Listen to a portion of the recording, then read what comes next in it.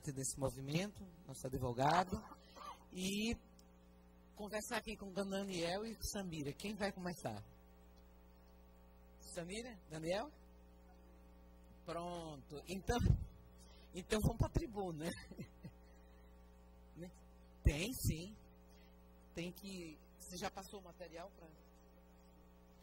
Pronto. Então já está aqui na sonoplastia e vamos dar início.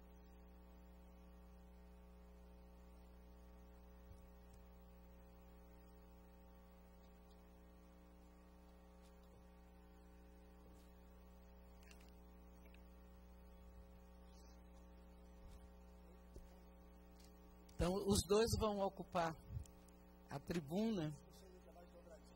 Isso, que já fazem na pesquisa.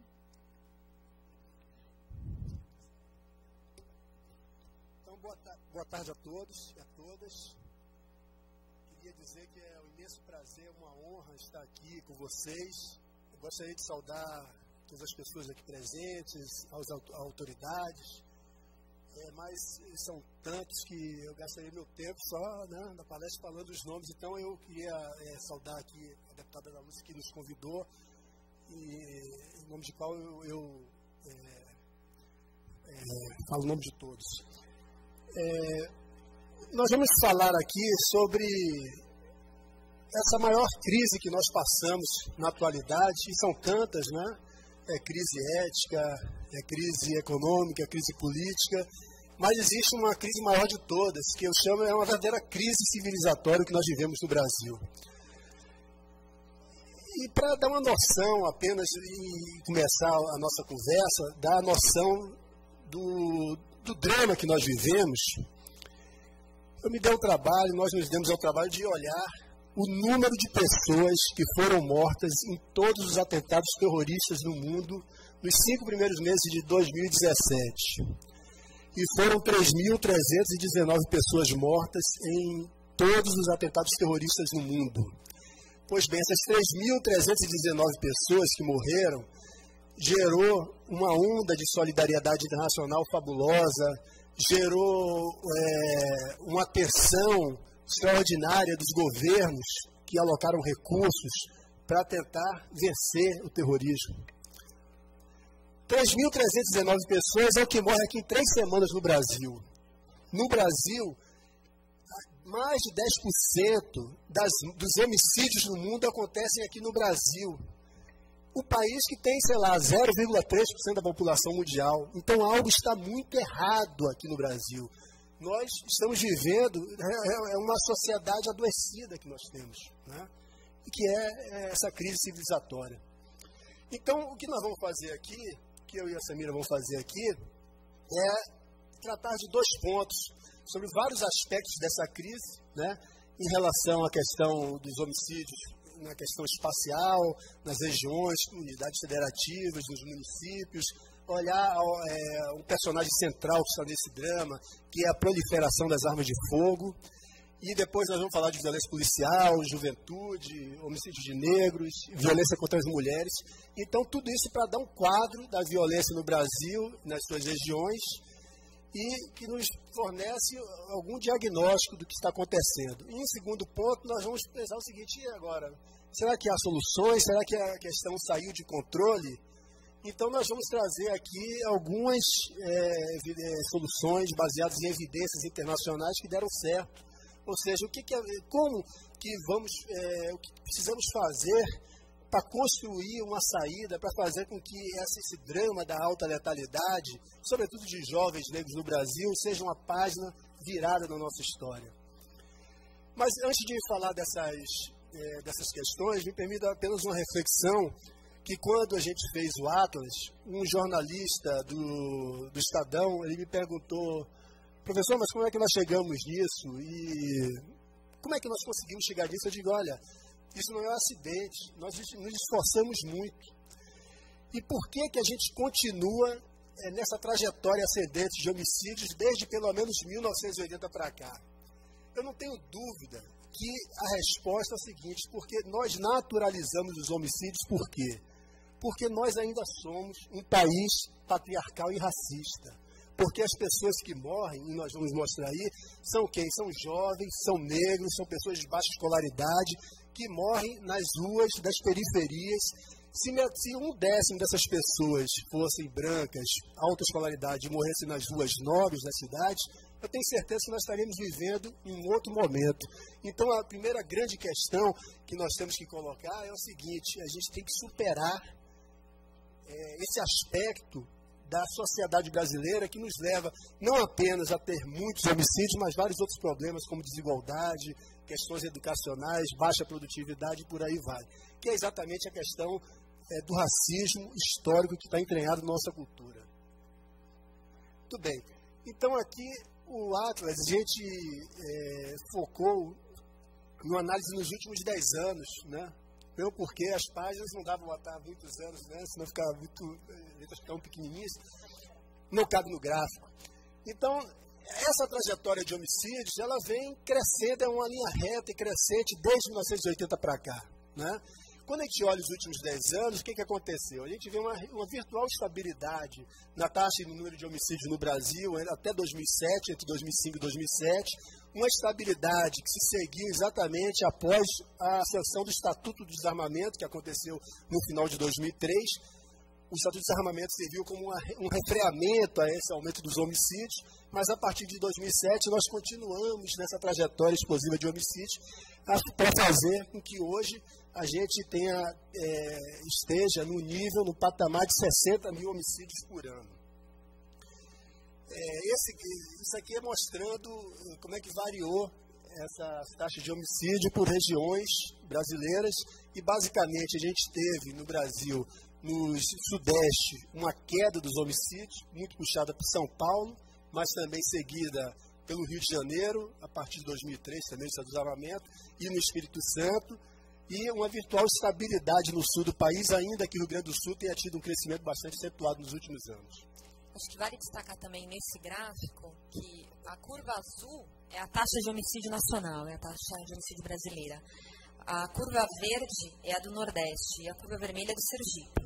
Vocês vão ver que no último ano que a gente tem dados disponíveis, que é 2015, a taxa de homicídios no estado do Sergipe é o dobro da média nacional que já é um número bastante alto, que é uma taxa de 29 por grupo de 100 mil habitantes. Então, o Sergipe hoje, com base nos dados do sistema de saúde, tem uma taxa de mortes por agressão de 58,3 por grupo de 100 mil.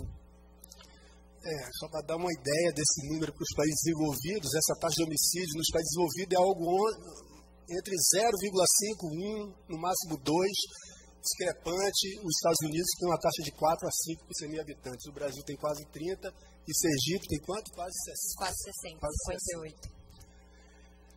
Então, é, é exatamente isso que nós falávamos, né? a consolidação dessa crise civilizatória. Né?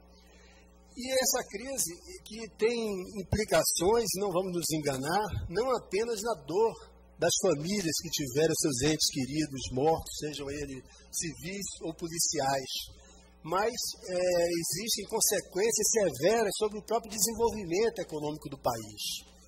Olha o que, é que nós pegamos aqui nos dados da saúde.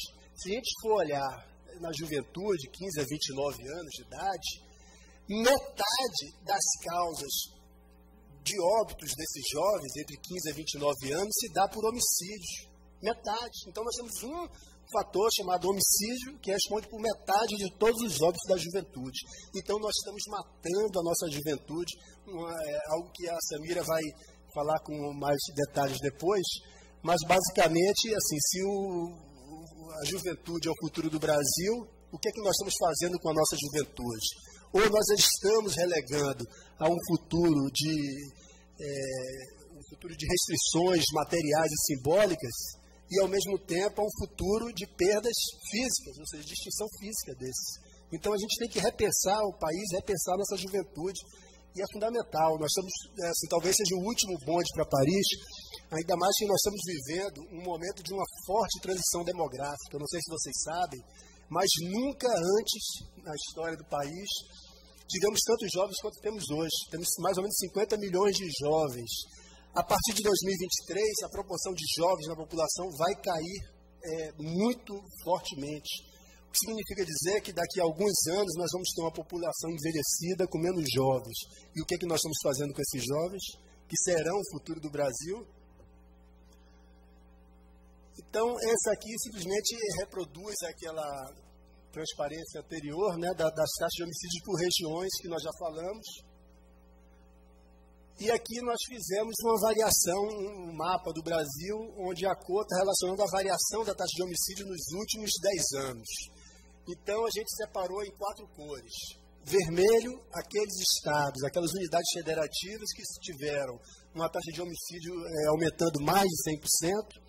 Amarelo, entre 50% e 100%. Azul, entre 0% e 50%. E verde, que diminuíram o homicídio. Então, apesar de nós verificarmos que estamos numa crise civilizatória no Brasil, há estados que conseguiram diminuir a taxa de homicídio, sobretudo na região sudeste, como nós falamos também no Mato Grosso do Sul ali. E, no entanto, quando a gente vai olhar é, o norte e nordeste, norte e nordeste concentram todos os estados, aqueles dois, quatro, seis estados que tiveram taxas de homicídios acima de 100%. Eu não vou ficar detalhes nessa, nessa, nessa tabela, isso aqui é mais ilustrativo, né? Não sei se a Samira quer falar alguma coisa sobre a tabela, mas basicamente mostrando ali aquelas últimas colunas que eu marquei ali, que nós marcamos, era a variação da taxa de homicídios entre 2005 e 2015, no último ano, ou seja, 2014 e 2015, e nos últimos cinco anos. E realmente é, é triste dessa casa é, trazer essa, essa, essa tabela aqui, Sergipe está é, é um, tá marcado de vermelho, como foi um dos estados que mais, um dos três estados que mais crescer, que mais, onde se observou maior crescimento na taxa de homicídio nos últimos 10 anos e também nos últimos 5 anos. Né? Então, realmente é uma situação é, bastante é,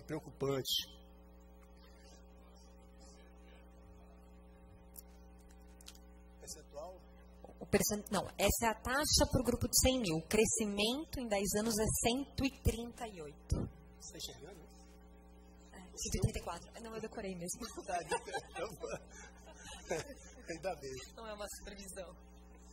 Mas, é, aproveitando, então, agradeço a pergunta para dizer o seguinte: é, o Atlas da Violência é uma, uma publicação que todo ano faz, é, produzida pelo IPEA, eu trabalho, Estudo de Pesquisa Econômica Aplicada do Governo Federal, e o Fórum Brasileiro de Segurança Pública, que a Samira é diretora. Então, todo ano nós fazemos esse ato, fazemos essa análise, ela está disponível na internet, e esse ano nós lançamos, junto com o Atlas também, um site onde as pessoas podem buscar os dados. Então, a pessoa quer saber sobre violência no Brasil, ah, quer saber sobre violência que acomete negros. Aí tem lá violência contra as mulheres, tem tá tudo lá bonitinho os dados e também várias publicações, análises que nós fizemos ao longo de vários anos.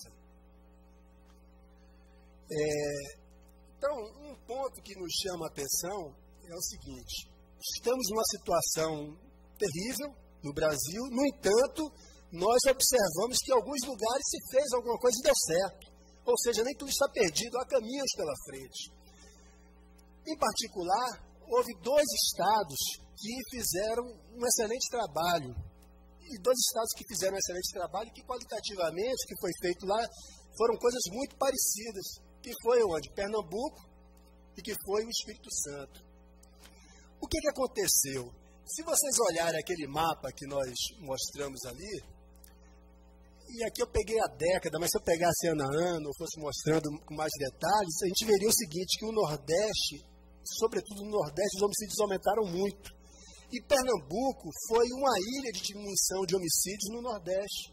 Então era um estado cercado por outros estados onde tudo estava aumentando, a violência, e no entanto Pernambuco diminuiu. O que, que aconteceu diferente de Pernambuco?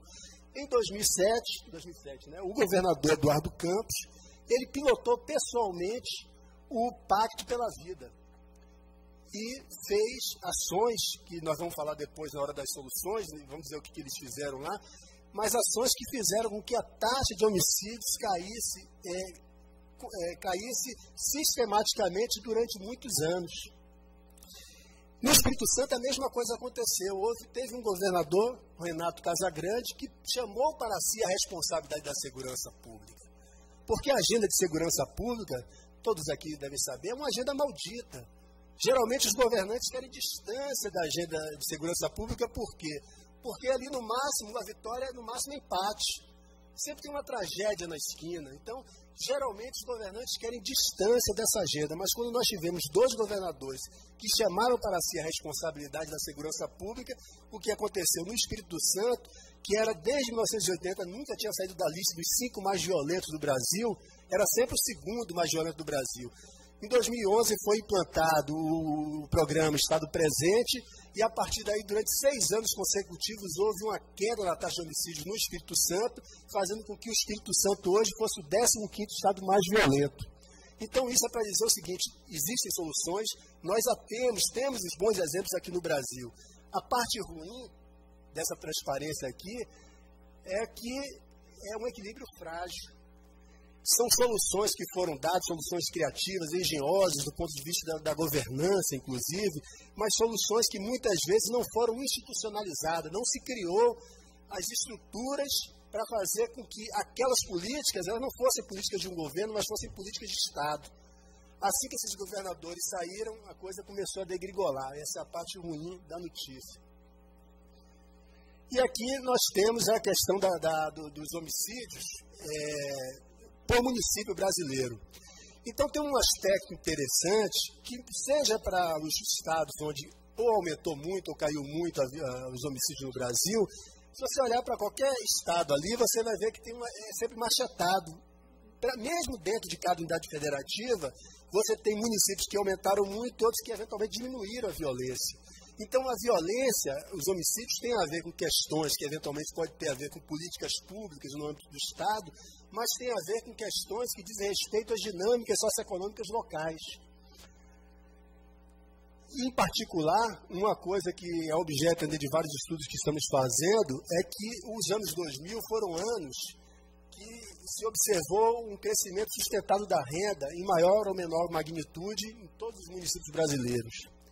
E no rastro dessas coisas boas que a renda traz, que a economia de mercado traz, muitas vezes vem as coisas ruins muitas vezes naquela cidadezinha pequena, onde o dinheiro não girava, onde a economia estava parada e o dinheiro começou a circular, no rastro desse dinheiro que começou a circular, começou a ser operado o mercado ilícito de drogas. E esse mercado ilícito de drogas, muitas vezes, tem causado muitas mortes, porque pelo fato de ser ilícito, a violência, o mercado é regulado pela violência. A violência é utilizada para ganhar mercados, briga entre as gangues, entre as, entre os, é, as quadrilhas, mas é também utilizada para disciplinar devedores duvidosos e também os funcionários da firma que querem dar a volta no patrão têm que ser morto, porque senão a firma vai à falência, a firma do narcotráfico. Então, a droga é um problema hoje e nós não temos solução à vista. Continuamos na mesma história de mais de muitos e trintas e décadas aqui no Brasil e no mundo, na, da política de guerras às drogas, que é a forma mais insana de desperdiçar vidas e recursos públicos. É, quando a gente for olhar os dados para o município, nós tivemos um problema que é muitas vezes é, alguns estados têm uma qualidade do, do, do, dado de indicar se aquilo foi um homicídio, foi um acidente, um suicídio muito boa. Outros estados já têm uma qualidade menor, né? E aí você tem dificuldade de saber o seguinte, olha, mas será que ali a taxa de homicídio naquele município é baixa, mas é baixa porque não teve homicídio ou porque realmente é, é, a coisa não foi muito bem feita, a produção da informação foi de baixa qualidade. E aí nós trouxemos um exemplo para mostrar como isso pode ser terrível para a gente fazer análises. Né? É, exemplo, Barreiras, um município no interior da Bahia. Que, aliás, a Bahia é o estado que pior classifica é, nos dados da saúde, é o dado de pior qualidade. Né? Classifica, tem muitas mortes que eventualmente são por homicídios que terminam sendo classificadas como mortes com causa violenta e determinada. Então, Barreiras é um exemplo disso. O registro oficial do Ministério da Saúde tinha um homicídio em Barreiras no ano, o que levaria Barreiras ao topo das cidades mais pacíficas do Brasil. No entanto, quando nós fomos olhar mortes violentas com causa indeterminada, o que, que, é isso? É aquela vala comum onde aquele cara que é, o sistema de produção de informação não conseguiu classificar se aquilo foi homicídio, acidente ou suicídio, joga ele na vala comum das estatísticas não identificadas, que é a morte violenta com causa indeterminada. Barreiras tinha 119 mortes violentas com causa indeterminada, dos quais É, arma de fogo, o que é arma de fogo? 60 pessoas foram por arma de fogo, é, envenenamento, é, enforcamento 4, instrumentos contundantes 10 e por, e por aí vai. Então nós fizemos uma lista aqui, e eu vou terminar é, minha parte aqui, deixar a Samira, que ela fala muito melhor do que eu, né? Vou falar aqui só é, um pouco desse, do, dessa lista por, por município, né? apenas é, ilustrando algumas questões aí. Então, nós pegamos e analisamos só aqueles municípios com mais de 100 mil habitantes. Porque quando você analisa município muito pequeno, pode haver uma distorção estatística. Muitas vezes tem um município de 10 mil habitantes. Aí, de repente, teve um caso, uma situação que um casal, sei lá, se desentendeu, teve um conflito e duas pessoas morreram. A taxa iria lá para cima. Não é que aquele município é violento. Aconteceu uma, é uma tragédia ali, mas uma, uma coisa corriqueira. Eventualmente, pode acontecer o seguinte, daquele município ser muito violento, mas como o espaço de um ano não deu tempo para essas mortes se realizarem, você vai observar número zero. Então, para evitar esse tipo de distorção estatística, nós lidamos com os municípios com mais de 100 mil habitantes. E aí, olhando esses municípios de mais de 100 mil habitantes, não há novidades é, quando olhamos os municípios, eh, os municípios mais pacíficos, Vamos ver vários no, Nordeste, no, no Sudeste, desculpem, São Paulo em particular. É, e nós vamos ter dois municípios é, de Santa Catarina. Então, o município supostamente o mais pacífico do, do país seria Jaraguá do Sul. Quando a gente olha da lista dos 30 municípios mais violentos, a gente vê vários aí do Norte e Nordeste. E Sergipe tem quantos aqui? Socorro, só tem um, né? É, Aracaitão só tem um. Então, é, mas assim, vários estão aqui exatamente na região Nordeste, Norte e Nordeste, que aliás é o que o mapa também dizia quando a gente fazia a análise por unidades federativas. Né? Então, eu, termino só fazendo, antes de passar a palavra aqui para a Samira, e depois a gente vai voltar para falar das soluções. Né? É, só para fazer uma, uma reflexão muito rasa, mas para nos é, permitir fazer algumas ilações do que está por trás desse fenômeno da violência. Então, quando a gente compara Jaraguá do Sul, que era o mais pacífico, com Altamira, no Pará, que era o mais violento, a gente vê diferenças brutais. Quando a gente olha o que, que, que, causa essas diferenças, por que um município é mais violento do que o outro? A gente vai ver o seguinte, que em termos de população, tem elas por elas, é, densidade demográfica, é, Jaraguá do Sul é mais densamente povoado, né? Altamira é um município gigante, né? Mas quando a gente vai olhar nas questões sociais, nas questões é, de desenvolvimento humano, existe um verdadeiro fosso, o mesmo fosso que separa esses dois municípios em termos de violência letal, os separa em termos de desenvolvimento humano. Todos os indicadores de Jaraguá do Sul, eles trazem distâncias assim abissais para os níveis vividos em Altamira, como por exemplo crianças e jovens que estão estudando. Se for pegar qualquer índice escolar, índice de renda, de emprego, você vai ver que Jaraguá do Sul é um outro mundo de Altamira. E claro que o desenvolvimento social é a primeira questão quando a gente fala de violência. Mas além disso, é possível que você tenha num local um alto desenvolvimento social e tenha crimes. O desenvolvimento não diria nem desenvolvimento social, é desenvolvimento econômico e tenha crimes. E por que, que isso pode acontecer?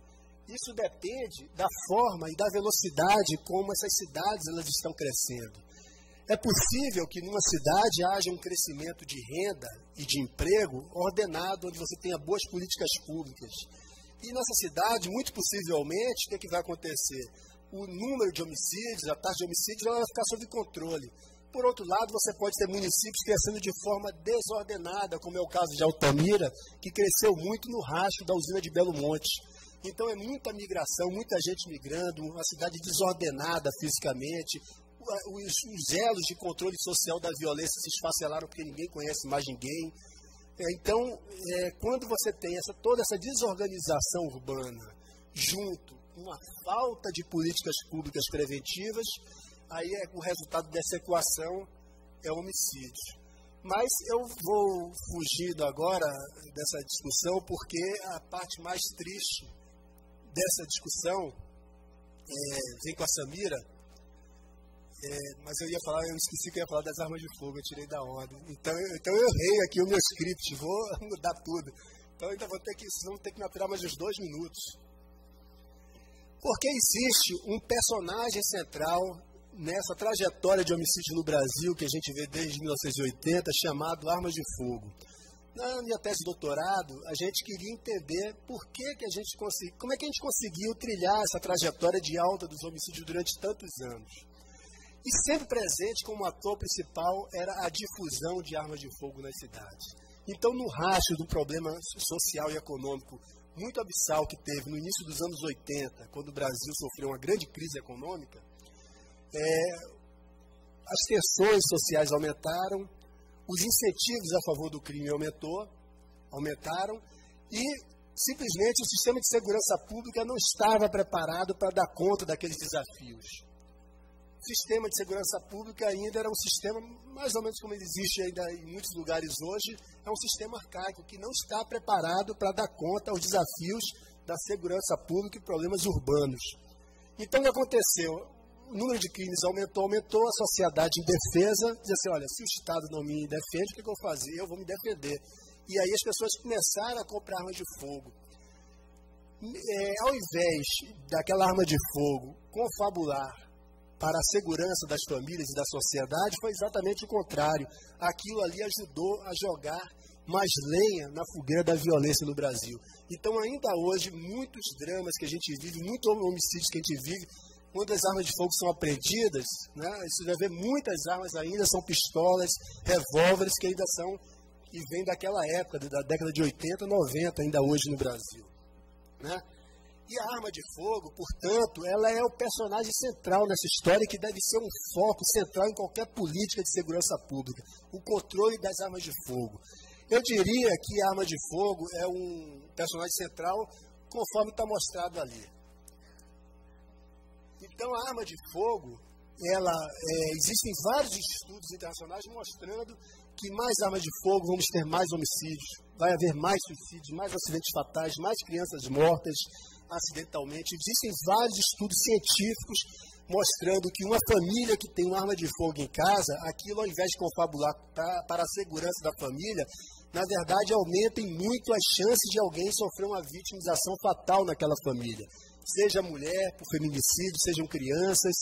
É, existem muitos crimes interpessoais que são perpetrados, que são é, crimes interpessoais em que a arma de fogo ela gera um desfecho trágico. Né? Mas vocês ficam me perguntando, sem dúvida deve, deve estar pensando, o pessoal lá do fundo lá, deve estar pensando, pô, será que esse cara tem só convicção? Não, eu tenho provas. Nós temos provas disso.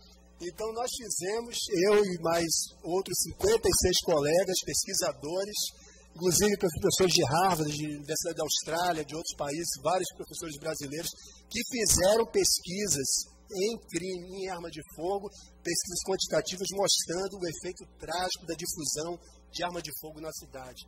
Isso tudo está disponível também na internet, num documento e num, num Facebook que nós fizemos, que é o Manifesto dos Pesquisadores contra é, o esfacelamento do status de armamento, é algum nome desse, né?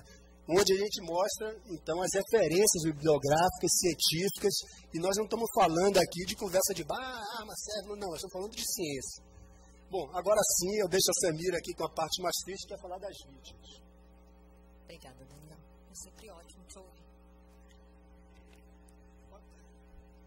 Bom, me cabe falar um pouco das vítimas e eu acho que quando a gente fala de vítimas a gente não pode deixar de falar da violência policial. É, os dados que o DataSUS traz relacionados a esse tipo de ocorrência criminal, na verdade, eles são muito ruins.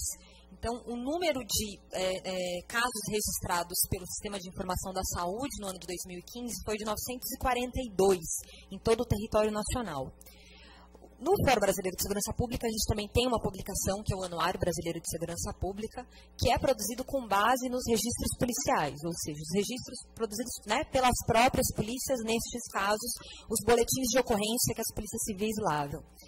E quando a gente fez o último anuário, que foi no ano passado, com dados de 2015 também, a gente fez via lei de acesso à informação, um pedido para todas as secretarias de segurança, perguntando o número de pessoas mortas em decorrência de intervenções policiais, em alguns casos os estados ainda usam a nomenclatura resistência seguida de morte ou alta de resistência, e a gente também solicitou o número de policiais mortos, e aí eu estou falando de número de policiais assassinados em serviço e fora, e número de pessoas mortas pelas polícias e fora. E aí, o que, que esse dado reflete? E aí, né, se baseando então pelos dados da segurança pública. Bom, acho que a primeira conclusão é que 3.320 pessoas mortas pela ação da polícia é muita coisa. Sob qualquer critério ou padrão de uso internacional da força, se a gente for comparar com qualquer contexto, esse número é muito alto. Morre-se muita gente em função de ações das polícias, civil e militar. Só que quando a gente olha para os dados de policiais mortos, a gente vai ver que a gente também é recordista. Nos levantamentos que a gente faz anualmente, eu não conheço nenhum país que tenha um número de policiais assassinados tão grande como o Brasil.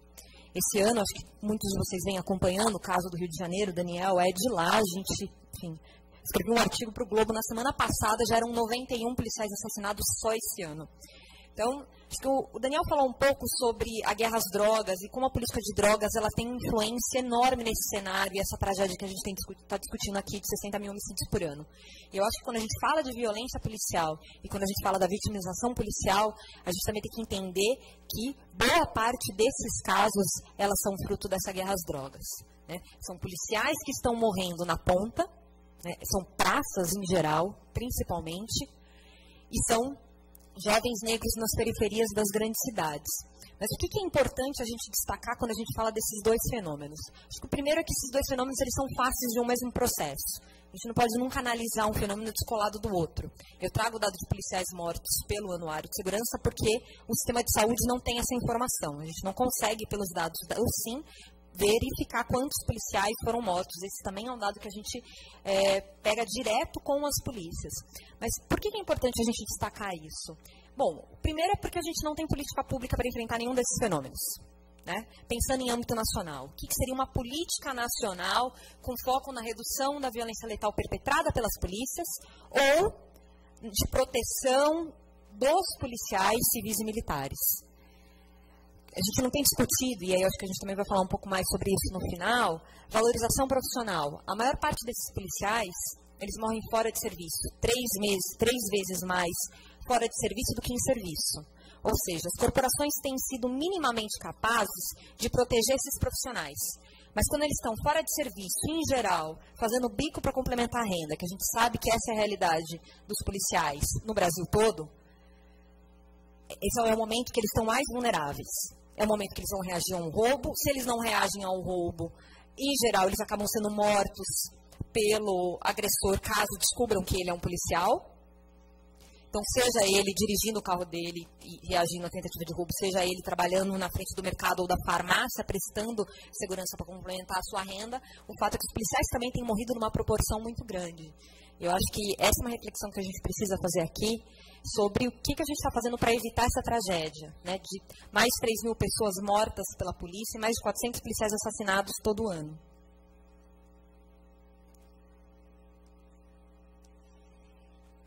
E falar um pouquinho sobre juventude, que é o que a gente está chamando de juventude perdida, que é, sem dúvida, a maior tragédia que a gente traz no Atlas da Violência desse ano. É, como o Daniel falou, a gente tem já isso como a principal causa de morte de adolescentes e jovens no Brasil, de 15 a 29 anos.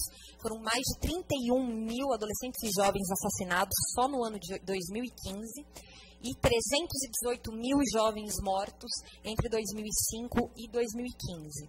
Então, para além do que isso representa é, em termos do sofrimento mesmo, da tragédia humana, são, a gente está falando, são basicamente, e eu vou detalhar os dados, falando de homens, negros e jovens. Né? E a gente está falando que são mulheres, em geral negras, que ficam nessas periferias, tendo lidar com todo esse sofrimento, tendo lidar com o sustento da casa, tendo lidar com uma série de consequências que toda essa violência ela traz. Então, a violência tem um impacto enorme econômico. Acho que essa, do ponto de vista pragmático, é, esse é, é, no mínimo, o, o, um, um, item a favor de políticas de redução da violência letal. A 1,5% do PIB só com as perdas anuais relacionadas à violência. Então, a gente, em geral, gasta mais com as consequências devastadoras da violência letal do que com políticas públicas de prevenção à violência, com foco na redução da violência letal. Acho que isso é importante a gente marcar também. Mas, mais do que isso, a gente está destruindo e acabando com a vida como o Daniel falou, do nosso futuro. Então, são daquelas pessoas né, que são a base do nosso mercado de trabalho, são aquelas pessoas que teriam que produzir, incentivando o mercado a crescer, incentivando o país a crescer, e a gente está interrompendo essas vidas e essas trajetórias cada vez mais cedo. É, aqui a gente traz para todos, os, todos os estados brasileiros a taxa de homicídios por 100 mil jovens de 15 a 29 anos.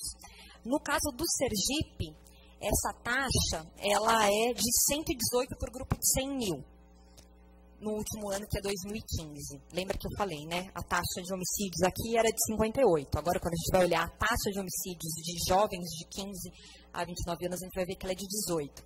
118. Quando a gente olhar de homens jovens, esse dado ele é ainda mais devastador. Homens jovens, a taxa é 230 por grupo de 100 mil habitantes. Esse gráfico aqui, ele traz uma comparação do, do Brasil e do Sergipe. Sergipe é a coluna vermelha e Brasil a coluna azul. Só para vocês entenderem mais ou menos, olhando para o contexto que a gente está aqui fazendo esse debate, onde se situa em relação à média nacional. Acho que a, o gráfico ele é bastante claro em mostrar que, infelizmente, a tragédia aqui tem sido um pouquinho maior. Na verdade, duplamente.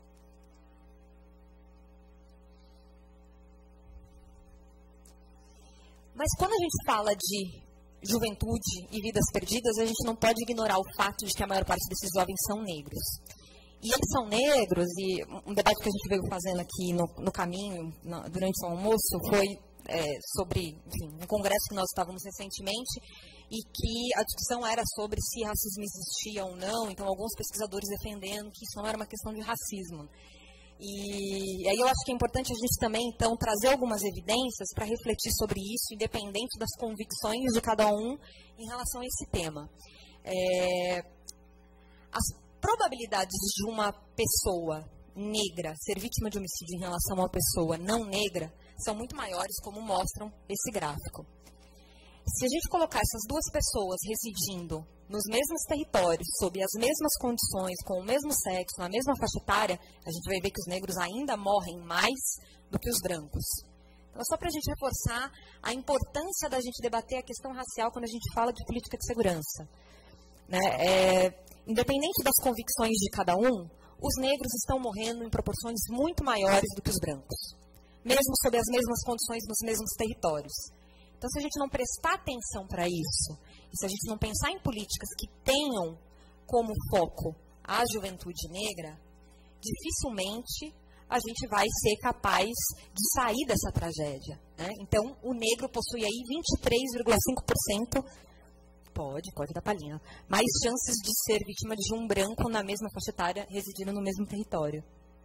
É, existe ainda esse mito no Brasil do que existe democracia racial. Então muitas pessoas dizem, não, existe democracia racial. E se os negros morrem mais, eles morrem mais porque são mais pobres, então eles moram nas favelas, que são os lugares mais vulneráveis, então eles vão morrer mais.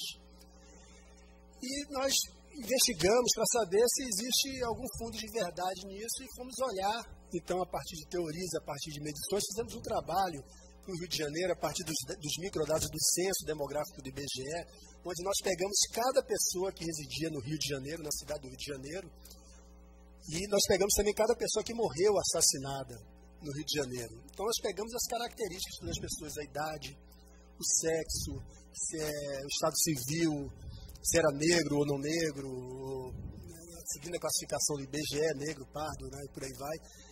É, escolaridade, né, e pegamos também o bairro de residência da vítima ou da pessoa viva. E aí a questão é a seguinte, quando a gente levou, leva em conta todos esses indicadores, ou seja, indicadores socioeconômicos, inclusive escolaridade da pessoa, e conjuntamente faz o cálculo, estima qual é a chance de um cidadão negro sofrer homicídio no Rio de Janeiro, essa chance é 23,5 maior do que um cidadão não negro. Ou seja, pegue dois indivíduos iguaizinhos, que tenham a mesma, sejam homens, tenham a mesma idade, a mesma escolaridade, morem no mesmo bairro. O negro vai ter 23,5% a mais de chance de sofrer homicídio. Quando nós olhamos a distribuição dessas probabilidades, que esse gráfico está dizendo, vamos olhar aquele última parte ali, que está dividido em 10 partes no eixo horizontal que são é, os grupos de distribuição menor chance de sofrer homicídio ao décimo grupo com mais chance de sofrer homicídio. Então, se a gente pegar os 10%, as 10%, 10% das pessoas no Rio de Janeiro que têm mais chance de sofrer homicídio, quando a gente vai olhar quem são esses caras, 79% são negros. Então, nós temos, o que a gente verificou, que já tinha verificado em outros trabalhos para o Brasil, nós verificamos no Rio de Janeiro, é que o Rio de Janeiro, e a gente pode falar a mesma coisa do Brasil, é uma cidade partida, como diria o Joane Ventura, não apenas entre ricos e pobres, né? mas dentro de cada região você tem pessoas marcadas para morrer. E a cor da pele é um grande indicativo dessa chance da pessoa vir a ser vítima de homicídio. A gente fez um estudo também com base na juventude que chama Índice de Vulnerabilidade Juvenil à Violência e Desigualdade Racial.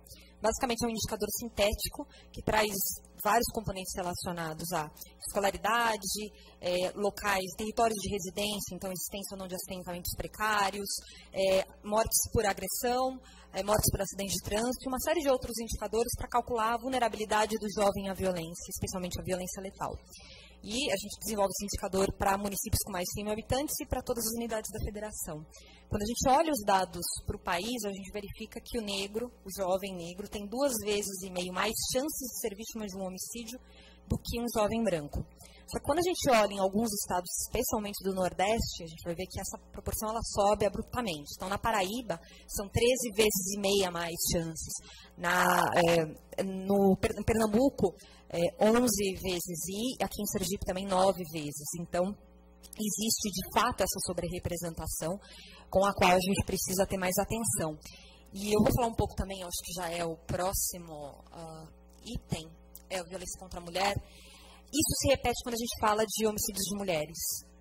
Aqui não são os feminicídios, tá? Estou trabalhando com a categoria mortes por agressão de mulheres. Não necessariamente todos esses casos são feminicídios. A legislação de feminicídio ainda é recente, então o Brasil ainda não tem esse acúmulo. A gente ainda não sabe quantos feminicídios de fato acontecem no território nacional.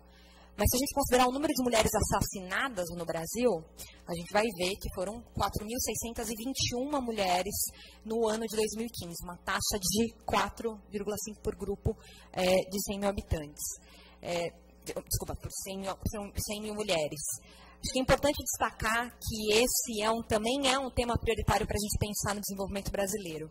Quando a gente compara com as taxas de mortalidade de homens, a taxa de mortalidade das mulheres acaba sendo bem menor e muitas vezes isso não é debatido ou não é colocado como prioridade quando a gente está desenhando uma política pública com foco na redução da violência letal. E a gente não pode desprezar o que essas mais de 4 mil mulheres vítimas de homicídio todos os anos representam, porque para a mulher a dinâmica para chegar à violência letal é completamente diferente. A gente estava discutindo política de drogas e como a guerra às drogas tem um impacto enorme nesse contingente de mais de 30 mil jovens assassinados todo ano e que é responsável por boa parte dos 60 mil é, mortos no Brasil por assassinato. Mas, quando a gente olha para a mulher, a maior parte desses casos tem relação com a violência doméstica. O agressor, ele não é é, dificilmente ele vai ser o ladrão na esquina. Eventualmente isso acontece, mas em geral o agressor é alguém que tem um vínculo com essa mulher. É alguém que ela ama, é alguém com quem ela tem uma relação, é alguém que para ela é muito mais difícil denunciar, justamente por causa dessas relações e desses laços que estão estabelecidos. E é um tipo de violência que vai sendo naturalizada por todos nós, homens e mulheres, de modo que a gente tem convivido com não só o crescimento da violência contra a mulher em suas mais diferentes formas, aí é importante chamar a atenção que a gente está aqui, está falando da violência mais grave, que é aquela que tirou a vida dessa mulher, mas as mulheres são todos os dias vítimas de uma série de tipos de violência. A gente fez uma pesquisa que foi divulgada no dia 8 de março, que mostrou que mais de 4 milhões de mulheres foram agredidas fisicamente no ano passado. E a gente está falando de 4 mil vítimas de homicídio. Então, essas mulheres muitas vezes passam décadas sofrendo agressões. Primeiro pelo pai ou pelo padrasto, depois é pelo marido. Na terceira idade, às vezes são os próprios filhos que acabam sendo violentos. Então, é uma vida permeada pela violência que tem, vem sendo naturalizada e que exige sim que a gente tome medidas é, com bastante é, empenho em relação a esse tema.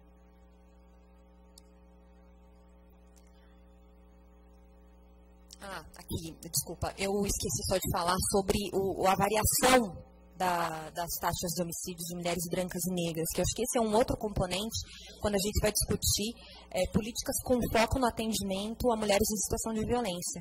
Se o, o, os homicídios de mulheres não negras reduziram em 7% é, nos últimos 10 anos, os homicídios de mulheres negras aumentaram em 22%. Então, como é que a gente explica isso do ponto de vista de uma política pública? Como é que a gente consegue evitar o homicídio da mulher branca e a gente não consegue evitar o homicídio da mulher negra?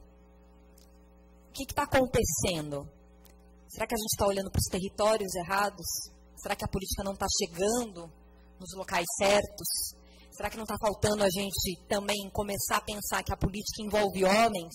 Que não adianta só a gente curar o machucado dessa mulher que é vítima de violência, mas falar sobre machismo, falar sobre uma série de fenômenos que estão por trás dessa violência, porque quando a gente fala de violência doméstica, a gente está falando, de, tá falando basicamente de poder, quando a gente está falando de violência sexual, a gente está falando de poder, a gente está falando de uma, uma, série de relações machistas e patriarcais que têm vitimado mulheres todos os dias.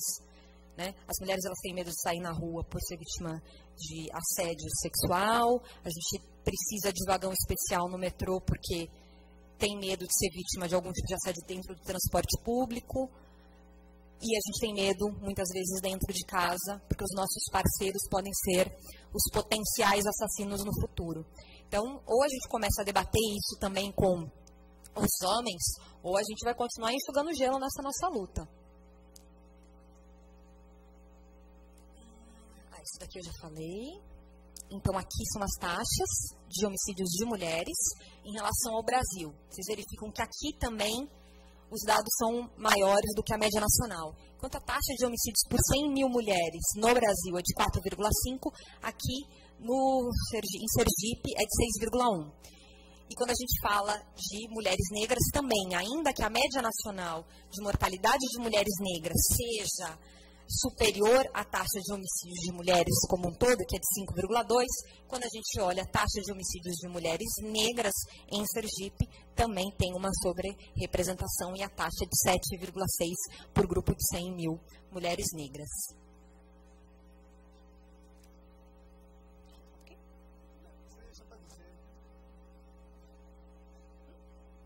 Esse gráfico era, na verdade, fazendo um resumo de alguns outros, mostrando Sergipe em relação ao Brasil, que, na verdade, é, a gente poderia pensar, Sergipe tem alguma coisa de particular? Não, Sergipe é um microcosmo do Brasil, só que potencializado em relação aos níveis de homicídios que aqui ocorrem. Né?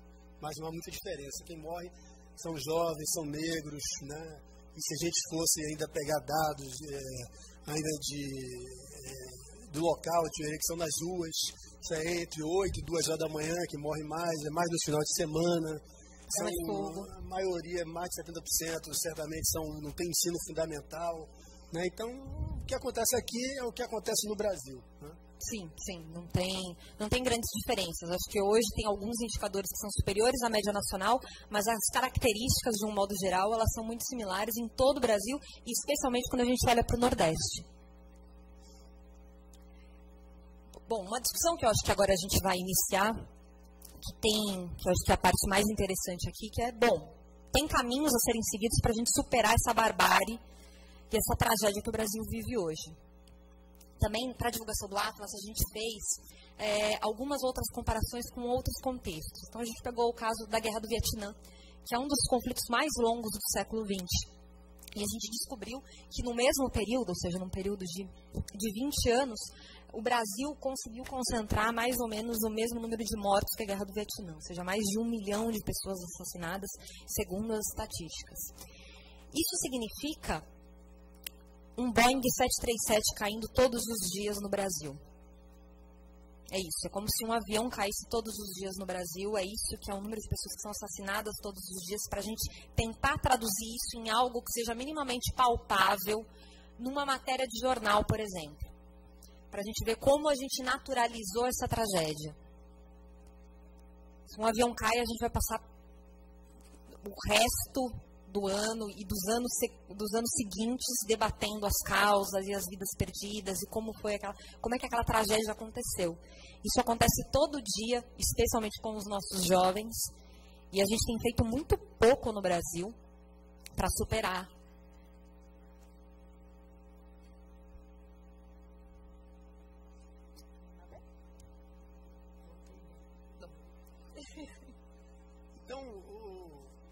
Ponto que a gente queria pensar aqui, rapidamente, assim, é possível construir uma política efetiva de segurança pública quais são os elementos necessários. Né?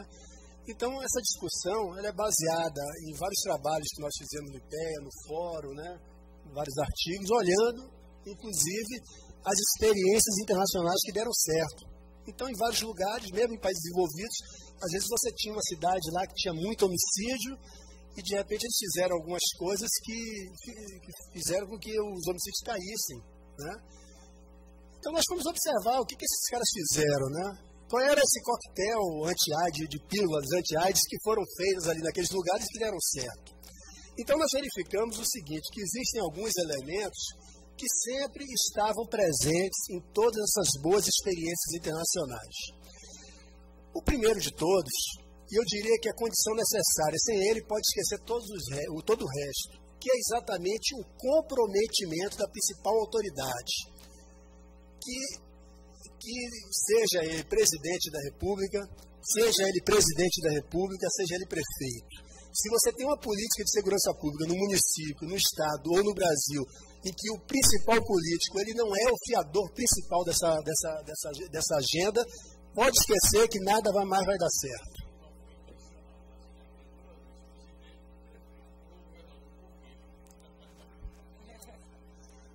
Não, não, governador, presidente, todos entram na linha de produção aí, não, ninguém escapa não.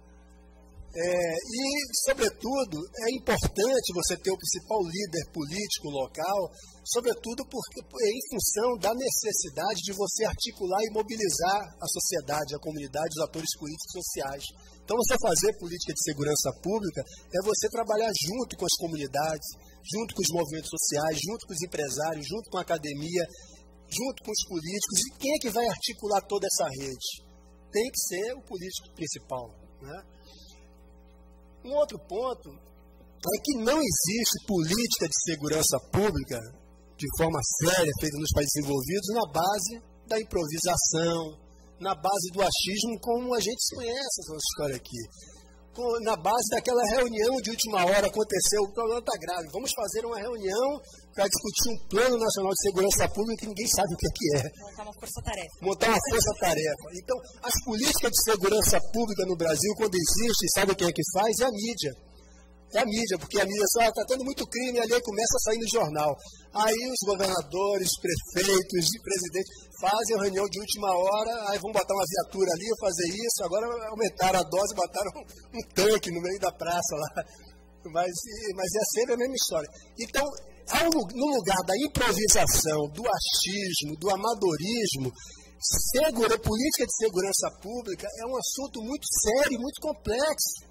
Precisa ter uma mudança de método. Essa mudança de método, ela precisa utilizar, ao invés simplesmente da truculência e da força, utilizar informação e inteligência. Usar informação e inteligência, em primeiro lugar, para definir qual é o diagnóstico local. E o diagnóstico do que acontece aqui em Socorro, ou o que acontece em Aracaju, ou em Vitória, ou no Rio de Janeiro, são diferentes, porque as realidades são diferentes. Então a gente tem que entender essas realidades locais e a partir dessas realidades locais, quais são os problemas que estão gerando, que estão pressionando a dinâmica de crime naquela localidade, aí sim nós vamos fazer um planejamento, quais são as ações necessárias. Essas ações, por sua vez, têm que ser monitoradas, têm que ser avaliadas, porque muitas vezes uma boa ideia, na prática, ela se revela uma péssima ideia. Aparece a dispositiva, uma ideia sensacional. Aí quando você mede, assim, ó, quando você mede, avalia, diz assim, não teve impacto nenhum. Você está desperdiçando recurso público, gastando aquele monte de dinheiro naquela ação. Então, como é que se faz política pública nos países desenvolvidos? É nessa base, na base do método científico, diagnóstico, planejamento, monitoramento e avaliação e sistema de, de metas e de incentivos para é, os profissionais que lidam com essa questão da segurança. Além disso, um terceiro ponto, que é exatamente a difusão de técnicas de construção de espaços de prevenção, mediação e negociação de conflitos. A gente sempre é levado a crer que existe muito homicídio no Brasil é só por causa das drogas e é por causa do crime organizado. Não, muito crime, muitos homicídios acontecem por questões interpessoais. É briga de bar, é de vizinho, é jogo, é feminicídio. Acontece o diabo aí. Né? Então, é, é, muitas vezes essas pessoas, muitas vezes as, as comunidades não têm como resolver conflitos.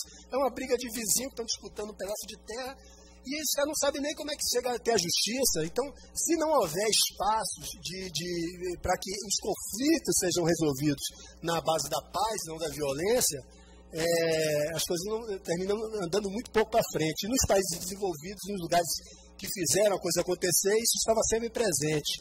Nós temos ótimas iniciativas dessa no Brasil.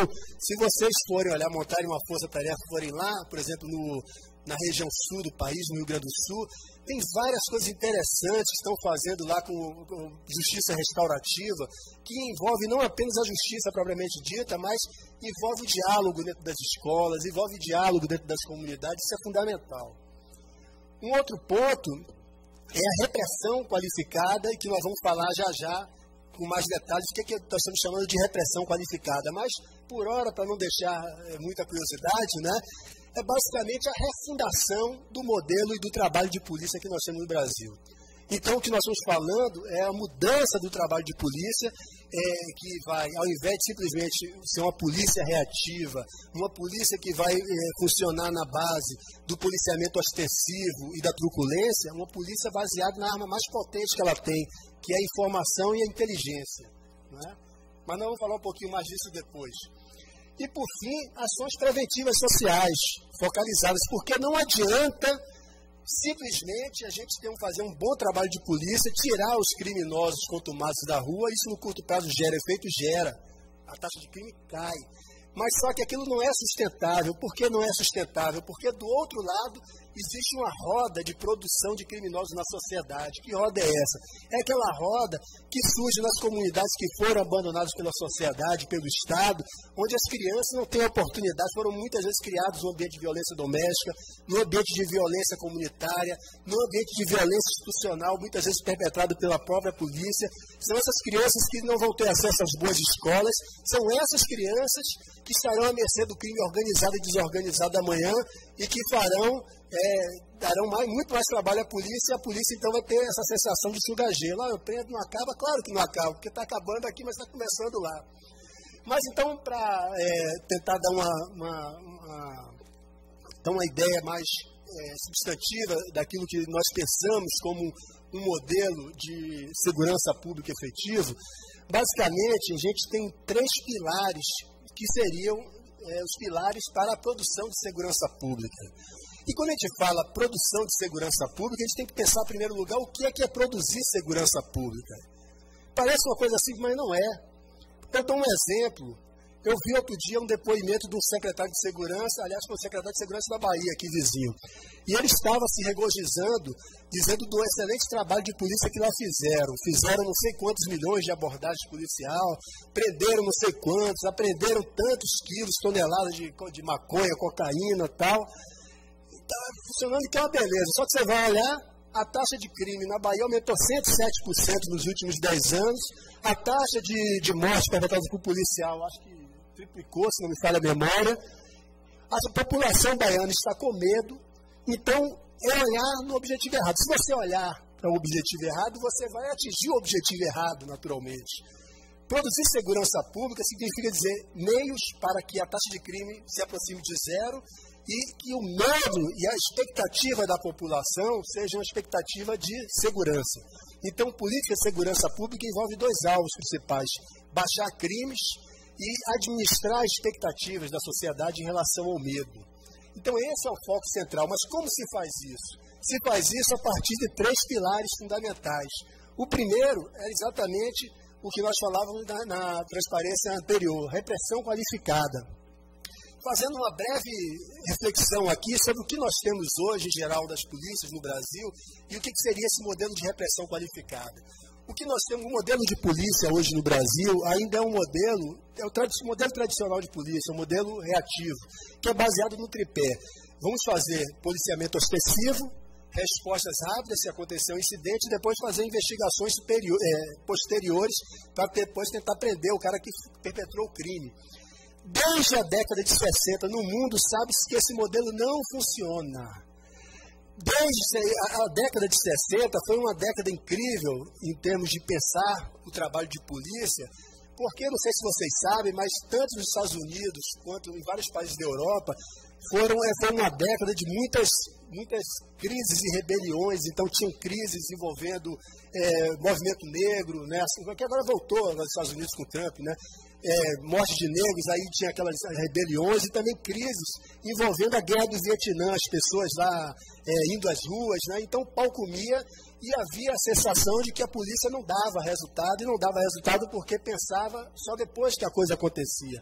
Quando você pensar um modelo de polícia efetivo, quando você pensar repressão qualificada, é você pensar exatamente nos elementos que geram as questões de ordem, de pequeno delito e de grandes crimes na sociedade. A partir desse, desses anos 60 e do relatório muito famoso feito lá no Senado americano, conhecido como relatório Kerner, chegou-se à conclusão: um modelo de polícia não funciona. E aí vários outros modelos de abordagens, de gestão, de como que o trabalho de polícia deve funcionar, foram colocados em pauta. Entre eles, o policiamento comunitário, que eh, subsiste na ideia do seguinte: não há como produzir um trabalho de polícia perfeito se você está separando polícia e comunidade, se existe um abismo de desconfiança recíproca de um em relação ao outro. Polícia e comunidade têm que andar juntas, é a coprodução da segurança pública. Mas outros modelos vieram, como o modelo da polícia orientado para o problema. Então, quais são os vamos mapear os problemas de crime ali, quais são os problemas que estão gerando aqueles crimes naquela localidade, quais são as soluções e vamos atuar em cima dessas soluções. Ainda baseado nesse modelo, teve a revolução do CompStat, que foi aquele modelo americano que hoje tem tudo no computador, aí tem uma, uma pressão para a contability do, do, dos chefes de polícia e dos operadores locais da, da, segurança pública, né? mas que basicamente é um modelo de, de policiamento orientado para o problema.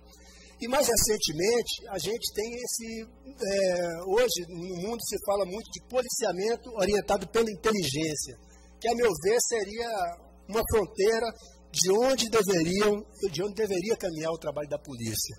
E basicamente o que é esse policiamento orientado pela inteligência?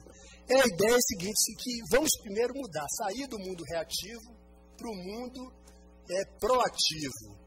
Mas proatividade em que sentido? No sentido de que a gente vai ter objetivos estratégicos de longo prazo a serem alcançados e a gente vai utilizar o nosso, o nosso, a nossa capacidade de governança para atingir aqueles objetivos.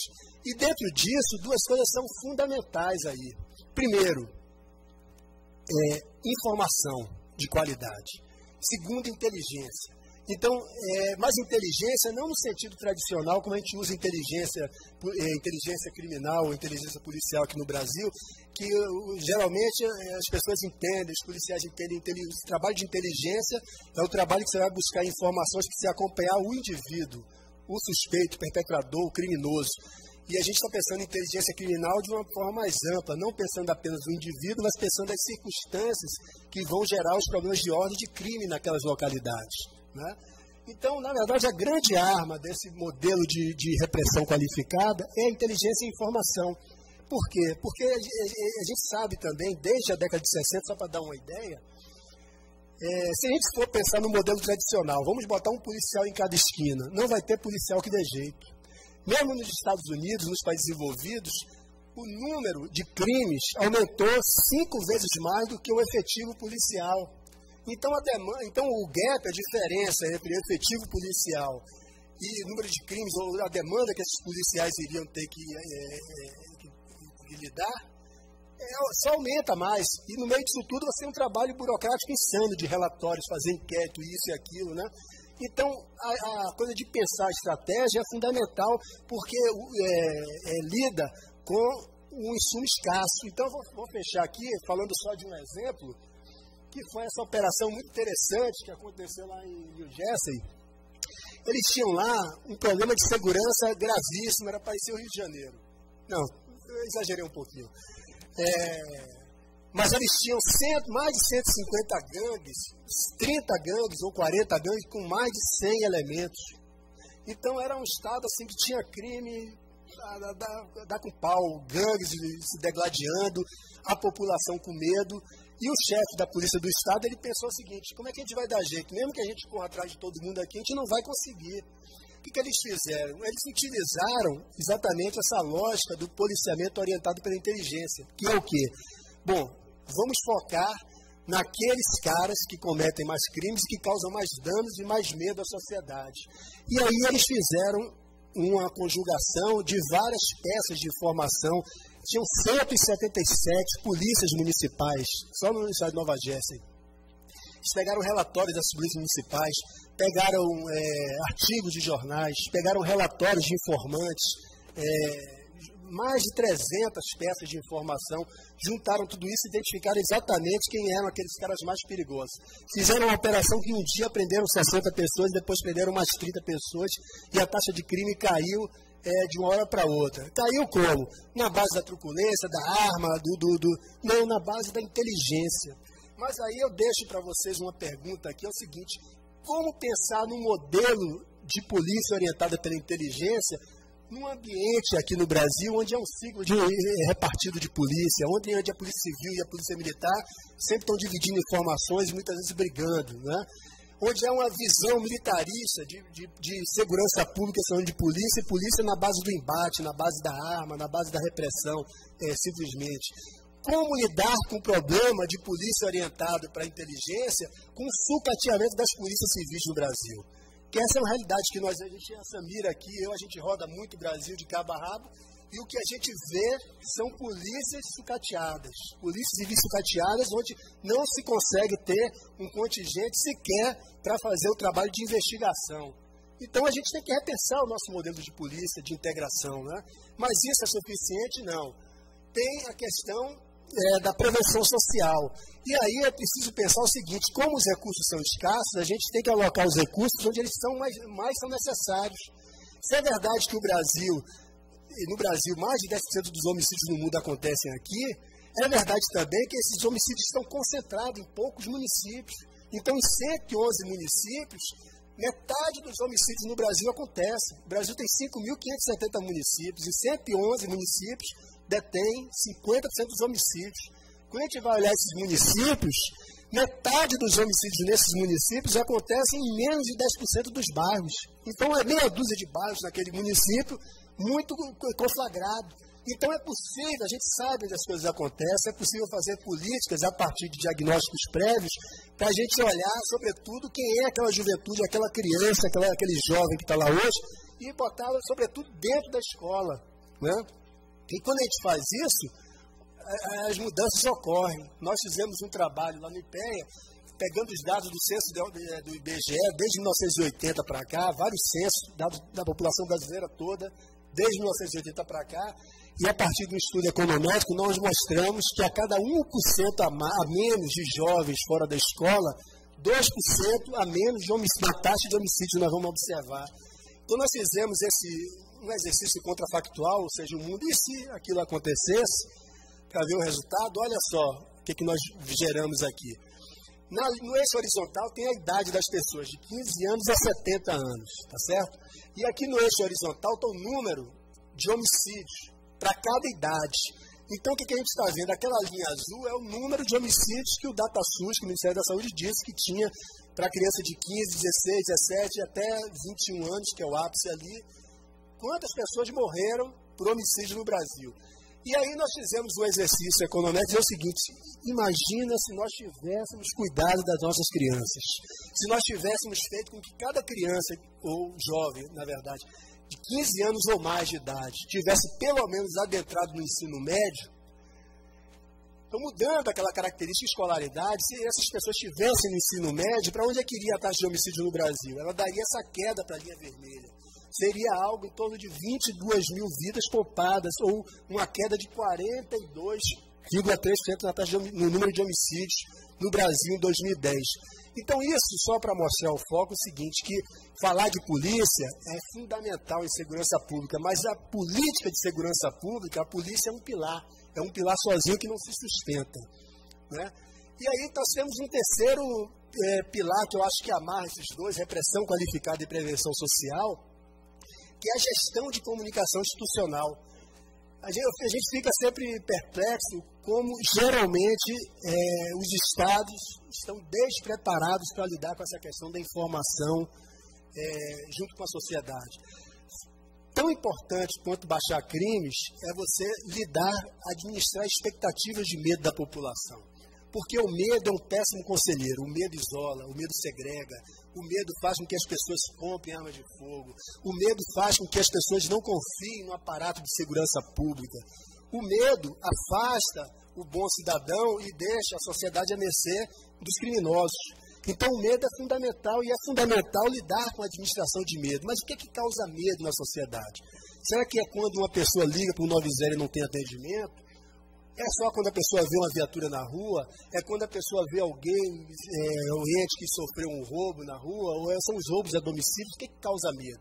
Temos que ter ações diretas para isso, né? para minimizar o medo da sociedade e ações também de comunicação que tem que lidar com as tropas, tem que lidar com os profissionais da segurança pública. O que a gente vê historicamente no Brasil, e aquilo que a Samira falou muito bem, né, aqui morre-se muito, mata, é, o policial mata muita gente e morre-se muito policial. E eu diria mais, tem muito policial que se suicida. A gente fez um outro estudo mostrando, calculando qual é a chance de uma pessoa se suicidar. A classe policial é algo estrondoso. Então, nós estamos lidando com corporações adoecidas, porque muitas vezes as autoridades, governadores, elas insuflam essa ideia de guerra às drogas, vamos partir para cima, vamos eh, confrontar o crime. É uma política belicista que vai fazer com que essa espiral de violência ele aumente na sociedade. Entender que isso não é a saída e que você tem que ter é, mecanismos profissionais de lidar com a informação é fundamental. Imaginem, por exemplo, um banco central que vocês sabem que aqui nós temos, um, eu sou economista, vou aproveitar aqui, temos um modelo de metas inflacionárias. E o Banco Central faz uma reunião a cada quase dois meses para estabelecer qual vai ser a taxa de juros futura e faz um relatório para dizer qual é o cenário que está acontecendo, por quê?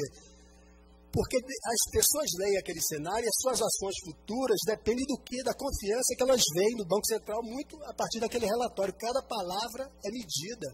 Imagina se o cara do Banco Central vem hoje e fala assim, olha, ferrou que agora nós vamos, uh, o crime vai aumentar, nós vamos partir para cima, que, é que vai, a sociedade estaria aterrorizada. Então precisa de profissionalismo para lidar é, com essas coisas. Né? Com esse tripé que nós falamos aqui, é, várias experiências foram implementadas e várias deram certas. Inclusive, muito do que nós falamos aqui é, estavam presentes exatamente nas experiências de Pernambuco e do Espírito Santo que nós falamos antes. Né? Então, só fechar aqui, e aí eu passo para a Samira, alguns aspectos centrais é, nesse processo de construção de uma política de segurança pública efetiva.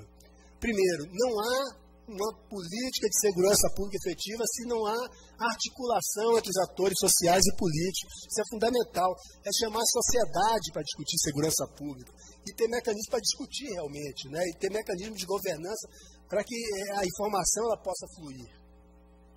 Além disso, nós temos o problema do SSP Futebol Clube. O que é o SSP Futebol Clube? Secretaria de Segurança Pública Futebol Clube. É um problema parecido com o problema dos presidentes de, de clube de futebol. Tem aquele clube de futebol, aí o time começa a perder. Aí perde uma, duas, três, aí o que o presidente faz? Troca o técnico. Por que tem que trocar o técnico? Para dar uma mexida, uma chacoalhada para ver se o time não cai na segunda divisão.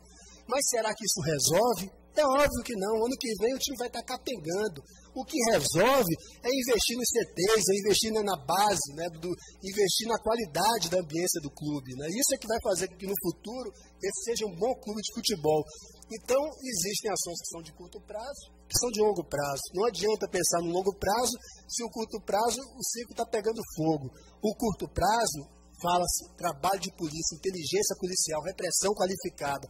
O longo prazo é o que? Prevenção social. Essas coisas elas têm que ser é, balizados a partir de um planejamento e um monitoramento, conforme nós falamos. E aqui nós temos mais uma, um fato fundamental de que por que é importante que o governador, já que ele pediu que eu não falei governador, mas estou falando, né? Seja o principal fiador. Porque política de segurança pública, por definição, é uma política que depende de ações intersetoriais. Política de segurança pública exige que aquela escola ela vá seja ela, ela seja implantada exatamente naquela localidade onde estão aquelas crianças. E que o modelo educacional não seja um modelo educacional que é utilizado aqui nas áreas mais nobres das cidades, porque aquelas crianças elas têm um desfavorecimento cultural, educacional e, e, e também um estresse por causa da violência tão grande que o.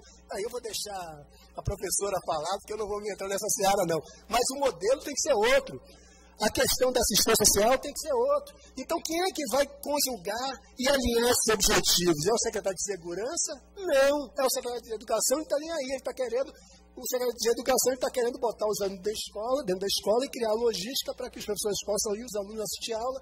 Ele não está preocupado com o problema de segurança.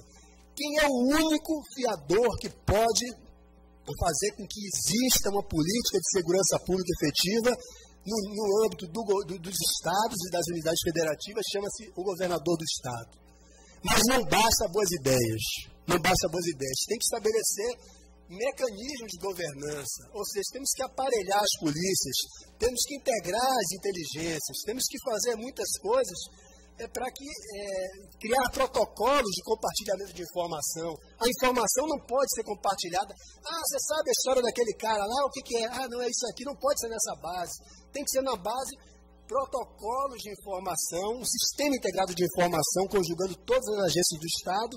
E essas informações elas têm um objetivo. Quais são os objetivos estratégicos de longo prazo?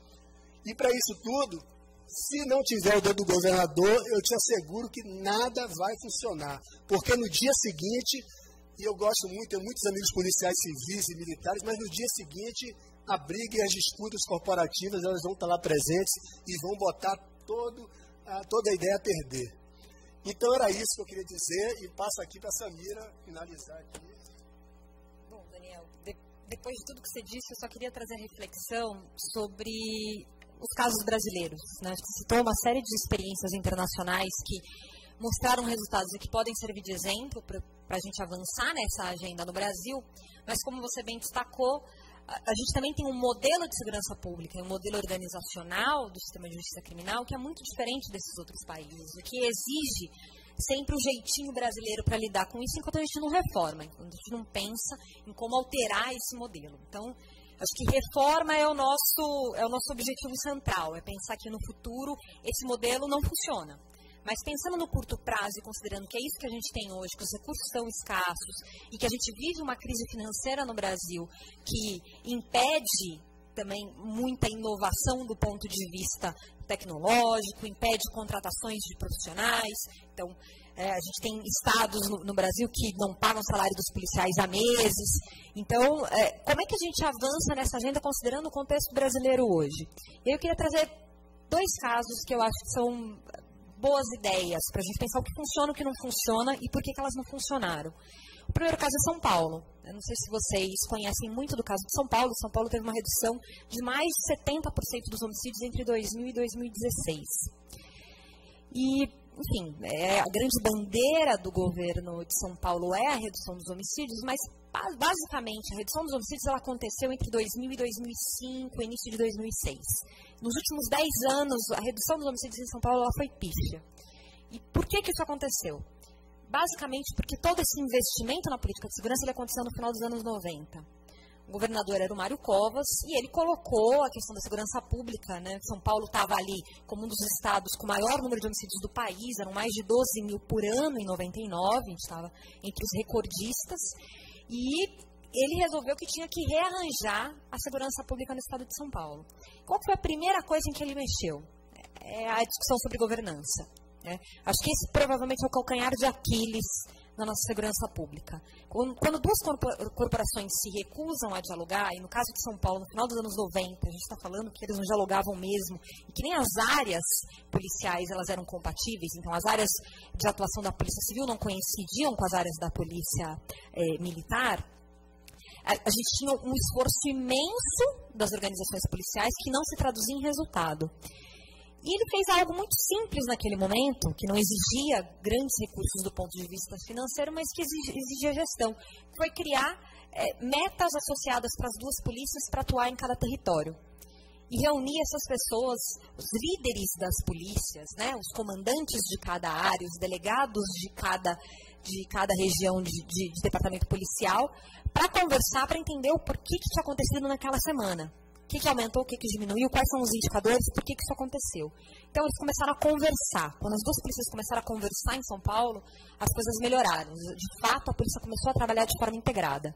E naquele momento nem tinha nenhum tipo de bônus salarial.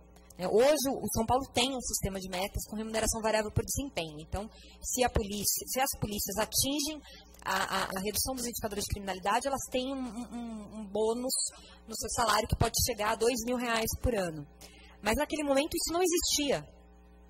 E isso não impediu que os profissionais que estavam na ponta quisessem transformar isso. E a gente também tem uma série de estudos que mostram que o incentivo dos profissionais de segurança pública ele respondem muito mais à valorização profissional do que necessariamente a esses bônus que são incertos. Então, como é que você lida com esse policial que está na ponta e faz com que eles trabalhem juntos? O que, que o Pacto pela Vida em Pernambuco fez? Criou um comitê de governança, um comitê de gestão e governança, que era liderado pelo governador do estado. O Eduardo Campos sentava na mesa e cobrava das polícias e das demais áreas os resultados. E ele colocava todo mundo para sentar junto e conversar junto, porque as decisões da área de educação podiam influenciar na área de segurança. E a gente, eu acho que inclusive você estava comigo quando a gente foi para o Espírito Santo num episódio, e o modelo do Estado presente é muito parecido com o modelo do Pacto pela Vida de Pernambuco. O próprio secretário, que, que um dos idealizadores é pernambucano, então boa parte dos programas de redução da violência letal hoje no Brasil, eles se inspiram no modelo é, pernambucano. E eu lembro que eles contaram de um episódio que tinha um problema de é, não tinha uma escola em determinado território, uma série de crianças fora da escola, e aí a prefeitura tinha cedido um terreno, é, o governo do estado ia fazer uma escola naquele lugar, porque tinha não sei quantos é, adolescentes fora da escola naquele território, que ia resolver o problema com a construção da escola ali. E de repente chegou a polícia e falou: olha, só que você tem um problema, você tem duas gangues rivais que atuam nesse território. Se quem está aqui atravessar a rua para cá, vai ser morto. Você está colocando a escola bem no meio do conflito. Então, essa é uma variável que tem que ser pensada.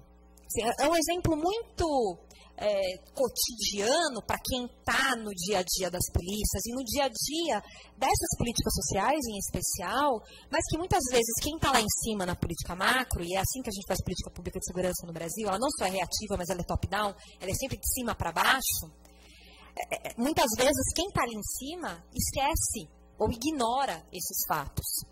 E aí eu acho que é um outro ponto que a gente precisa é, trazer para falar, inclusive, da importância de espaços como esse que a gente tem hoje, que é, é participação social. Essa é uma outra característica que as políticas de segurança pública no Brasil não consideram. E que o Pacto pela Vida foi minimamente bem sucedido, porque conseguiu fazer um processo de escuta com a população. E é um processo de escuta que é permanente. Não adianta a, a, gente estabelecer que a gente vai fazer grandes conferências num ano e depois passa cinco, seis anos. Né? O crime e a violência eles são dinâmicos e fazem parte do cotidiano da população. E elas precisam ter um mecanismo de contar para o Estado o que está acontecendo ali. Isso passa desde o Conselho Comunitário de Segurança, e quem acompanha o Conselho Comunitário de Segurança sabe que boa parte das demandas, elas muitas vezes nem têm relação com a polícia, é uma forma que a população encontra de falar com o Estado, é para falar que está faltando iluminação, para falar que tem um buraco na rua delas, mas que são fatores que geram sensação de segurança. Que é, provavelmente, o calcanhar de Aquiles tanto da política de Pernambuco quanto da de São Paulo. São políticas que reduziram substancialmente a violência letal, mas elas não foram capazes de gerar sensação de segurança e tão pouco confiança nas polícias. E quando isso acontece, é muito difícil para o policial que está na ponta, porque é o policial, é o policial que mata, é o policial que morre, mas a gente está falando de uma parcela muito pequena, se você for considerar os efetivos policiais, que estão sofrendo com os desdobramentos dessa crise, com a descrença da população na justiça. A polícia acaba sendo a face mais visível do Estado para a população. Então, recai sobre ela uma série de circunstâncias que muitas vezes não têm relação direta com o trabalho de polícia. E a gente tem uma geração de novos policiais, eu não sei como tem sido isso aqui, mas em São Paulo é uma característica que a gente vem acompanhando, que é o que a gente está chamando de os policiais tropa de elite. Então, eh, criou no imaginário, muitas vezes, a ideia de que o policial é aquele cara que ele vai para a guerra, que ele vai combater o crime de peito aberto, que ele é corajoso, que ele vai ter uma arma de, grande, de, de alto calibre. E quando esse, esse, policial ele chega na ponta ele descobre que ele tem que mediar conflito a maior parte do dia, é briga de vizinho, é briga de bar, é briga de trânsito. Muitas vezes a gente frustra expectativas desses próprios profissionais. Porque a gente está criando uma ideia e um mito de um tipo de trabalho que não é aquilo. E aí esse policial ele fica descontente. Esse policial ele é mal pago, via de regra no Brasil todo, praticamente todas as corporações, inclusive guardas municipais, esse policial ele é mal pago. E a gente fala muito pouco de valorização profissional. Por que, que o Pacto pela Vida durou algum tempo? Acho que a partir de 2015 ele começa a, a apresentar um aumento nos indicadores de criminalidade. Mas o que, que foi uma das, das chaves para o sucesso? Ele escutou as polícias. O Pacto pela Vida foi escutar todas as associações policiais. Quantas políticas de segurança pública consideram isso? Consideram que está dizendo a população, as comunidades locais e que estão dizendo as polícias? E aí eu não estou falando de escutar o alto comando, escutar o delegado geral. Claro que isso faz parte do dia a dia do governo, mas a gente tem que escutar o praça, que é o cara que está na ponta, a gente tem que, tem que escutar o escrivão que está na delegacia e não tem papel higiênico na delegacia. São Paulo é um estado que, se você chegar numa delegacia de periferia, os delegados levam seus próprios computadores. Eu estou falando do estado mais rico do país, com a menor taxa de homicídios do país, 10 por grupo de 100 mil habitantes. Então, a gente está falando que é com esse tipo de realidade que esse profissional ele se depara né, pra, além de todas as mazelas sociais desses territórios, né, o que isso significa em termos é, psíquicos, psicológicos, então, para esse policial que atua ali na ponta. Essa semana a gente é, se deparou com um caso, uma grande tragédia, que era um caso de violência doméstica. Uma mulher ligou para o 180, que para quem atua nessa área tudo que a gente fala é a importância do Disque 180, porque mulheres em situação de violência elas podem ligar gratuitamente e vão ter a orientação necessária para sair dessa situação. Essa mulher ligou para o 180 e falou: Olha, meu marido tem me agredido, ele é, se tornou alcoólatra e eu quero sair de casa, eu estou com medo que ele não deixe. Bom, a recomendação do 180 foi liga para o 90 que uma viatura te acompanha na saída da sua casa para garantir que você não vai ser agredida, se ele, te, se ele manifestar algum tipo de violência. Essa mulher ligou para o 190, desculpa, para o 90, a viatura foi até o local da casa dela e o policial matou o marido dela. O, policial, o marido dela morreu espancado na garagem de casa. Todos os órgãos do abdômen dilacerados, ele teve uma hemorragia. Então, acho que esse é um exemplo que ilustra bem os desafios que a gente tem para lidar com a violência. Era um caso de violência doméstica que se tornou num grande caso de violência policial, com um policial que estava cinco anos na rua, e aí você vai ver o histórico dele, de depressão, de problemas psiquiátricos, que não tinha acompanhamento, que isso, que aquilo. Ah, a polícia é violenta? Sim, a polícia é violenta. Mas a gente também não está responsabilizando o comando, porque esse cara não podia estar na rua. Ele já tinha um histórico de violência que ele deveria ter sido afastado. Agora, o que a gente diz para essa mulher que perdeu o marido, ficou com uma filha adolescente que ela vai ter que confiar no Estado, ela vai ter que acreditar que é possível que o Estado ofereça segurança para ela. Então, é um exemplo que ilustra muito do que a gente falou aqui hoje, né? Desde governança, de mecanismos de controle ou a ausência de mecanismos de controle, né? a decisões de superiores hierárquicos que muitas vezes não são questionadas, porque a gente está falando em geral, principalmente quando fala das polícias militares, que são organizações extremamente hierárquicas, então a gente debate muito pouco isso. E do ponto de vista do executivo também se debate muito pouco isso. E quando a gente fala é, do legislativo, muito menos, porque assim também parece como se a gente atua como se fossem esferas separadas e como se o problema da segurança fosse um problema exclusivo do executivo. Então, acho que a mensagem que fica aqui hoje para vocês é o quadro e a tragédia são é, gigantescos, é muito grave, e isso é algo que o Brasil precisa enfrentar. E não precisa enfrentar só porque nós queremos, mas porque seremos cobrados no futuro. Os próprios, né, os ODS, os Objetivos de Desenvolvimento Sustentável, estabelecem uma meta de redução dos homicídios, uma meta de redução de, mulher, de homicídios de mulheres, de empoderamento feminino, para o Estado brasileiro até 2030.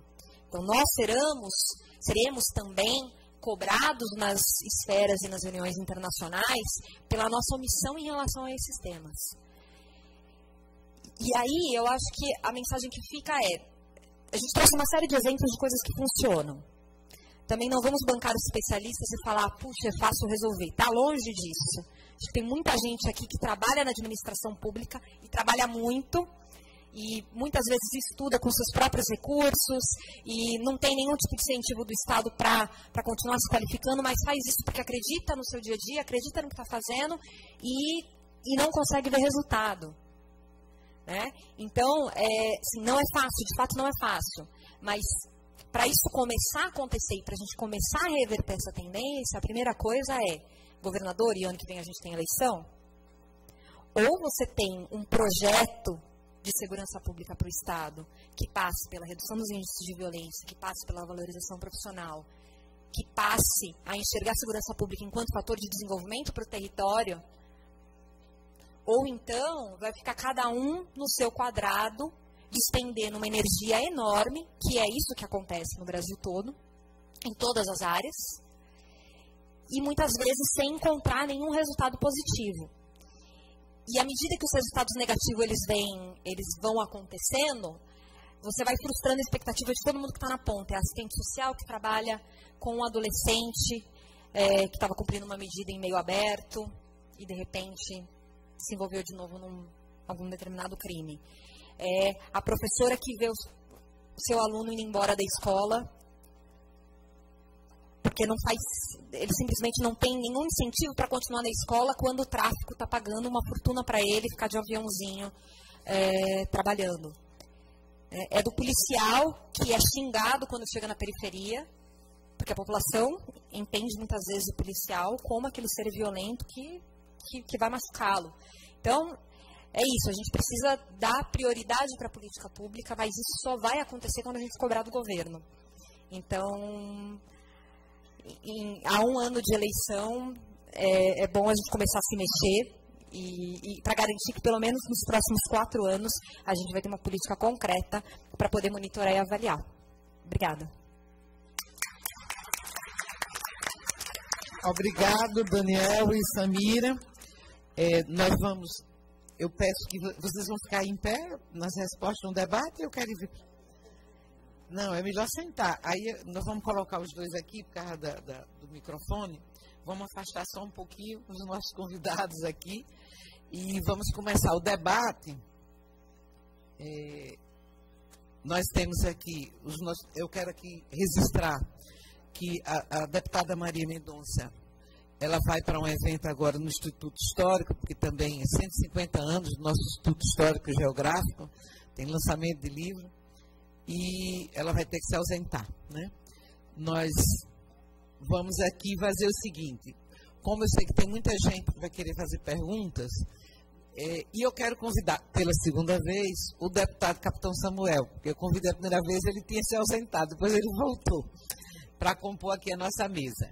É, vamos intercalar a fala da mesa com a fala de todos os convidados, todos os participantes. Porque se a gente primeiro priorizar só a mesa, né, vai ficar muito tarde para que também todos vocês que estão participando possam fazer alguma intervenção.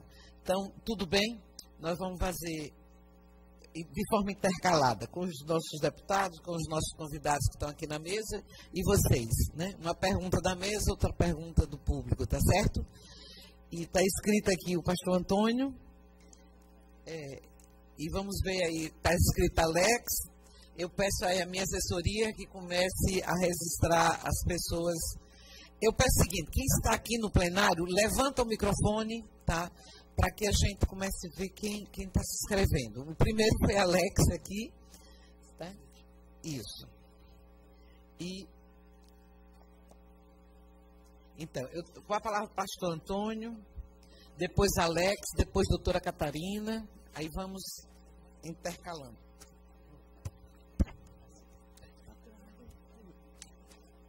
É, boa tarde, boa tarde a todos.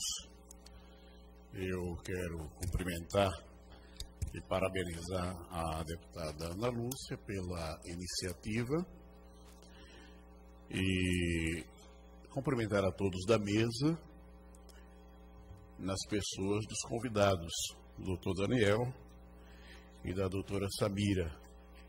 Eu cumprimento a todos e cumprimento a todos do plenário aqui. É, minha participação nesse momento, deputada Ana Lúcia e demais amigos, a todos que estão na galeria. Devo dizer que foi uma iniciativa altamente importante diante da realidade que estamos vivendo no estado de Sergipe. Uma iniciativa de convidar para expor para nós que se atas da violência no Brasil mas trazer um cenário é, mostrando a realidade dessas pesquisas dentro do estado de Sergipe.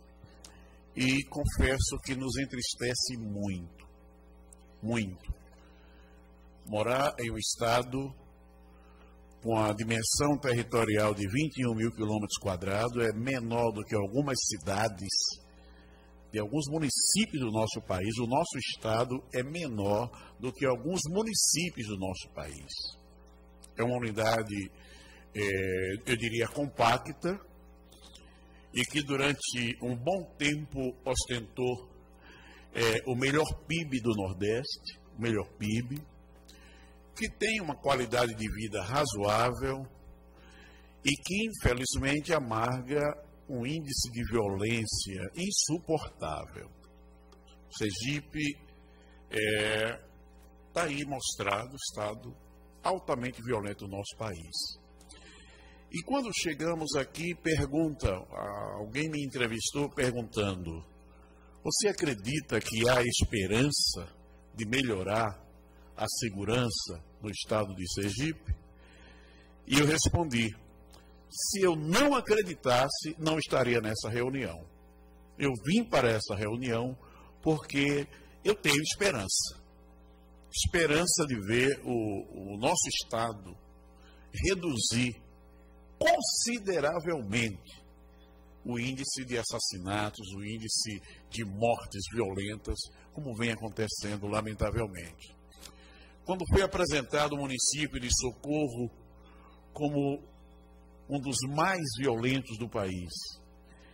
A deputada ao meu lado falou, e não colocaram Itabaiana por quê? Eu disse, porque ali está entre os que têm acima de 100 mil habitantes. Mas Itabaiana também está inserido nesse índice de violência, doutor Daniel, doutora Samira. E eu fico me imaginando o país com 210 milhões de habitantes. E que a cada ano, só de assassinatos ceifa a vida de mais de 60 mil pessoas. Ou seja, tira-se uma vida do mesmo jeito que se toma o celular de uma pessoa. Se tira 100 reais, se arrasta uma bolsa, tira uma vida. A vida no nosso país perdeu valor. Está mais banalizada do que qualquer outra coisa. Para muitos, matar não faz diferença entre matar e deixar vivo. E, infelizmente, temos convivido com essa dura realidade e a gente tem esperança de que um cidadão olhe para outro e entenda que ele, que essa outra pessoa quer continuar vivendo e que ele não tem o direito de tirar a vida. Eu, é bem verdade, doutor Daniel e doutora Samira, que as realidades são diferentes, os regimes são diferentes, mas estive recentemente na China, participando da conferência do BRICS, e que o Brasil foi convidado e fomos indicados para estar naquela conferência e abordar um tema. Mas algumas coisas me chamaram a atenção, entre elas a segurança. Me chamaram muito a atenção. Um país que tem sete vezes a população do Brasil. Tá? já atingiu, segundo o relato que nos foi passado, 1 bilhão e 400 milhões de habitantes. É muita gente. A cidade que sediou o evento, Chengdu, tem 17 milhões na cidade e na província 100 milhões de habitantes. E algumas perguntas eu fiz. Aqui tem muito roubo, muito assalto, e disseram raramente. Chegando na cidade, em torno de 11 horas da noite, as pessoas andando livremente, normal, moças andando. E eu disse: então há uma sensação de segurança, não há a sensação de medo, há uma sensação de segurança. E quando procuramos ver o índice de, de assassinatos, muito baixo comparando com o nosso. Eu disse: eu tenho que ter esperança no meu país, eu tenho que ter esperança. Agora, eu estava ouvindo os senhores fazendo a exposição e imaginei, tem muitas pessoas preparadas e que têm boas sugestões para dar. O que fazer para que os nossos governantes assimilem essas sugestões, assimilem essas pesquisas e entendam que tem que ser feita alguma coisa. Por que, que Pernambuco fez e diminuiu muito? Vitória, o Espírito Santo fez e outros estados têm feito. Por que isso não ser uma receita para o Brasil? Eu fiquei atento, observando, quando a, a, a decisão do mapeamento, que eles estudam e vão ver quem é que manda matar. E na hora que tiram os mandantes, o índice cai. E por que isso não acontece no nosso país como um todo?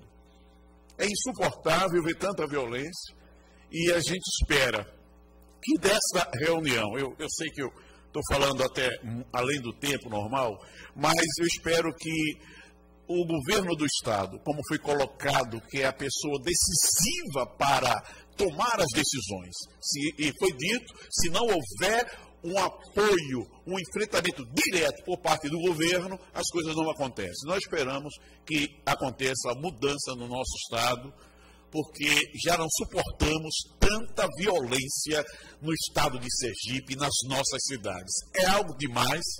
É, existem é, ensinamentos, existem caminhos e eu espero que a gente aprenda. Estamos aqui por isso e para isso colaborar. Não viemos aqui para criticar nem detonar o governador, mas encontrar maneiras para que as nossas famílias, os nossos filhos saiam e voltem para casa com segurança. É isso que a gente está querendo e que a vida não seja tão banalizada como vem sendo até agora.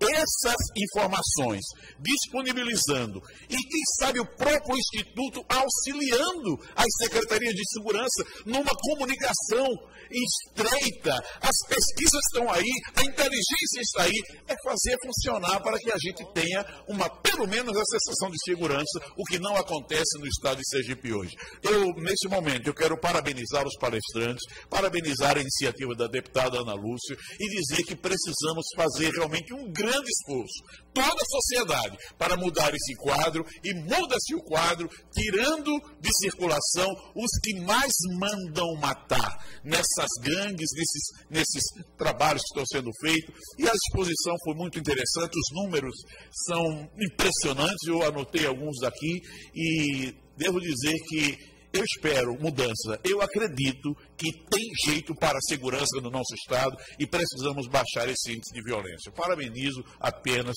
e espero que faça um comentário sobre esse paralelo das duas realidades. Por que o Brasil mata tanta gente comparando com o resto do mundo? E, só para finalizar, eu recebi uma pesquisa.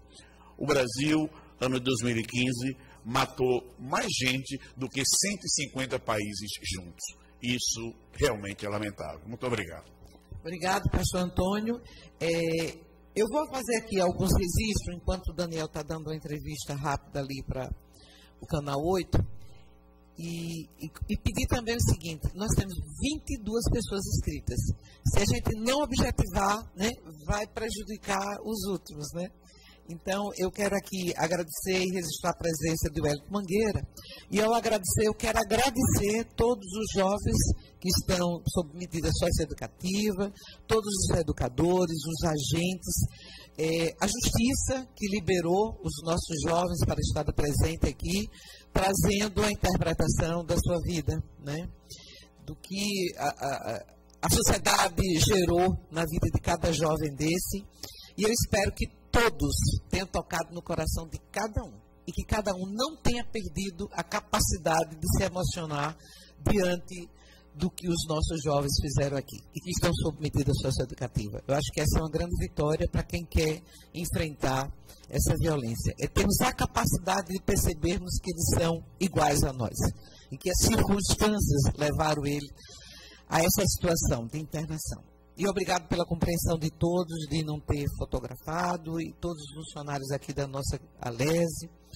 Eu quero registrar é, a presença Isabelita Almeida, aqui do Conselho Regional de Enfermagem, do companheiro Plínio, vice-presidente da CUT e dirigente coordenador do Sindijus, Carlos Augusto, Movimento Negro Unificado, MNU, professora Jalvanca, mais uma vez aqui colaborando, professora do é, da nossa Universidade Federal de Sergipe, do Instituto de Defesa e Observatório de Criminologia e Delinquência Juvenil da nossa universidade, sempre colaborando aqui com o nosso, nosso debate. Aí quero fazer um agradecimento especial à nossa grande pesquisadora, professora da Universidade Federal de Sergipe, a doutora Andréa de Pierre, aqui presente também, a professora Ângela Mello, representando a, a, Central Única dos Trabalhadores a nível nacional, Lídia, Ângelos, diretora de Direitos Humanos da Secretaria Municipal de Assistência Social de Iracaju, Viviane Rocha, da Comissão de Direitos Humanos da OAB, Gislene dos Santos Reis, representando do MST, Conselho Tutelar de São Cristóvão, Jusileide Santos, da Casa da Juventude, Arthur Bispo do Rosário, de Japaratuba, Edlaine Sena, presidente do Conselho Regional de Serviço Social, da 18ª Região, Fábio Salviano, Secretaria Municipal de Defesa Social e Cidadania, Amanda Araújo, representando o CREAS de São Francisco, Conselho Tutelado do município de São Francisco, Conselho Tutelar de Monte Alegre, Luiz Cláudio, Secretaria Municipal de Saúde de Aracaju, mais uma vez obrigado, Luiz Cláudio, pela sua presença e contribuição. Doutor Sérgio Barreto Moraes, Defensoria Pública, obrigado, doutor Sérgio. A Luiz Júnior, presidente do Conselho Estadual de Assistência Social, direção do Sintese, na, na, na pessoa da nossa presidenta, a professora Ivonete estava aqui, ela deve ter saído para dar aula.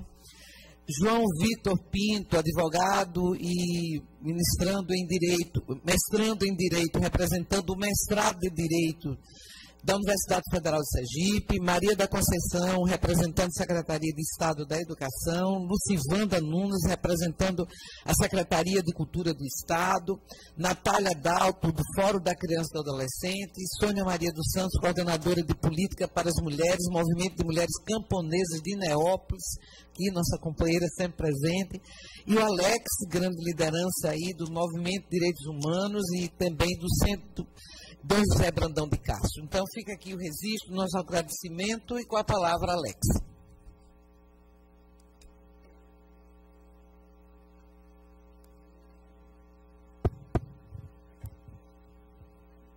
Boa tarde a todos e todas. Eu vou ser breve, até porque eu não, não gosto muito do microfone. Mas, primeiramente, parabenizar a deputada Ana Lúcia né, pela provocação de mais uma audiência com uma temática polêmica, né, mas de extrema, extrema importância para a nossa situação atual.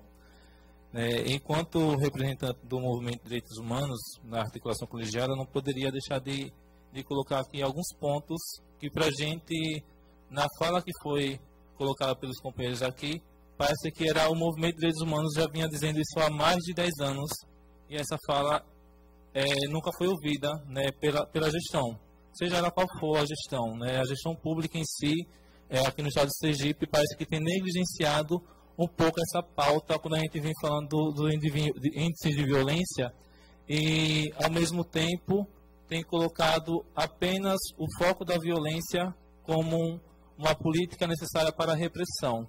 E a gente nunca tem discutido, né, ou poucas vezes tem discutido, e apenas isso discutido, mas não, tem, não temos feito uma política de prevenção, como foi bem colocado aqui na, na apresentação de vocês, é, a necessidade da intersetorialidade das políticas públicas. E aí é, a gente chama atenção para uma, uma grande temática né, que a gente sentiu falta, que é justamente a necessidade da política de direitos humanos inserida dentro dessa intersetorialidade. Né? Nós não temos como trabalhar a educação apenas com, com educação sem a gente pensar nessas questões que vão per, permear a linha de direitos humanos. Porque a educação ela vai ser a base, né, ao meu ver, para um, um desenvolvimento social. E quando a gente pensa isso associado a direitos humanos, a gente tem também a avançar muito em, algum, em alguns tópicos. Né? E aí, dentro dessas questões, nós também temos uma outra preocupação aqui no Estado, que, ao meu ver, também tem agravado muito o índice de violência, o, crescimento da violência, que é a influência das grandes mídias, né, com programas policialescos, é, incluindo até parlamentares, né, muitas das vezes, que acabam instigando esse, esse tipo de violência. E como nós estamos dentro da casa do povo, ou que pelo menos deveria ser do povo, sentimos falta também da presença do, do diálogo desta casa com os movimentos sociais, com o movimento de direitos humanos, com o movimento de rua, que tem sentido na pele o que, que realmente tem sido violência contra a mulher negra, contra a juventude negra, contra a comunidade LGBT e todas as outras classes que a gente, que a gente tem continuar excluindo e deixando à margem da sociedade, porque precisamos discutir política partidária, discutir interesses daquilo que o Estado quer que seja aprovado nas caladas da noite,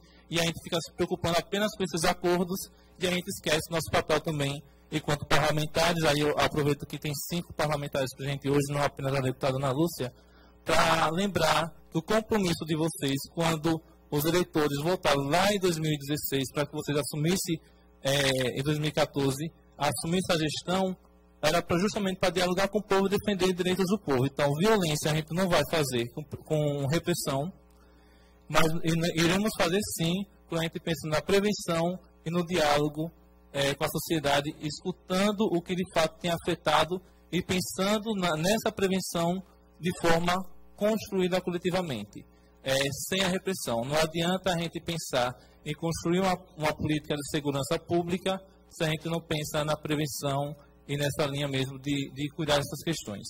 E aí, uma outra, um outro ponto que eu queria chamar a atenção quando a gente fala de direitos humanos, e aí é, colocar nessa casa é, uma, uma constante situação crítica nossa, que é a, a falta de um Conselho de Direitos Humanos, que existe um projeto de lei desde 2007, pensado, um decreto na realidade, e que nunca foi assinado, existe, não foi instituído, e que, e que é falta apenas do, do interesse dos parlamentares, aí vou, vou chamar a atenção dos parlamentares que estão aqui presentes também. Alex, já é o Poder Executivo. A lei nós já fizemos, é o Poder Executivo que não implementa. Pronto, então vamos corrigindo, né? É, e a gente percebe o quanto é, é falta de interesses, né, nesse sentido mesmo, de, de, pensar a política de segurança pública atreladas a outras, a outras questões que são extremamente é, importantes e que colaboram com, com o processo da segurança pública. Obrigado também. Agora eu passo a palavra à doutora Catarina, mas antes eu quero registrar aqui a presença da doutora Silvia, pediatra, militante da Pastoral da Criança. Obrigada aqui pela presença. É uma grande militante pela causa da criança e das questões sociais. Doutora Catarina. Boa tarde a todos. É, em primeiro lugar, gostaria de parabenizar a iniciativa da deputada Ana Lúcia em trazer esse debate para esta Casa Legislativa, porque é muito importante que a segurança pública ela esteja inserida nesse tipo de debate, porque a gente tem sim que ouvir a sociedade, a sociedade civil organizada, os pesquisadores, parabenizar pela brilhante pesquisa, e aqui não vai nenhum tipo de elogio só por elogiar, realmente vocês foram muito técnicos, muito sensatos na apresentação. É, e dizer aqui, eu tinha muita coisa para falar, mas eu sei que o tempo é curto, então eu vou correr, vou falar rápido certo? Eu fiquei muito feliz quando vocês começaram. A... Lógico que causa aquela tristeza quando a gente vê os dados de 2015. E feliz, ao mesmo tempo, por perceber que muitas das soluções, das sugestões de soluções que os senhores apresentaram, nós já estamos colocando em prática aqui em Sergipe, desde 2015 entre 2015 e 2016, isso já vinha sendo colocado em prática. E os resultados nós estamos colhendo agora. Então, a partir do momento que os gestores macro, eles tomaram consciência disso, de que eles precisavam realmente tomar pé da situação, ou seja, chamar para si a responsabilidade, as coisas começaram a mudar. Então, nós temos, é, agradecer aqui as meninas do NAPSEC, a diretora da Asplan, que agora eu vou tocar no assunto aqui com elas. A Alessandra Fabiana, a chefe da NAPSEC, que é o núcleo de pesquisa, de análises e pesquisas em segurança pública e cidadania, Anúbia Tavares, e do, do, nosso núcleo de prevenção aqui, Abigail Maria e Sani Alves. Então, isso tudo vem sendo implementado. A questão do diagnóstico, que vocês falaram. Nós estamos trabalhando nesse diagnóstico desde 2011. Então, hoje, nós já temos um estudo pronto que analisa todos os inquéritos de polícia, são mais de 1.600 inquéritos, analisados um a um, onde nós criamos um padrão para, para detectar qual a motivação desses homicídios. Por, eu estou na segurança pública, eu sou delegada de polícia desde 2001. E de lá para cá, esses índices de homicídio, eles, eles vêm aumentando. Eu fui delegada no interior do estado por cinco anos. E no período que eu passei no interior, não se via droga nos povoados ninguém ouvia falar. Quando se fazia uma apreensão de maconha, era um caso assim de se passar no Jornal Nacional, aqui. E quando eu vim para a primeira delegacia, isso cinco anos após, eu acredito, primeira delegacia aqui na capital já em 2006, eu fiz a minha primeira apreensão de crack. Aqui em Sergipe não existia crack. E o crack começou a entrar com força. E a gente começou a dar as entrevistas, empiricamente, quando se perguntava por que, que se aumenta homicídio, por que está se matando tanto em Sergipe, por que esse viés de crescimento de homicídio.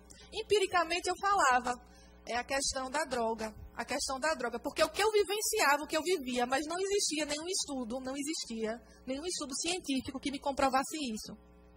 Eu falava empiricamente.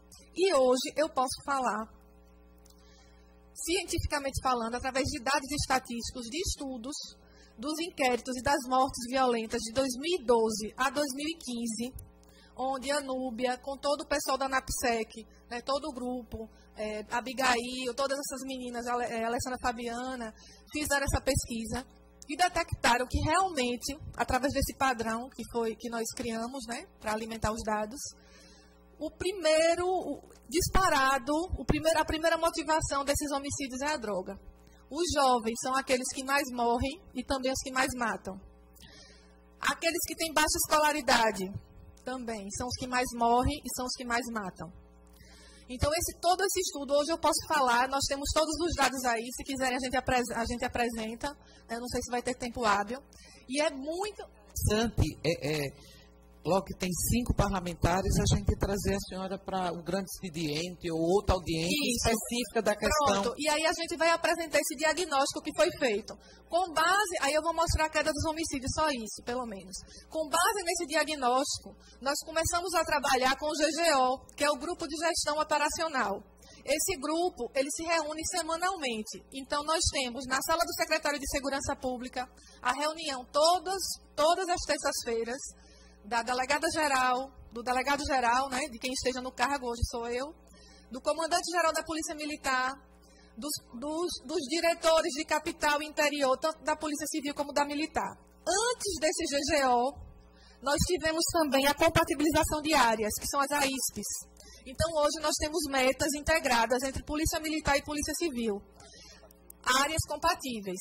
Então, todas, em todas as reuniões do GGO, essas metas são cobradas do delegado daquela área com o comandante, com o comandante daquela companhia da Polícia Militar.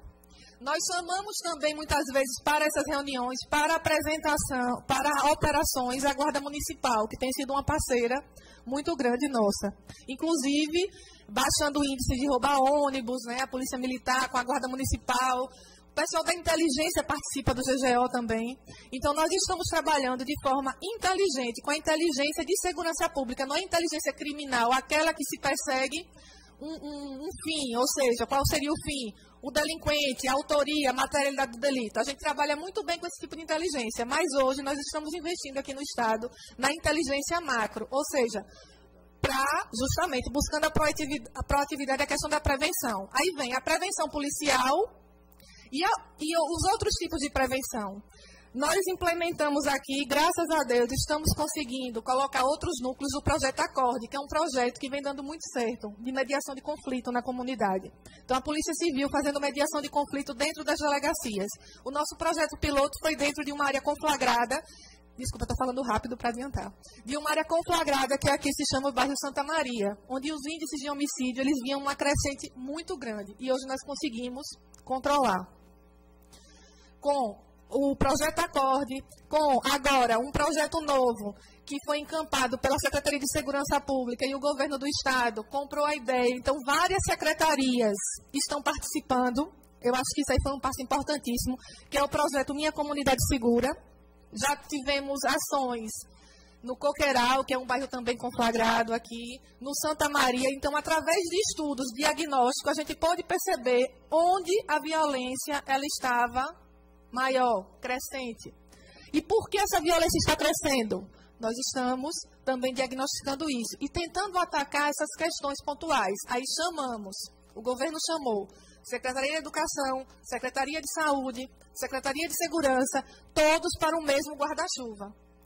Certo? Tentando o quê? Tentando tirar essa criança, esse adolescente da criminalidade, tentando tirar ele dessa área de risco. Por quê? Porque ele pode se tornar, através das nossas pesquisas, provavelmente uma vítima ou um autor. Temos também, né, estamos, é, com base nesse diagnóstico, completando aqui o nosso planejamento estratégico. Com essas metas, com, essas, com essa, essa avaliação das ações empregadas. E aí, se eu for falar aqui de apreensões de drogas, de armas, que é uma crescente, essas apreensões, e, e o que nos preocupava muito desde 2000 2012 para cá, que a gente começou esse estudo, é que por mais que a gente aprendesse drogas e armas e prisões, e quem é sergipano aqui sabe que a polícia é muito atuante nesse sentido, a gente prende muito, a gente aprende muita droga e aprende muita arma, e isso não estava fazendo com que os índices de homicídio baixassem. Então foi por isso que a gente buscou criar um núcleo de pesquisa, juntamente com a FAPTEC, juntamente com a Universidade Federal, para entender o que estava acontecendo. Porque a gente estava trabalhando do jeito que nós sabemos. Né? Polícia foi feita para quê? Para prender. Polícia Civil, para investigar autoria, é, definir autoria e materialidade e prender o autor. Isso nós estávamos fazendo. Polícia Militar está na rua, está prendendo arma, está fazendo flagrante. Mas por que é que os índices de homicídio não estavam baixando? Muito pelo contrário, o viés era de aumento. Aí eu só vou mostrar aqui só esse gráfico do. Ai, sou eu, é? Eu não sei mexer nisso, não. Estou nervosa. Não está aparecendo. E agora, meninas? Diminua ali. Né? Esses dados aí são do CEACRIM, certo? Da nossa Coordenadoria de Estatística e Análise Criminal. E ele, é porque a tela está cortada, mas ali é o seguinte. É, aquele primeiro quadradinho ali é de 2011. É de 2011 a 2016. Vocês vejam que nós estávamos no viés de crescimento. Olha, de 2011 para 2012, nós aumentamos 19,7%. No ano seguinte, nós aumentamos 9,59%. Quando nós chegamos de 2013, não é isso, meninas? Para 2014, 2013 para 2014, ali, ó, 13,52%. E de 2014 para 2015, nós aumentamos em 19,72%. Então, se a gente continuasse nesse viés, nós estaríamos com números insuportáveis e sustentáveis. Aí, de 2015 para 2016, de 2016, é 2015 ali, né, agora? De 2015 para 2016, o penúltimo é 15. Ali, pronto, agora conseguimos. De, quem foi que conseguiu isso? Graças a Deus. Oh, menina, que essas meninas são demais, viu? Vocês me ajudem, viu? Pelo amor de Deus. Então, assim, de 2015 para 2016, nós conseguimos uma redução nesse aumento. Ou seja, em números absolutos, nós não diminuímos os, as mortes. Nós estancamos o crescimento. Então, nós vínhamos com uma média de aumento de 15,6%, uma tendência de aumento ano a ano. E aí foi quando o governo do estado investiu em quê? Concurso público. Primeiro passo: Polícia Civil, Polícia Militar e Perícia. Nós estamos aí com ainda 200 agentes de polícia para serem chamados e mais quantos homens da Polícia Militar? Pronto. E essa, essa a tendência é que a gente chame todos, porque nós temos necessidade. Então, cadê meninas? Agora eu não sei mais onde eu estava. Peraí. A área metropolitana, nesse período, ela aumentou 17,35%. Aí vocês vão ver aqui que em números absolutos nós tivemos uma diminuição de 2015 a 2016 de 56%. Oh, desculpe, 0,56, menos de 1% no interior do estado. Ah, é pouco, é. Mas nós conseguimos estancar e diminuir. Por quê? E diminuir o, o, em números absolutos. Justamente por conta do incremento de policiais no interior do estado. Isso já melhorou. Agora, vem, agora as boas notícias, deputado. O senhor pode ter esperança na sua segurança pública, no seu estado. 20 pessoas para... É rápido agora, então terminar, que agora o negócio está bom, olha. Ah, é na hora dos dados bons, né, pra gente ficar animado, porque eu já estava aqui com vontade de chorar com aquele 2015. Então vamos agora ver, vamos ver agora as coisas boas.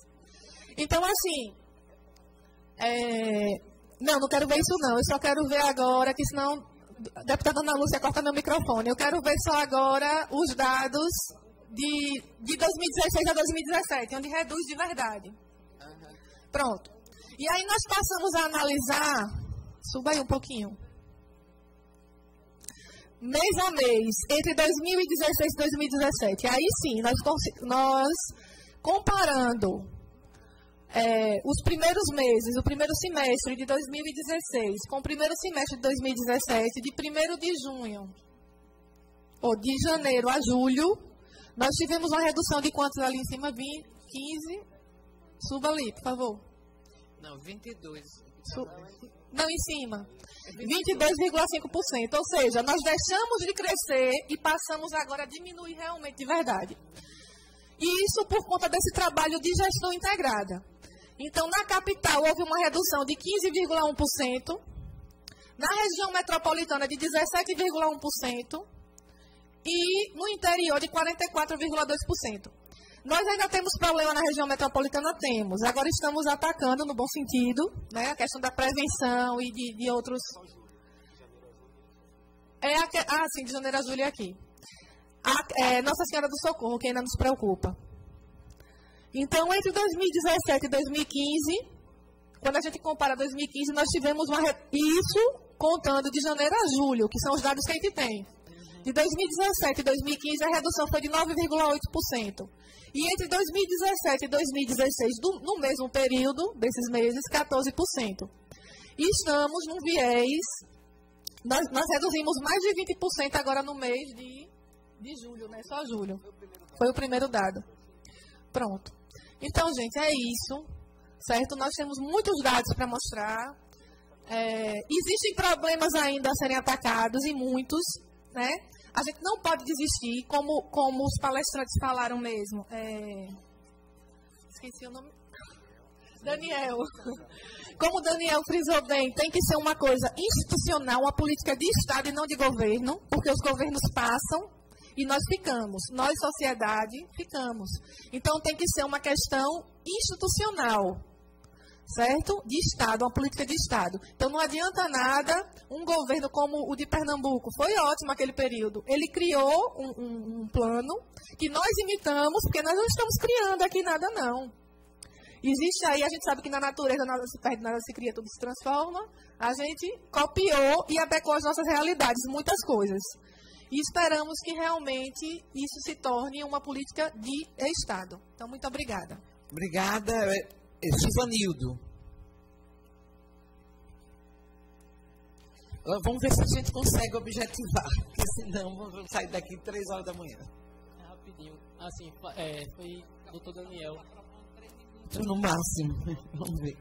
É, o senhor Daniel ali, ele falou sobre o medo, assim, de ver alguma coisa sobre o medo.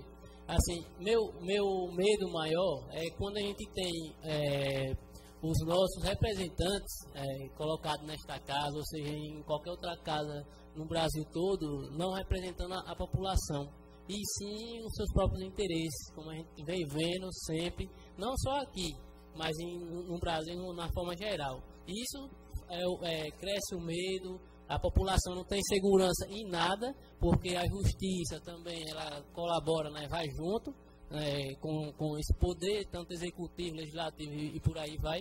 E assim, esse é um medo que eu hoje tenho e bastante. e só outra, outra coisa que outro ponto foi a questão do estímulo dos jovens na escola. É, eu parei é, com uns 14, 15 anos na quarta série. Por quê? Porque teve um dia que eu fui na escola e a professora, lá no meu primeiro dia de aula, a professora fez uma, um questionamento bem assim que me deixou muito chateado, que eu não esqueço até o dia de hoje. Voltei a estudar, hoje estou fazendo serviço social na UNIT. Estou estudando o ensino superior, mas ela disse, é, se apresentou os alunos todos, e chegou na hora de eu me apresentar, que eu falei meu nome, ela disse que o meu nome era feio, feita, deu um xingamento, e os meninos começou todo mundo a rir de mim, que eu acho que isso não pode acontecer com nenhum professor. O professor tem que incentivar, independente eu acho que nome é uma coisa que é, a gente não escolhe, quem escolhe é o pai da gente. E eu tenho orgulho do meu, que o meu pai votou. Mas assim, tem que estimular, mudar a forma de se trabalhar é, essa questão da educação, porque é uma, uma, uma, educação que não estimula nada, não, não, não, não leva o jovem para a escola. Eu mesmo, na minha época, eu não queria estar na escola, não. Um negócio chato, o professor está lá na, na frente do quadro só falar, ah, um mais um é dois, é não sei o quê, né? E aí, o que é que ia servir para mim? Não ia servir de nada naquele momento. Então ele tinha que dar alguma coisa que me estimulasse. Se eu gostasse de futebol, ele ia falar, não, para você chegar no gol, com matemática, sei lá, que ele quisesse utilizar, para você chegar no gol, você ia ter que dar dois toques na bola, assim, assim, assado. E aquela ali dá tanta conta, vamos dizer assim. Mas, mas isso aí é uma, uma que ele deveria usar. Outra coisa aqui é assim, eu acho que para diminuir a questão do, do, do, do é, da, a questão da segurança pública, para diminuir a, a, violência, se deve investir também no terceiro setor, com as que associações que estão tá lá é, dentro das comunidades, né, elas que vivem trabalhando lá, e hoje a gente sabe que a gente não tem incentivo nenhum. É, eu mesmo trabalho, tem um trabalho que eu acho que é, a professora conhece muito bem, a gente não anda com questão de, de, de safadeza nenhuma, e a gente vê que a gente não tem um incentivo do governo, tanto municipal, estadual, federal, a gente já teve muito, mas aqui a gente não, é, não, não, não tem esse, esse, esse reconhecimento, a gente não tem essa voz. Poucas vezes, acho que duas vezes no ano, eu vim aqui falar aqui, como hoje. Na outra vez foi a senhora também que fez essa audiência pública, eu quero dar os parabéns à senhora, que eu acho que isso é que tem que acontecer, que os parlamentares, que uma das pessoas que eu admiro muito, que eu vim assistir aqui, há poucas, poucas vezes que eu vim assistir foi o senhor Jorge ali, que ele fala muito bem nesse quesito, no geral, da questão de governo. É, senta o pau no governo que, na, muitas das vezes, eles, o, é, o pessoal não, não faz o que se deveria fazer, que a, a realidade é essa. Então, se não investir no terceiro setor, acho que não vai funcionar a política pública de forma alguma.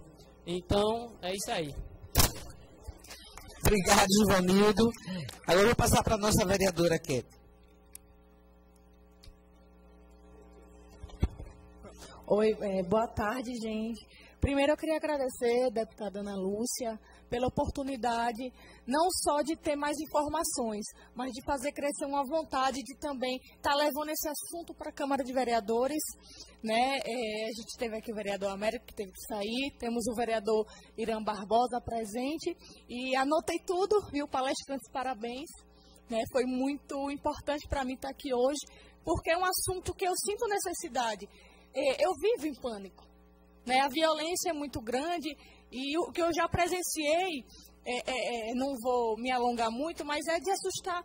Então, essas anotações, né, frentes como a violência contra a mulher, a juventude perdida, homicídios contra negros, todos esses temas que foram abordados aqui hoje, com certeza já falei com a assessoria para a gente terça-feira estar tá abordando, né, vereadora, para a gente estar tá falando isso com, com, os nossos vereadores, para que a gente debata. Acho que a gente tem que estar tá andando de mão, mãos dadas. Né? Foi o que tanto foi reafirmado aqui, né, doutor Daniel. E aí, aproveitando e agradecendo a sua dica, quando eu falei em trazer informações inteligentes e qualidade para que a gente também possa fazer pressão, né, pressão da população, pressão enquanto parlamentares, por que não fazer como no Ceará, né? Isso fizeram um comitê de prevenção ao homicídio. E eu acho que essa ideia a gente pode estar tá levando lá para a Câmara dos Vereadores, quem sabe aqui também, para que a gente não deixe morrer esse assunto. Né? Então, é, eu quero finalizar agradecendo mais uma vez e que esse foi, acho que, o pontapé inicial para que a gente possa estar tá realmente buscando solução. Obrigada. Obrigada. Eu passo para Lídia. É, na verdade, até o momento, quase que não tem perguntas, né? Então, vamos. Oi. Eu, eu, boa, boa, tarde a todas e a todos. É, eu quero parabenizar primeiro é, pela iniciativa e também registrar né, que realmente não tem como não a gente não aguçar nossa sensibilidade diante da apresentação que a gente teve aqui e Ana Lúcia aí mostrando como é possível a gente, a gente ser pedagógico, criativo, oportunizar espaços né, a partir da apresentação que a gente teve aqui. É, eu sei que a violência, ela em alguns espaços a gente acaba discutindo pela, pelo que a gente compreende primeiramente, né, que são as questões das relações interpessoais. Mas a violência é construída simbolicamente de várias formas. Aí uma expressão de uma pessoa que diz, ah, mangou do meu nome, e aquilo ali poderia gerar uma evasão e lá na frente, e a gente não conseguir compreender que isso também é um tipo de violência.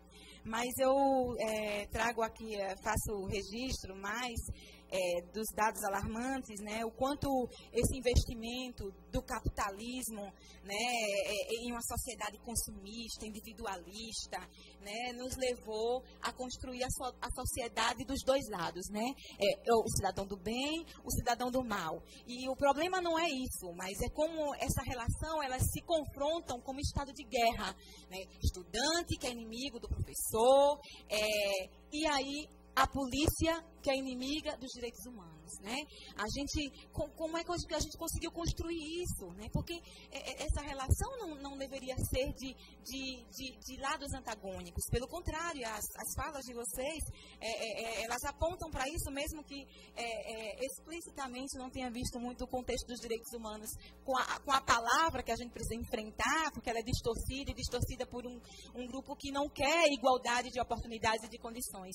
Então, eu só quero enfatizar, endossar a importância de, uma, é, de, uma, de um outro momento com uma vinda né, de vocês para apresentar os dados que possivelmente não, não deu para acontecer aqui, que não era o objetivo, é, e mais que a gente pudesse aproximar essa linguagem mesmo, tanto com o movimento social, que aqui está é, representado por tantas outras é, frentes, porque a questão é, do racismo está tá aí na leitura, né? Como é que vocês conseguem ler essa questão né, dessa, é, é, dessa, na, na, pesquisa, né? De, dessa sociedade de, dos dois lados em que a gente construiu essa, essa coisa da, do estado de guerra entre um lado e outro, e como é que a gente nos aproxima nesse sentido, porque não consigo ver outra possibilidade e a pesquisa aponta para isso, que não seja como caso de, de políticas e de diálogo e não caso de polícia, que a polícia também está morrendo, então não é isso.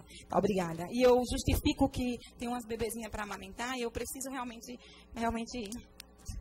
Obrigado, Lídia. Eu, eu, só quero esclarecer o seguinte: é, eu não sei se já foi votado, mas eu fiz um requerimento quando eu fiz indicação para o governador que precisa de uma política intersetorial, né, e que teve um referendo, inclusive, da OAB, tem que ser discutida. Não, não adianta né, é, ter reuniões. Nós precisamos de uma política articulada da ação social com a cultura, com a educação, com a segurança pública, com a saúde. Né?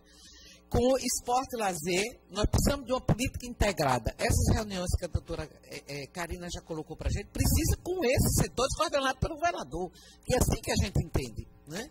Então, na verdade, é, é eu fiz um requerimento para que aqui nós tivéssemos uma audiência pública com esses setores, né? que oportunize esses setores e a sociedade, para que a gente, na verdade, provoque essa articulação, porque precisa ser provocada né, essa articulação, porque senão não, não, vai ter, no meu ponto de vista, não ter saída.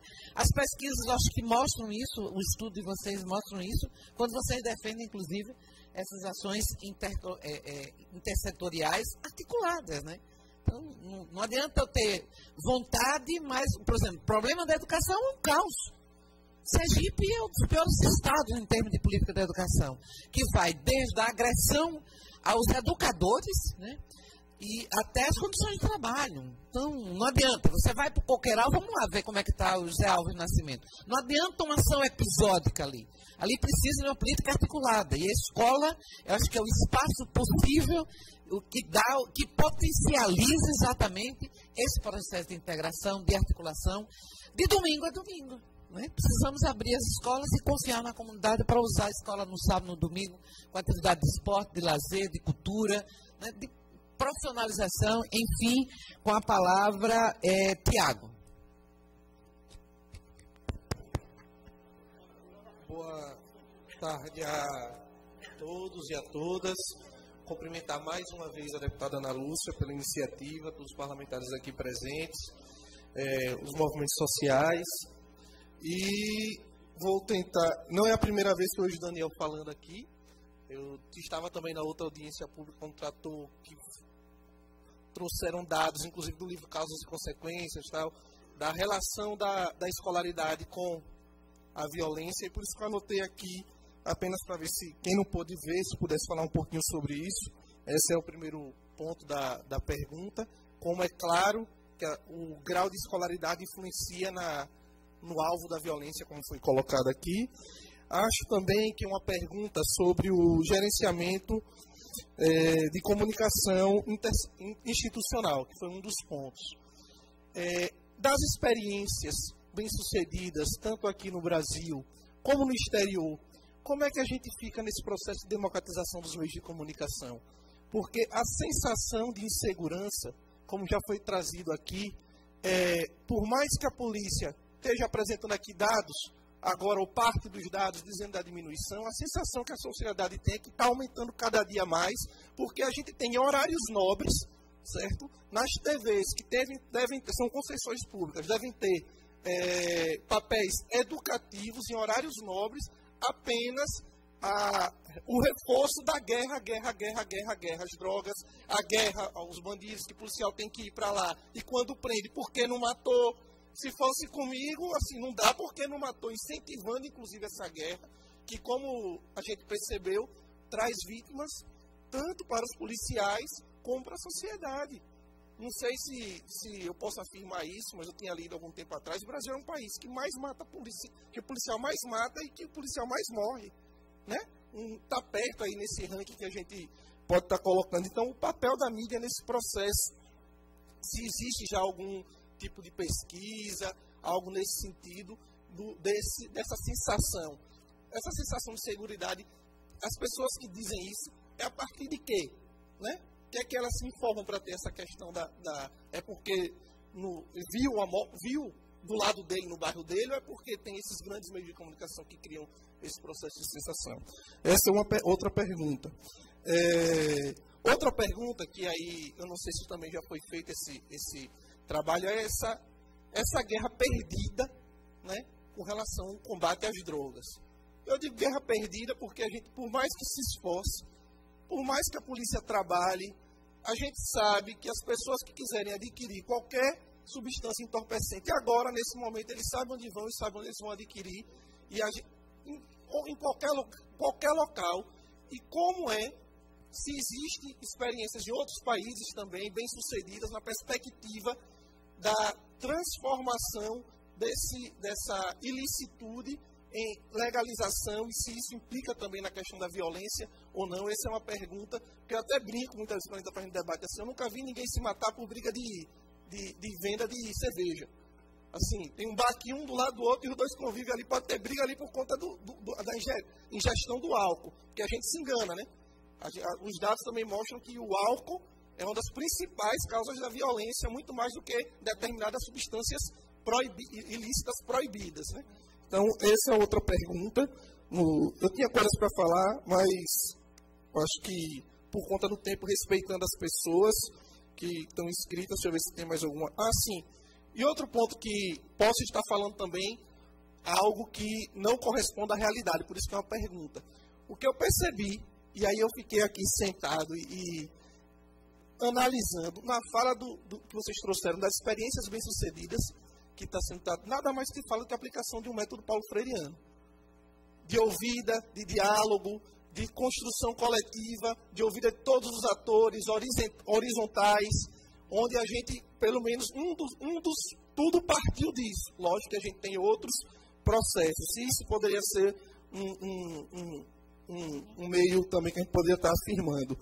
E, por fim, eu acredito que a gente precisa, eu sei que a reforma da polícia, é, é, é, algo que a gente vai ter que discutir, já tem diversos debates. Mas o, o, papel da polícia, eu acho que antes mesmo da gente poder fazer essa, essa discussão, é muito colocado desde a na educação que polícia serve para aprender. A polícia é aquele lá que vai lá aprender. Tal. Na verdade, polícia, na minha ótica, serve para assegurar direitos. Quando a gente pensa que a polícia, quando a gente pensa que a polícia serve para assegurar direitos, certo? E quando o policial compreende isso, quando a, gente, a sociedade enxerga dessa forma, a gente não vai analisar o policial único e exclusivamente como aquele cara que corre atrás de bandido, ou aquele cara que vai usar apenas a força física, e a gente percebe, de, eu fui educado lá, policial, policial é aquele que prende o bandido. Nos livrozinhos todos lá, e a gente precisa fazer esse, essa evolução de que a nossa polícia, tanto a militar como a civil, como as guardas municipais, elas servem para assegurar direitos. Se eu penso que ela segura direitos, a minha ação é diferente.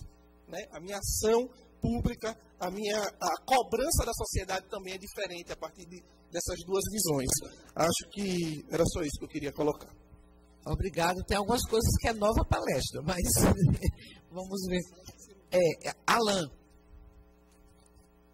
Ah, boa tarde. Queria parabenizar a mesa e aos irmãos de fé que se encontram aqui também, então meu axé. É, me, me chamo Alain Moncorvo, artisticamente sou conhecido por Alan de Xangô. Xangô ele sai da justiça, então que ele seja justo com quem foi justo com a gente. Então vamos lá. É, hoje sou militante do grupo Afro Popular Foché de Preto, sou educador social no CAPES Davi Capistano, Centro de Atenção Psicossocial, e sou militante do coletivo de arte Penarte, no Prefem, no Presídio Feminino do nosso estado. E é, não seria pergunta, mas sim alguns pontos positivos que a gente tem também, apesar de, dessa dor que deu, vendo essa, essas estatísticas. Mas hoje o coletivo Penarte é, é responsável por um dos principais atos de ressocialização do, das internas do Prefem na sociedade civil, onde nós conseguimos, através da, das, a, das oficinas de arte, de música, de empoderamento, de estética negra, é, ser finalista pelo segundo ano e desse ano nós somos o quarto, é, a quarta indicação, né? Somos o quarto, no caso, dentro dos projetos que estão sendo selecionados para para ser finalista e campeão do Prêmio Nacional Inovare, com uma política de ação artística e cultural dentro do sistema prisional. Sistema esse que muitos temem né, de adentrar e a gente vem com um novo movimento que é o ativismo dentro desse sistema prisional, levando 40 internas, tirando dentro do, né, desse, do ambiente ocioso para dentro de espaços de, de cultura, lazer e arte, que é o nosso teatro, Tobias Barreto, que é a maior casa de, espetáculo que a gente tem aqui. É, era, esse é um, um, dos pontos positivos, que é a questão do Prêmio Nacional Inovar, que a gente está tá concorrendo. Um outro é na questão de referência de matriz africana, enquanto o, os dados mostram que a nossa juventude negra que está sendo mais exterminada. Então, acho que as ações que, que hoje acontecem é justamente a falta de histórico negro, dos nossos heróis negros na, na educação, seja ela primária, média, superior, mestrado, doutorado, o que seja. Então, se eu pergunto aqui a maioria dos que são formados e os que não são, quem foi Sobor, quem foi Dandalunda, quem foi Odara, quem foi o próprio Zumbi, acho que poucos vão saber, porque a nossa enciclopédia não tem. Então, esse é um ponto que eu acho que deveria ser discutido, a aplicação da lei, né, 10.639, que é o ensino de cultura de matriz africana em todos os âmbitos. E em questão à saúde psicossocial, é um dado também que vem crescendo. Hoje, eu, enquanto oficineiro no, no CAPS Davi Capistrano, a gente está com dois casos é, de usuários que, por conta do seu transtorno apontado né, é, através dos médicos psiquiátricos e psiquiatras, lógico, é, mostrou que eles têm um código de identificação de doença e por conta desse, dessa falta de tratamento, muitos entram em crise. E numa dessas crises nós tivemos dois usuários que foram detidos e se encontram no, no presídio, certo? no complexo penitenciário Carvalho Neto, sem saber o que foi. Porque a gente sabe que quem faz um tratamento psiquiátrico entra em uma transição de bipolaridade ou o que seja, e hoje ele não sabe nos informar e foi até solicitado pela Defensoria Pública os relatórios médicos dele, mostrando que está sem tomar medicação dentro do sistema prisional. E quando estava fora, que ele estava fazendo esse acompanhamento, teve todo um resultado positivo. Hoje eu tenho o BATCAPS, que é formado com usuários do, do da área psico, de psicossocial, né? lógico, e também do, do coletivo Penarte, que hoje se encontra fora também do sistema prisional. Então fica aí essa pergunta para o doutor e para a doutora: será que essa, o histórico das nossas referências de, de raiz, de, de raça, pode estar tá contribuindo tá, para a nossa elevação de, de, ego, de caráter? Porque se a gente conhece o que a gente, de onde a gente veio, para onde a gente vai, quem a gente é, quem nos defendeu, a gente vai saber se portar e combater o que a gente sofre. Porque, só para finalizar, a gente, que eu digo eu, e os demais amigos que se identificam com a, com a identidade de matriz africana, é muito complicado você ser assimilado com coisas negativas, tipo, é, a gente que é negro, preto, será que a gente vai gostar de ser vinculado a peste negra, fome negra, lista negra, vulto negro? Acho que não. Então, qual é a criança que vai querer crescer com, esse, com esses apelidos, né? Então, acho que fica aí a dica. E um outro desabafo que um usuário meu fez, ele disse o seguinte: professor, nesse país que a gente está, onde temos Aécio, Cunha, Temer como inocente, será que lá na frente a gente vai ter que ter Beiramar e Marcola para presidente? Fica aí a dica. E queria presentear vocês com um DVD do nosso né, construtor desse movimento Artivismo, que é o nosso poeta Cláudio Viana, poeta do caos. Queria presentear o senhor para poder, de repente, estar contribuindo pra, com o tema Poesia Ativista Frente a Frente com a Essência Humana. Obrigado, Alain. Presenteando aqui nosso conferencista. O próximo é o deputado Capitão Samuel. Boa noite a todos. Parabenizar a deputada Ana Lúcia, parabenizar Daniel e, e professor Daniel e Samira pela brilhante apresentação aqui feita. E vou a alguns detalhes. Eu acho que quando se discute violência, nós precisamos também inserir na discussão a solução para o problema que talvez seja inserir na sociedade a cultura da paz. Começa com o atirei o pau no gato e o e o gato morreu. Ali já começa a cultura da violência. Eu vendo aqui a apresentação, eu Queria ter uma foto. O chamado lá em cima, violência policial. E depois as explicações. Eu queria que um dos dois explicasse por que escolheram colocar violência policial. E por que não só violência, já que o policial também é violentado. Quando se coloca é, que morte de negros em minoria, eu quero dizer que a polícia militar de Sergipe, que é que eu conheço há 26 anos, ela tem em sua maioria, mais de 70%, o seu efetivo de negros e pobres, pessoas que veio do meio da sociedade. Então somos todos, a polícia somos nós. Somos nós. Ninguém é diferente um do outro. O colégio que o soldado estudou é o mesmo que ele talvez tenha estudado. Então somos todos nós, a diferença é a função que vai exercer. E essa função que vai exercer, eu vi a colocação do professor, do meu amigo aqui de direito, né, que agora até Tiago, né, ele falando essa questão do, do, policial, fiquei prestando atenção na fala dele, e realmente eu, eu, eu gostaria de ver essas discussões, elas se transformando em prática. Porque eu tenho 26 anos de polícia, já estudei diversos, diversos artigos, já li, já vi diversas pesquisas, mas o incrível é para a gente transformar isso em realidade é triste. Já tivemos governo de direita, governo de esquerda, agora volta para a direita, ou para o centro, ou para o meio de campo, sei lá onde é que o governo vá. E nós continuamos discutindo a mesma coisa. A sociedade não aguenta mais ficar sem solução.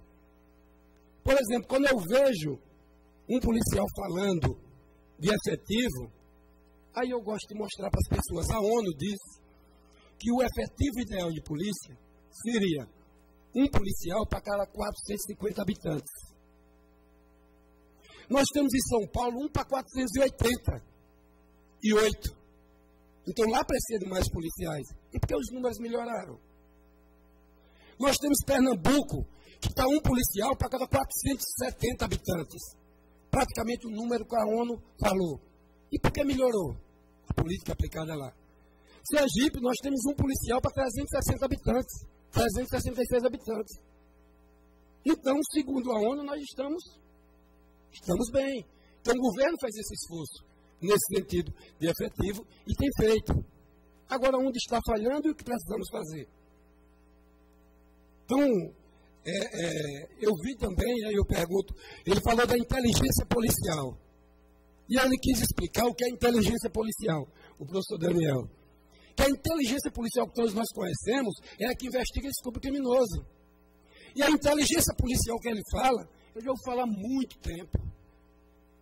É aquela que começa antes do Estado construir um conjunto de casas. Antes do Estado permitir uma ocupação sem ouvir a inteligência policial para saber se ali o que, é que pode ser feito naquela ocupação, para já pensar na assistência social daquele local, para já pensar na segurança pública daquele local. Eu vejo o professor falando, dando exemplo, falando alguma coisa do Rio de Janeiro. Rio de Janeiro ficou claro uma coisa. Ali não foi uma ação de segurança pública, de polícia. Mas nós tomamos o território. Tomamos o território. O Estado não entrou, não entrou ação social, não entrou educação, não entrou saúde. O bandido tomou de volta. Agora nós vamos lá tomar o território de novo. Vamos fazer isso até quando? O governo está fazendo lá no Rio de Janeiro? Está. Então, é, é, a, a, pergunta é por que escolheu aquele violência policial? Essa questão do efetivo, que eu gostaria, se possível, é, fosse comentado também. E mais uma vez, é, repetir, aqui no Estado, esforços estão sendo feitos. Agora, na última reunião que tivemos, a Assembleia Legislativa, e aqui o Poder Legislativo fez questão, nos colocou como representante daquela reunião, fiz questão de cobrar do governador, tivemos uma primeira reunião, infelizmente só foi a área de segurança pública, Ministério Público Judiciário e Governo. Lá na reunião nós cobramos a participação do secretário de Saúde, para saber como eles estão, a Secretaria de Saúde, o que ela está fazendo para criar, para cuidar dos zumbis que estão jogados nas ruas, viciados. Cobrar o secretário de Ação Social para saber o que ele está fazendo na área dele para reduzir o consumo de drogas. Chamar o secretário de Comunicação, porque em Sergipe, nem prefeito, nem o Estado faz uma propaganda de conscientização contra as drogas, porque as drogas não vai resolver com polícia. Nem resolve aqui, nem em lugar nenhum do mundo. As drogas se resolvem com conscientização. Porque enquanto houver consumidor, vai haver quem forneça. Vai haver quem forneça. Então, realmente eu gostaria muito de saber por que aquele, aquele tópico ali e a questão do efetivo. E muito obrigado, professora Ana. Obrigado. É, e o inverso é verdadeiro. Enquanto existir é, é, traficante, vai existir consumidor. É, vai, ouvir, vai ter oferta. Então, o inverso é verdadeiro. Eu vou passar para o Coronel Paiva e logo depois eu passo para os dois palestrantes, para depois a gente entrar em novo bloco, que ainda tem mais de 10 pessoas inscritas.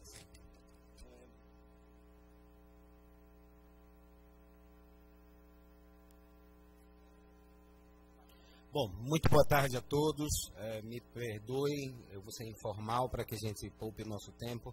Quero apenas parabenizar a deputada Ana Lúcia pela iniciativa do debate, realmente muito importante.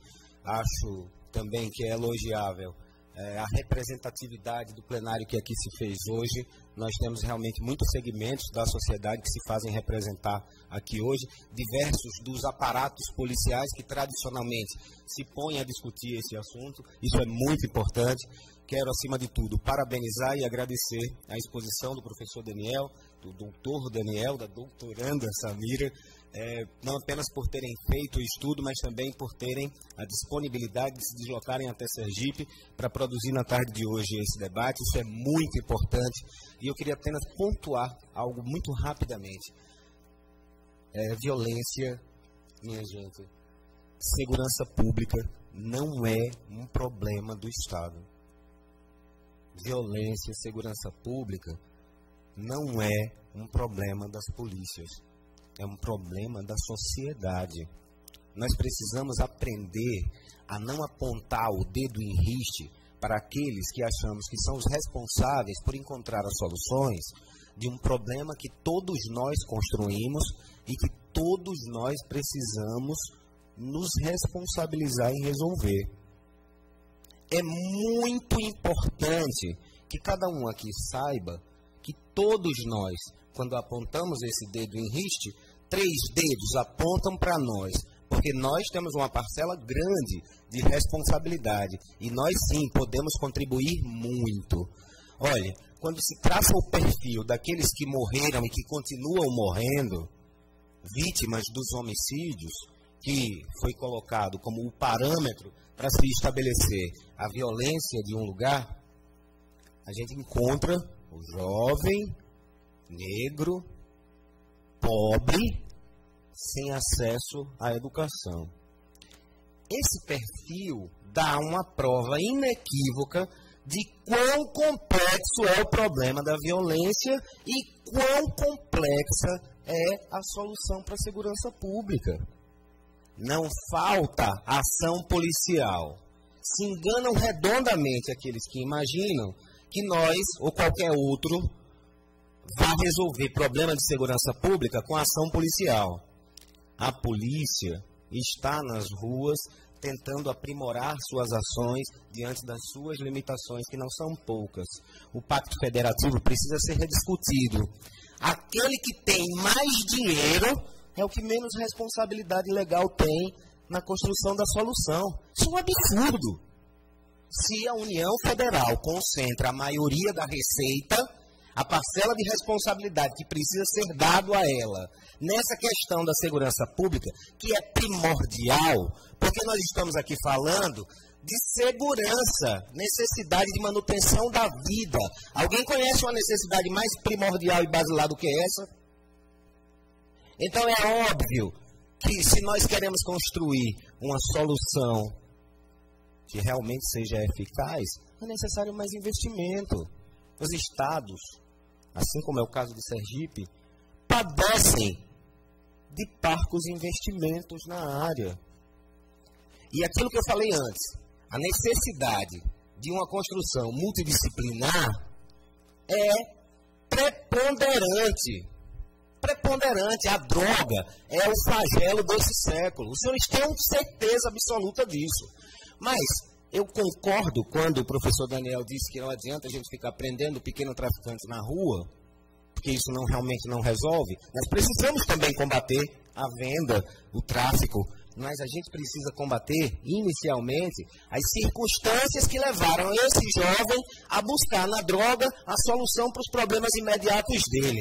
Isso é que precisa ser combatido. E esse combate, não se engane, ele tem que começar lá na família, que esqueceu da responsabilidade enorme que tem nessa questão, na igreja, qualquer que seja o credo, no terreiro, no, no centro espírita, qualquer que seja, o momento de ligação dessa pessoa com o ser maior também tem um papel preponderante nisso, porque o controle social da violência, no passado muito próximo, começava no fato de que as pessoas tinham medo do que o vizinho iam pensar do que ele faz ou deixa de fazer. Que o coleguinha da escola, que a tia, que, enfim, esse controle social, em função de uma crise moral que atravessamos, se perdeu, ou pelo menos está muito frouxo. As pessoas não estão nem aí. Certo? Aí o que, que eu, eu não quero me alongar, perdoe-me, mas realmente o problema é, é, precisa ser pensado isso, tá?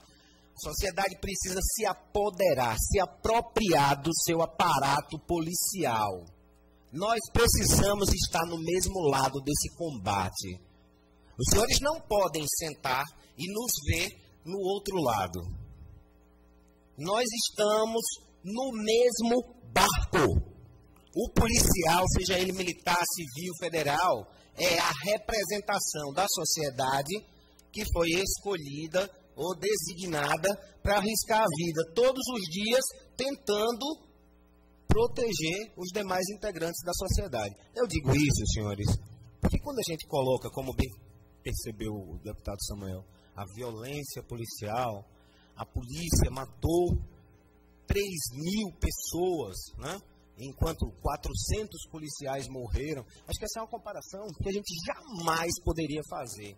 A morte de um único policial, se ele é o representante da sociedade designado para é, defendê-la, deveria ser um absurdo. Deveria ser é, tratada da pessoa mais importante da sociedade até o cidadão mais humilde. Não é assim. É muito banalizado. O policial pode morrer, não tem problema. É para isso que ele é contratado, né? Para morrer se for necessário. Não é assim, isso é uma excrescência. O policial não sai de casa para matar ninguém. A polícia não sai para matar. Não há intenção, não há interesse do policial em matar. Agora, como a ousadia, como, vamos dizer assim, a falta de temor do marginal, aquele que se profissionalizou no crime, é cada vez maior, cada vez maior número de pessoas atiram contra policiais que estão tentando realizar o seu papel, obviamente, esse policial, ele precisa defender a própria vida. Eu não estou dizendo que não há desvio de conduta, lógico que há. Há desvio de conduta em qualquer segmento da sociedade. Lógico que há. Tá? O maior é, violador do direito humano é o marginal. Tá? Então a gente precisa todos nos somarmos, tá? Me desculpe, eu me alonguei. A gente precisa todos nos somarmos, nos apoderarmos dos aparatos policiais, porque eles defendem ou procuram defender a sociedade. A gente precisa se aprimorar, tem muitos erros, tem muito que ser feito, mas a gente precisa parar para pensar dessa forma. Obrigado. Obrigado. Eu passo a palavra a Samira e depois ao Daniel. Obrigada, deputada. Bom, eu só vou tecer alguns comentários rapidamente, até porque acho que ninguém fez uma pergunta propriamente dita e todo mundo comentou um pouco sobre, enfim, sobre os dados e sobre esse contexto. Uh, a primeira coisa, eu queria parabenizar a doutora Catarina, tá? a doutora Núbia fez uma apresentação sobre eh, esse diagnóstico dos homicídios que foi feito aqui em Sergipe no 11º encontro do Fórum Brasileiro de Segurança Pública em São Paulo, agora no mês de julho. É, foi uma apresentação muito interessante, eu acho que é isso, sem, sem ciência, andando com lado a lado com a polícia, a gente não vai avançar nessa agenda, então, parabenizá-los por esse núcleo de pesquisa e por esse engajamento em tentar olhar para os casos de homicídios e entender o que, que não é tão evidente e que pode ajudar o trabalho da polícia para acabar com a impunidade. Né? Não sei se vocês sabem, o Brasil só soluciona 8% dos seus homicídios, desses 60 mil que a gente estava falando. Então, é, e esse é um dado de 2012, enfim, também não é o dado mais atualizado, mas essa é a média brasileira. Então, é óbvio que um dos fatores fundamentais para essa violência, manutenção desses padrões tão altos da violência é a impunidade. Se a gente nem descobre quem é o criminoso, a gente não consegue prendê-lo e não pode garantir que justiça seja feita.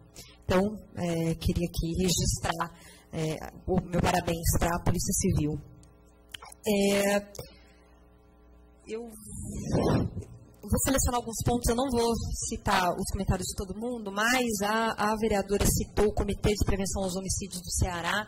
É, acho que sim, é uma experiência muito interessante e que vale ser replicada, não só porque é uma ação com foco é, é, na, na juventude, mas também porque traz também a Assembleia Legislativa para olhar um pouco mais para esse problema e não deixa tão só isso como um problema do Executivo. É um relatório que está disponível na internet, não sei se todos já acessaram, mas vale pegar, tem recomendações de políticas públicas, de fato é um material muito interessante do deputado Rosseno, essa iniciativa no Ceará.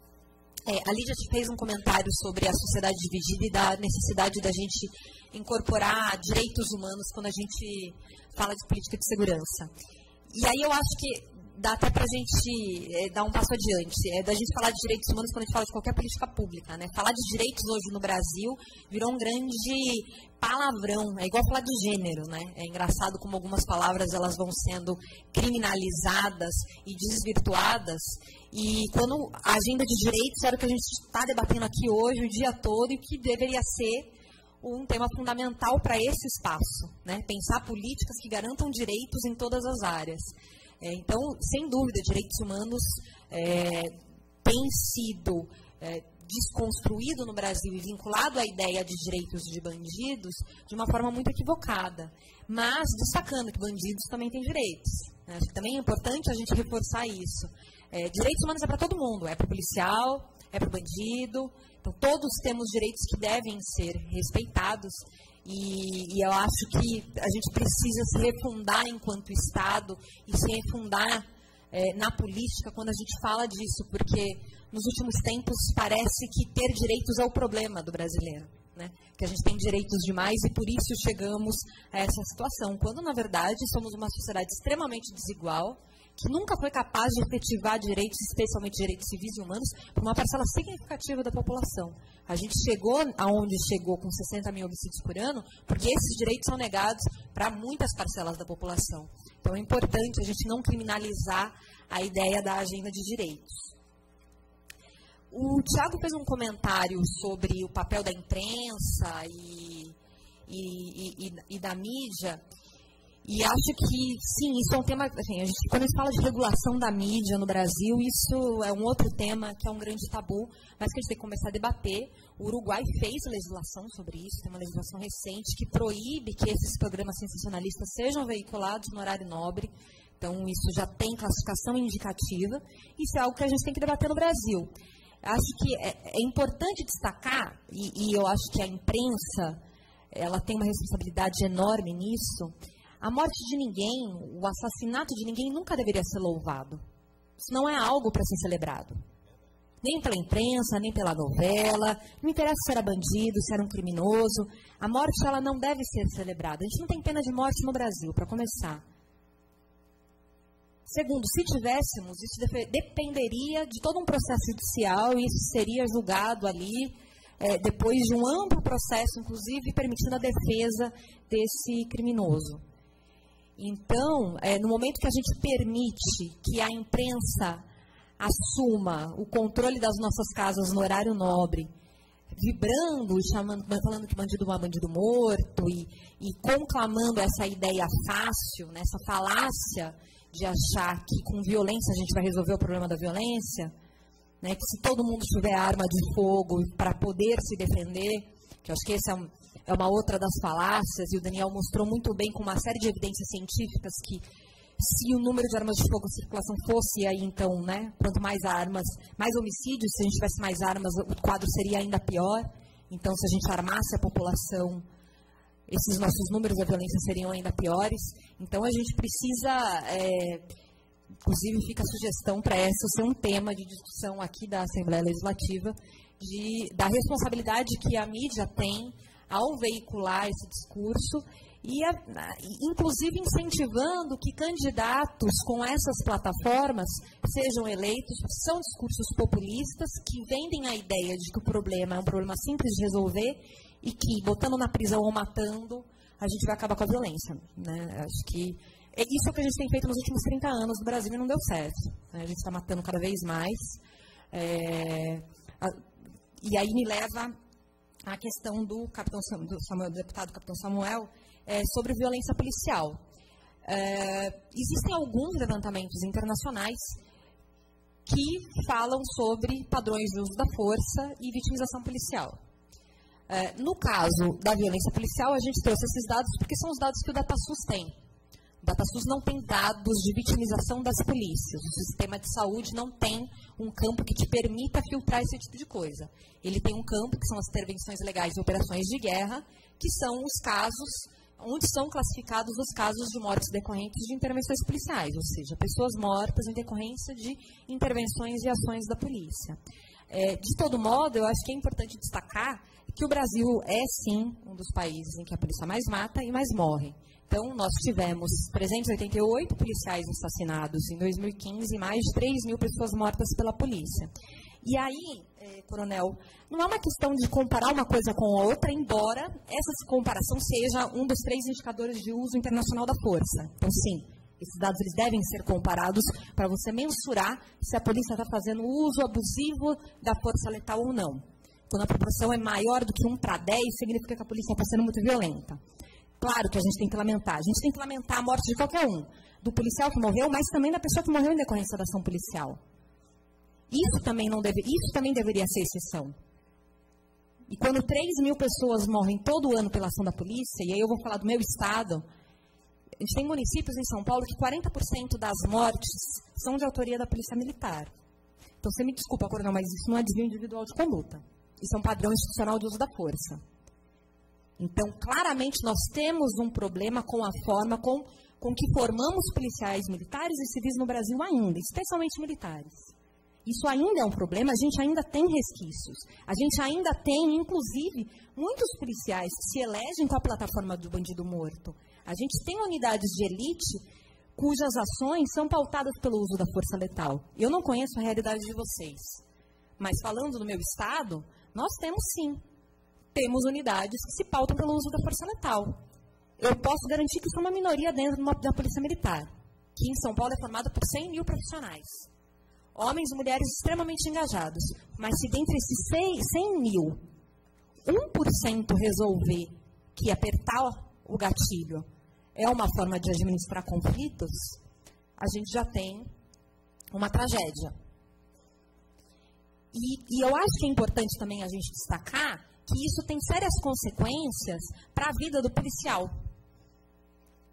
Então, o que, que a gente observa? Quanto mais mortes a polícia vai provocando, mais policiais morrem. Aí você fala, ah, mas o que, que vem antes? É ovo ou galinha? Né? O policial matou porque morreu, mor né? É, porque eu acho que essa é sempre a questão. Ah, morreu, um policial foi assassinado. Em geral, fora de serviço. 75% dos policiais morrem fora de serviço. O policial foi assassinado. Três dias depois, dez pessoas aparecem mortas naquela, naquele território. Esses são casos que nós estamos cansados de ver. Então, são questões que a gente precisa debater de frente. Acho que esse é um espaço de diálogo com a população e que a gente não pode também criar tabus. Polícia é importante, precisamos de uma polícia forte, precisamos a, aproximar a polícia da sociedade. A polícia não é nossa inimiga, a polícia é nossa parceira. Mas a gente também tem que reconhecer suas fragilidades. Temos sim um padrão de uso da força que é no mínimo questionável no Brasil. E isso sim precisa ser debatido. Não dá também para a gente só colocar a culpa no outro. Obrigada. Obrigada, doutora. E agora passar para o Daniel. Professora, eu só gostaria de pegar só um minuto, não dois, um. Doutora, policial no Brasil não é Robocop. Quando a senhora fala de 1%, me diga qual profissão no Brasil ou no mundo ou em qualquer lugar que não possa errar em 1%. Segundo, pegue todos esses homicídios que eu vejo falando aqui na fala da senhora, homicídio por policial, policial que mata, e procure fazer uma pesquisa se esse homicídio cometido, que provocou esse homicídio. Porque tem, quem tem coragem de enfrentar um homem de bem ou polícia, ele tem que ter a coragem de receber de volta, de volta a agressão que ele cometeu. Existem erros cometidos. Favela do Rio, todo mundo trocando tiro, bala perdida. Cidadão de ali já perdeu muita vida. Eu concordo em debater isso. Concordo em debater o tipo de armamento utilizado. Agora, eu não concordo, e não vou concordar em lugar nenhum, é a colocação. Porque a pergunta que eu fiz para a senhora foi: por que violência policial? Não é. O nome que a senhora botou já é simbolismo. Violência policial no texto. Foi a pergunta que eu fiz. Por que simbolicamente colocar violência policial no texto ali? Já foi direcionado. Segundo, volta, volta a questão da violência de quem defende. Olha. Capitão, veja, o senhor já fala, não se reescreveu, porque era agora o deputado George. Não é porque né, a, a André... não dá para aceitar simplesmente dizer que a polícia está matando a população. Quando Olha, a polícia está com. O senhor me desculpe, quem está coordenando sou eu. Sei. É a frente da criança e adolescente está chamando, deputado. E aqui a gente tem, eu estou trazendo dois pesquisadores. Aqui a gente não está discutindo achismo. Aqui nós estamos trazendo dois pesquisadores que estão sendo reconhecidos por todos. Então, eu acho que Vossa Excelência, se quer entrar numa área de pesquisa, traga concretamente para esse debate as pesquisas que se contrapõem ao IPEA, tá? E ao Fórum Nacional de Segurança Pública, porque aí a gente terá um bom debate. Porque aí, veja bem, o senhor já vem, inclusive, com estigmas da sociedade, que é homem de bem. Quem é que é homem de bem? Sabe? Violência. Quem é o homem do mal e quem é o homem do bem? Então, a, a, toda a juventude negra que está sendo exterminada é todo mundo do, toda da, do mal. Negra que está é, é por isso que precisa, precisa ser. Trabalhando. Então, é, é, complicadíssimo esse debate nessa linha, que é o que nós estamos combatendo aqui. Mas aqui na e Casa do Povo, essa discussão debate, de comunicação. Mas aqui é a Casa do Povo. É a Casa do a Povo. gente debate, debate então, o senhor se reescreve para trazer os dados científicos do debate. Me reescreva que eu vou falar em nome do povo e a fala não, do povo. Não, aqui não é a fala do povo, não. não. Aqui é a fala, aqui o senhor está, como parlamentar, da frente, como eu estou coordenando, mas o senhor, como agente público, como eu sou também professor, o senhor não pode quebrar as normas que a gente estabeleceu aqui com a sociedade, que é seguir exatamente as inscrições. Aí o senhor não se sentiu satisfeito com a resposta da nossa pesquisadora, interpelou e, e prejudicando os demais, inclusive Continue. o deputado Geórgio. Eu agradeço. Depois vou fazer uma observação, então, para a gente poder seguir com o debate, não ficar monotemático. É, bom, deputado, o senhor é capitão da Polícia Militar, é, e acho nem sei se todo mundo aqui é do campo da segurança pública, mas o que diferencia um policial de um cidadão comum é justamente a prerrogativa do uso da força. Por isso que a gente, porque a polícia existe, que é para garantir a ordem, para garantir a segurança da população, porque ela vai fazer o uso da força, que ela é desde simbólica, é o policial fardado, é a viatura passando, que é uma demonstração de força do Estado e aquilo passa uma sensação de segurança, até o uso da força letal se necessário. Isso, tá, isso é o que diz a lei. Qualquer, na, em qualquer lugar do mundo, a polícia tem a prerrogativa do, do, uso da força letal quando necessário. Agora, a gente não pode assumir que toda vez que o policial aperta o gatilho, isso foi em legítima defesa. E você me desculpa, com, quando 40%, 30% dos homicídios no território são de autoria da polícia, fica muito difícil acreditar, ainda mais quando a gente não tem investigação, quando esses casos não tem perícia, e quando a gente tem. Quando a perícia existe, existem sinais de execução de novo, eu não sei como, como é o contexto da violência policial no caso de Sergipe, mas eu garanto que São Paulo e Rio de Janeiro, que são os territórios que a gente tem se debruçado, a gente tem uma série de violações que definitivamente não podem ser classificadas como desvios individuais de conduta. Eu passo a palavra para é, Daniel, para depois o deputado George, depois a Andréia, professor Irã.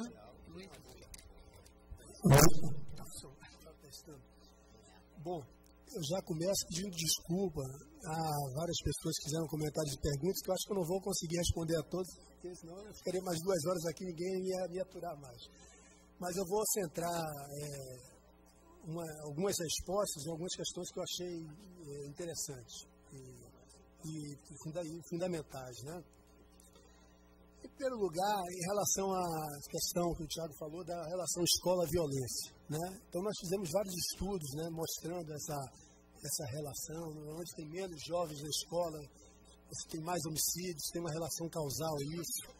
Mas nós mostramos mais do que isso. Né? Nós verificamos o seguinte, que quando a gente, é, quando a gente faz um zoom dentro das cidades e olha onde é que estão espalhados os, os homicídios nos bairros, aí você vai ver onde estão as piores escolas, estão exatamente naqueles mesmos lugares. São os lugares pobres, população vulnerável, tem muito homicídio e tem as piores escolas. E tem as piores escolas por quê? Não apenas porque os alunos que lá estão têm uma desvantagem cultural familiar, que vem de famílias desfavorecidas.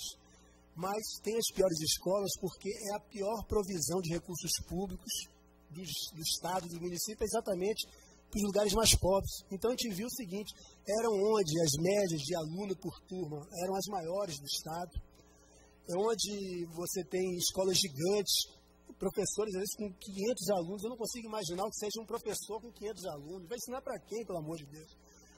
Então, existe uma. Eu estou desenvolvendo uma tese meio. Não, é científico, não, é mais. Mas eu estou desenvolvendo uma tese que é, que é o seguinte: que é o teorema geral das políticas sociais no Brasil. O que há de bom vai para as áreas nobres, o que há de ruim você deixa lá para esse povo aí dos indesejáveis. É, que são os mesmos sempre. São jovens, são negros, são pessoas de baixa escolaridade, estão lá, são indesejáveis. E, e, e nós verificamos o seguinte: a, a, quando a gente olha é, algumas comparações né, dessas escolas nos lugares, as melhores escolas nos lugares mais ricos com baixa violência e nos, nos bairros com mais violência e com é, populações mais vulneráveis, a gente vê que a, a, taxa, por exemplo, de abandono é nove vezes maior. A taxa de reprovação é seis, sete vezes maior. Então, é onde que é um verdadeiro abismo também educacional. Né? E aí tem, teria várias questões interessantes que eu não vou me aprofundar, vou só dar um flash aqui rápido, mas que seria um, um, uma nova audiência pública, né? Diz o seguinte, mas é, simplesmente é só botar a escola lá. A questão é como transformar a escola na verdadeira arma contra o crime. Né? Então existem várias questões aí importantíssimas. Por exemplo, qual é o modelo de aluno que se pensa para essas escolas? O modelo de aluno que se pensa no Brasil em geral Pense naquele aluno que tem todas as condições materiais, não tem problemas comportamentais na primeira infância, é, não sofre violência, seja doméstica, seja institucional, seja comunitária, tem lugar para estudar e que ele simplesmente está fresquinho lá e vai ser um repositório de conhecimentos enciclopédicos que vão abrir a cabeça, que nem o, o, como é que é o nome dele? O Givanildo estava falando, abrir a cabeça dele de falar coisas que não dizem nada a respeito daquela pessoa. Então, primeiro lugar, é o seguinte: ao receber jovens em áreas conflagradas, não adianta pensar que aquele garoto não vem com problemas, que muitas vezes vem com problemas. Então, existem várias soluções possíveis, desde trabalhos psicoterapêuticos, justiça restaurativa, porque o garoto com problemas é, emocionais, ele não vai aprender nada e ele vai ser o próximo a se evadir. Além disso, é a coisa de reconhecer uma coisa que se mata no, no, no modelo educacional brasileiro é exatamente mata-se o principal elemento psicopedagógico, que é a motivação. Então, o Givanildo falou melhor do que todo mundo aqui. É, ele vai para uma escola que não diz respeito na vida dele, para que, que serve aquilo ali? Então, há maneiras da gente se reformular a escola e maneiras até simples de fazer com que essa evasão ela seja minorada. O, exemplo dele, do Givanildo, que a professora caçoou dele, tá, ele saiu, você vê uma coisa só um exemplo a partir daí. Você pode trabalhar o processo, qualquer processo, mas vou dar exemplo de alfabetização a partir da história do nome. A partir da história do nome, você vem para a história do sobrenome, você entra na história até mundial.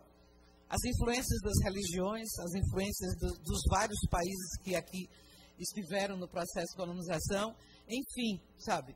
De onde é que vem o Santos, de onde é que vem o Silvio, de onde é que vem o Mangueira, da Mangabeira, de onde é que vem o Antônio, Maria, José, e, e, e, a história do nome é uma coisa fantástica quando você trabalha com as crianças. Você, você, pode passar um mês inteiro, dois meses trabalhando a história do nome, na geografia, na história, no português, na, na, na produção de texto e tudo mais. Né?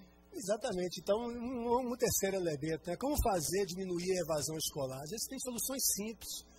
Claro que a violência é de toda a sociedade, mas a política pública, quando bem empregada, feita com responsabilidade, ela gera efeitos de curto prazo. Esse exemplo mesmo da, da evasão, o Espírito Santo fez um programa muito interessante lá, que era o quê? É chamado, era, era como é que chama? É, esqueci o nome do programa. Mas o fato é o seguinte, que a escola ia lá naquela comunidade conflagrada e contratava uma pessoa da comunidade para é, ser o antigo Bebel, né? E era uma pessoa que conhecia a comunidade. Então o aluno, eventualmente, começava a faltar, às vezes porque a professora caçou do nome dele, às vezes porque ela ficou grávida, a menina ficou com vergonha e deixou de ir à escola. Então existem vários motivos. Aí o que, que essa pessoa ia lá? Era, ela ia, era monitor de paz, acho que era ela ia lá na comunidade, conhecia a família, e às vezes eram famílias muito humildes, em que o ambiente da escola era um ambiente eh, distante, proibido, né? E a pessoa ia lá, pô, sabia que seu filho está faltando, sua filha está faltando a aula? E o cara dizia assim, não, não sabia, a mãe dizia, não sabia, pois é, está faltando por quê? Chama ela aqui, não, vamos levar vocês na escola. Então essa pessoa, ela fazia ponte entre a escola e a comunidade, e a taxa de evasão caiu absurdamente, coisa simples, né? é possível ser feito. Não vou me estender mais nesse ponto, não, mas tem, teria muita coisa é, é, para falar a esse respeito. A questão das guerras, guerras drogas. Né? Concordo inteiramente com, com o deputado, né? É, é, concordo inteiramente. A guerra às drogas, eu acho que eu vejo como a maneira mais eficiente de desperdiçar vidas e recursos públicos. Não há como você fazer repressão as drogas, você resolver esse problema, ainda que a polícia tem que fazer, porque ela está lá, na sua função, ela tem que seguir a lei e, e, vai prender, não tem jeito, não tem como. É. Mas assim, esta política que vem já de cima, ela está fadada ao fracasso. E por que está fadada ao fracasso? Vamos supor que a polícia tenha feito um bom trabalho de inteligência, ou seja lá o que for, e pegou grandes traficantes, aí a oferta de drogas faz o quê? Diminuiu. Diminuindo a oferta de drogas na comunidade, o que, que aconteceu? O preço vai subir o preço da droga subindo, isso vai estimular alguém a correr os riscos para explorar aquele mercado. E aí essa pessoa vai entrar no mercado e como esse valor em jogo ele é maior, isso significa dizer que você valorizou o mercado de propinas. Porque não existe crime organizado se não existe corrupção do setor público. Então alguém está envolvido. Então está envolvido. Então a, a política é fadada para casa. Então qual é a melhor forma? Claro, legalizar todas as drogas, mas isso tem isso é uma política mundial tal tem uma política subótima aí, que seria o quê? É exatamente pensar em, em, em é, fazer, diminuir a demanda. O que é diminuir a demanda? É trabalhar com informação, com famílias, com jovens, né? Para exatamente entender quais são os canais que arrastam esse, esse jovem à droga a primeira vez e evitar que ele prove a droga. Esse é um. Um outro ponto é exatamente a, a, a política de redução de danos e de recuperação de adictos. A gente sabe que boa parte do negócio de drogas é financiado pelos, pelos consumidores pesados. Então, como é que a gente vai fazer? A gente vai internar na raça, lá como o Dória está fazendo em São Paulo? Não pode fazer. Tem que ter, ter, todo um trabalho complexo que tem que envolver psicólogos, é, assistentes sociais e por aí vai, né? Mas esse caminho daí realmente está fadado ao fracasso e está fadado pior do que isso. A gente não só não resolve o problema das drogas, como, como pelo fato da droga ser ilícita, é, como é que vai se relacionar, como é que se relaciona a droga à violência? Muito pouco, segundo as pesquisas internacionais, dizem respeito ao consumidor. Ou seja, não é porque ele consumiu a droga e vai assumir comportamentos violentos ou vai roubar, matar para comprar droga. Não é isso. 95% da violência relacionada à droga tem a ver com um canal que é conhecido como canal sistêmico. O que, que é isso? Pelo fato da droga ser ilícita, isso significa dizer que os mercados eles não vão se regular pela justiça, mas vão se regular pela violência. A violência é utilizada para tomar um negócio, a violência é utilizada para matar o devedor duvidoso ou para matar o funcionário que deu um golpe ao dono da firma, porque senão a firma vai à falência. Isso gera muita violência e, além disso, gera efeitos que são derivados disso, né? como, por exemplo, a corrupção policial. Então, quando você tem muito dinheiro, veja o exemplo do Rio de Janeiro. Prenderam metade de um batalhão, os caras, eles mesmos estavam operando a droga na ponta. O que, que é isso? Eu estou falando de dinheiro que está lá na ponta e está corrompendo profissionais. Né? Além disso, é, é, você tem outros efeitos, como o Estado ele aloca muitos recursos nessa guerra à droga, ele deixa de alocar em coisas que seriam mais importantes. É, preservar vidas, por exemplo. Né? Então, eu acho que essa guerra das drogas, a gente concorda que é, isso aí realmente é o fim do mundo. Né? É... Aí você pergunta ainda por que desbotou violência policial assim, esse tema geralmente é, é, violência policial, e por isso a gente botou violência policial. Mas pensando aqui, motivado pela sua provocação, eu acho que realmente a gente pode repensar um, um, um título diferente, eu acho que talvez a gente tenha sido injusto. Eu acho que o mais correto seria violência envolvendo policiais. Por quê? A gente, lá no IPE, no fórum, sobretudo o fórum, e a Samira, a grande pesquisadora nessa área, desde muito a gente trabalha com essa ideia, né, que é, violência de e por policiais são duas faces de uma mesma moeda. Né? É, não é verdade que a ideia é simplesmente os policiais vão é, preservar direitos e vão preservar vidas. Os policiais, como todo profissional, seguem incentivos.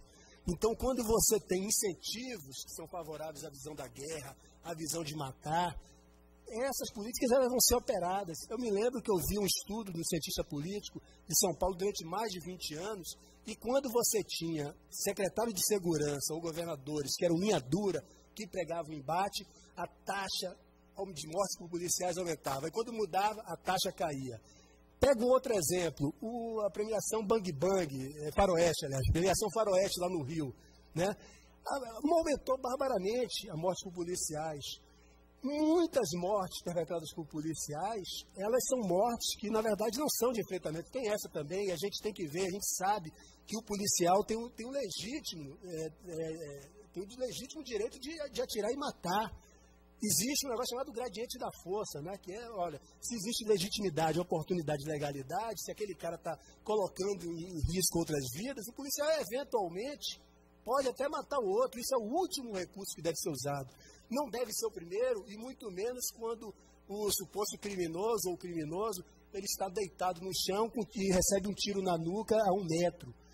Existe um estudo do professor Michel Misses, da UFRJ, lá no Rio de Janeiro, que ele, ele pegou, assim, ele seguiu durante vários anos mortes perpetradas por policial no Rio de Janeiro. Pegou os padrões é, das mortes Muitas, a maioria delas, muitas delas eram, eram tiro na nuca, eram mortes que mostravam claramente execução. E mostrou também nesse estudo qual era o procedimento da, da investigação. Era procedimento padrão, nada era investigado. Não, não, não, não vamos generalizar. Eu concordo, eu concordo, inclusive eu não, tô, não, não quero vir aqui falar mal de policial. Tenho muitos amigos policiais, acho que é fundamental, mas o que nós temos, eu acho que a discussão é o que a Samira colocou muito bem, uma coisa é o desvio de conduta individual, outra coisa é, são padrões institucionais de conduta. Então, o que a gente está falando é o seguinte, que muitas vezes, é, quando você vê um policial que matou alguém ali, você, ah, pô, isso aí pode ter acontecido, um tiroteio, alguma coisa, você fica na dúvida. Agora, não é possível que 300 vezes, mil vezes, várias milhares de vezes acontece isso a todo lugar. Existe um problema institucional que tem que ser visto. E por quê? Porque o policial ele termina sendo vítima ele termina, quando ele entra nisso, imagina, eu fico me colocando, não sou policial, mas você, exatamente, policial trabalhando ali na fronteira, assim, os efeitos psicológicos disso. Então a gente tem que tratar dos nossos policiais. E tratar dos nossos policiais é valorizar os policiais e, e mostrar que, que orientar que o trabalho de policial é simplesmente é preservar direitos, preservar vidas. Né? Eu acho que a gente tem um entendimento, tem um diálogo sobre isso. Talvez um título ou outro a gente precise mudar, mas eu acho que o diálogo ele continua. E o, um, um, outro ponto que eu concordo com, com o Coronel Paiva também, sobre o, que o problema não é do Estado, é da sociedade. E a gente é, é, da sociedade, todos nós, é do Estado, é da sociedade, da polícia, é de, é de todos, né? De todos, de todos. Mas isso não nos isenta de saber responsabilidade. Por exemplo, o coronel mesmo é, na seguida é, dessa, dessa fala, colocou a responsabilidade do governo federal, que não cumpre a sua responsabilidade. E eu concordo inteiramente, nós acabamos de fazer um estudo, coronel, que é o papel, é, é, é como é que é? Políticas efetivas de segurança pública no, pelo governo federal, o papel da Senasp, que está lá, está até disponível no IPE, e a gente acha que o governo federal fazia muito pouco e agora faz menos ainda. Agora saiu simplesmente para aquela ópera bufa que é o que nós estamos vendo no Rio de Janeiro hoje. Né? Então, só terminando a questão, para não deixar sem resposta também a, a, questão dos negros, né, que tem muito efetivo policial que são negros. Né? E a questão é a seguinte, eu não vejo o racismo como uma coisa assim, existe um racismo se pensar de alguém, eu não gosto de negro porque ele tem determinadas características. Isso seria um racismo mais clássico, mas o racismo, eu penso o racismo como uma ideologia que ela está entranhada, ela está subrepetícia nos vários é, nos vários meios de comunicação, nas várias expressões culturais, e todos nós aqui nessa sala, sem exceção, somos impactados pelo racismo. Se a pessoa é negra, ela é impactada porque, como ele lá, o é, sofre, porque ah, é, a ideia do negro perigoso, né? o negro que não serve para trabalhos é, complexos, o negro lá vai ser peão, negro, várias piadinhas, né? que é piada nos olhos do outro é refresco. Né? Então, é, desde essas piadas, como também é, da, da, elite branca, nós, nós somos produtos, todos na sociedade brasileira somos produtos do racismo, tá certo? Então, o racismo é de, de uma sociedade escravocrata. Então, por exemplo, eu posso dar vários canais como isso acontece, e isso afeta homens brancos e negros. Eu dou alguns exemplos. Eu me lembro, vocês podem ter lido há uns, há uns, uns dias, semanas atrás, teve um shopping em São Paulo que teve uma criança negra que, é, cujo pai era até conhecido nosso lá, cujo, mas saiu dos jornais isso aí, né? cujo pai é, era branco, tinha adotado a criança negra, a criança estava no shopping, brincando no parquinho do shopping, com a camisa de escola privada. Aí veio uma segurança do shopping negra e expulsou o garoto. Ele falou, por que expulsou o garoto? Veja que é, o racismo está entranhado na cabeça de todos. Então o racismo é uma doença que precisa de uma vacina todo dia, que é reflexão. Todo mundo refletir assim, como que nós somos racistas? Nós somos. Né? É, então, esse é um exemplo. Um outro exemplo que eu dou também aqui, trazendo já que nós falamos de efetivo policial, e eu, umas apresentações que eu faço, eu trago até essa charge que eu peguei nas redes sociais. Teve um, um dia aí que morreu um policial em Alagoas. Aí, logo em seguida, saiu uma charge, não sei qual é essa charge, saiu essa charge, lá era assim, dois policiais arrastando um negro assim com uma poça de sangue atrás, a mãe na porta, ele tirando o negro da casa, ou levando, não me lembro bem, com a poça, o negro já morto, assim, sendo puxado, arrastado, a mãe desesperada na porta, o, o, o rapaz já negra, a mãe negra, e os dois policiais brancos.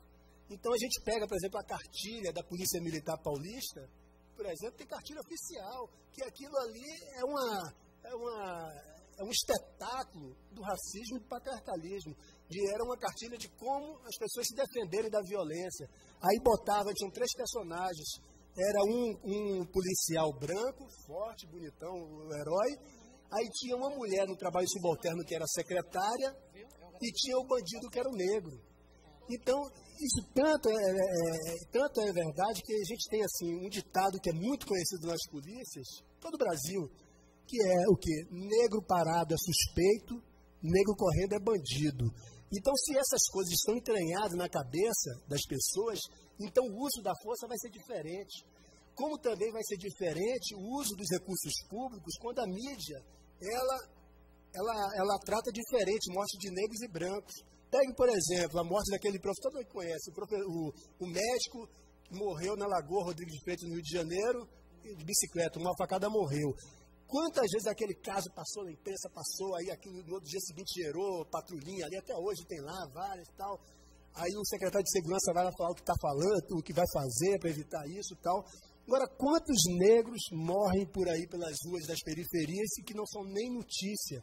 Então, quanto mais notícia, mais a atenção da, mais atenção da mídia, mais o aparato de segurança pública vai responder. Então, o racismo ele se dá de vias é, vias indiretas, vias tortuosas. O racismo é uma doença, é uma doença muito capciosa, que a gente tem que estar atento, mas que sem vencer essa doença, a gente não vai vencer outras doenças no país, como o atraso, como a desigualdade, como é, a, o problema educacional e tantos outros. Obrigada, né? Eu passo para o deputado Geórgio. Boa noite já a todos. Inicialmente gostaria de parabenizar a deputada Ana Lúcia por mais essa iniciativa de trazer um tema tão importante para essa casa. E, para os que não, não conhecem, eu sou, vamos dizer assim, o deputado caçula aqui da casa, meu primeiro mandato. E, deputada Ana Lúcia, esse tema de violência a gente sempre aborda aqui em plenária, a senhora, vários colegas deputados, colega também Samuel. E o que a gente vê, assim, depois desses dois anos e meio de mandato, é que é como se todo mundo já soubesse as causas, como resolver, só que a gente não sai do lugar.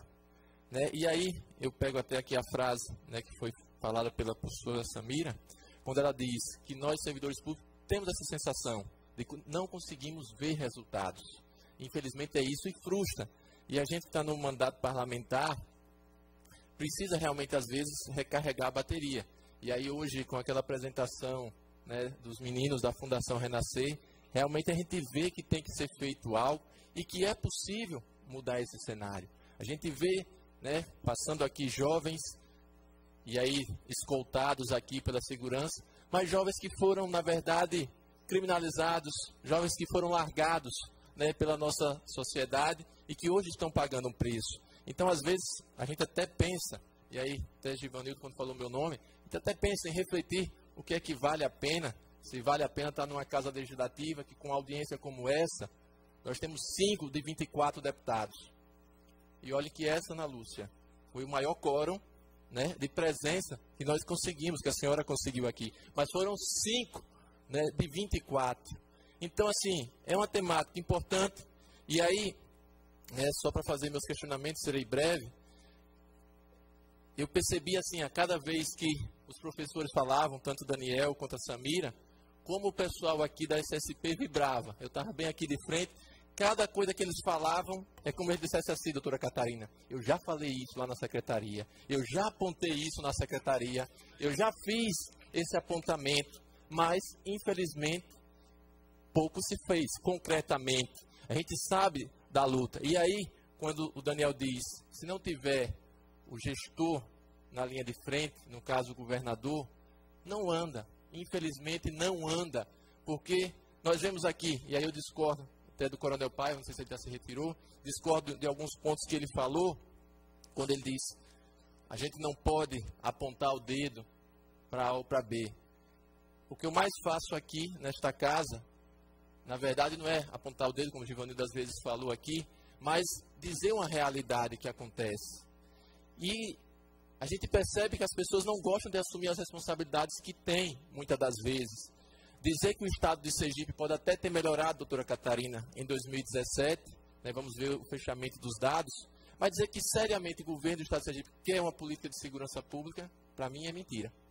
E eu digo assim, basicamente com um dado como eu disse, por mais que vocês trabalhem, falta ainda lá em cima articulação. O vice-governador até assumiu um papel, pelo que eu estava vendo em algumas reuniões que vi as, o pessoal aqui, servidores, participando, mas pouco se produz. E aí a gente vê, tudo passa pelo combate à pobreza. O Estado diz que não tem dinheiro para combate à pobreza, deputada Ana Lúcia. E aí nós temos aqui um fundo de combate à pobreza que me gera 80 milhões por ano. Quando eu penso, vai ser utilizado para evitar que um jovem daquele que se apresentou aqui tenha né, que cair nas drogas, que ele não tem uma oportunidade digna. Não. Me usam esse dinheiro, por exemplo, para pagar a recepcionista que serve a Secretaria de Assistência Social, numa, num total desvio de finalidade da legislação. Então, esse discurso que não tem dinheiro, tem. Para combater a pobreza no Estado, tem. Pode estar sendo mal aplicado aqui em Sergipe. E a minha primeira pergunta, eu já fiz a apresentação na Assembleia, a deputada Ana Luz também nos ajudou, dos dados do Atlas aqui nós apresentamos praticamente os mesmos gráficos.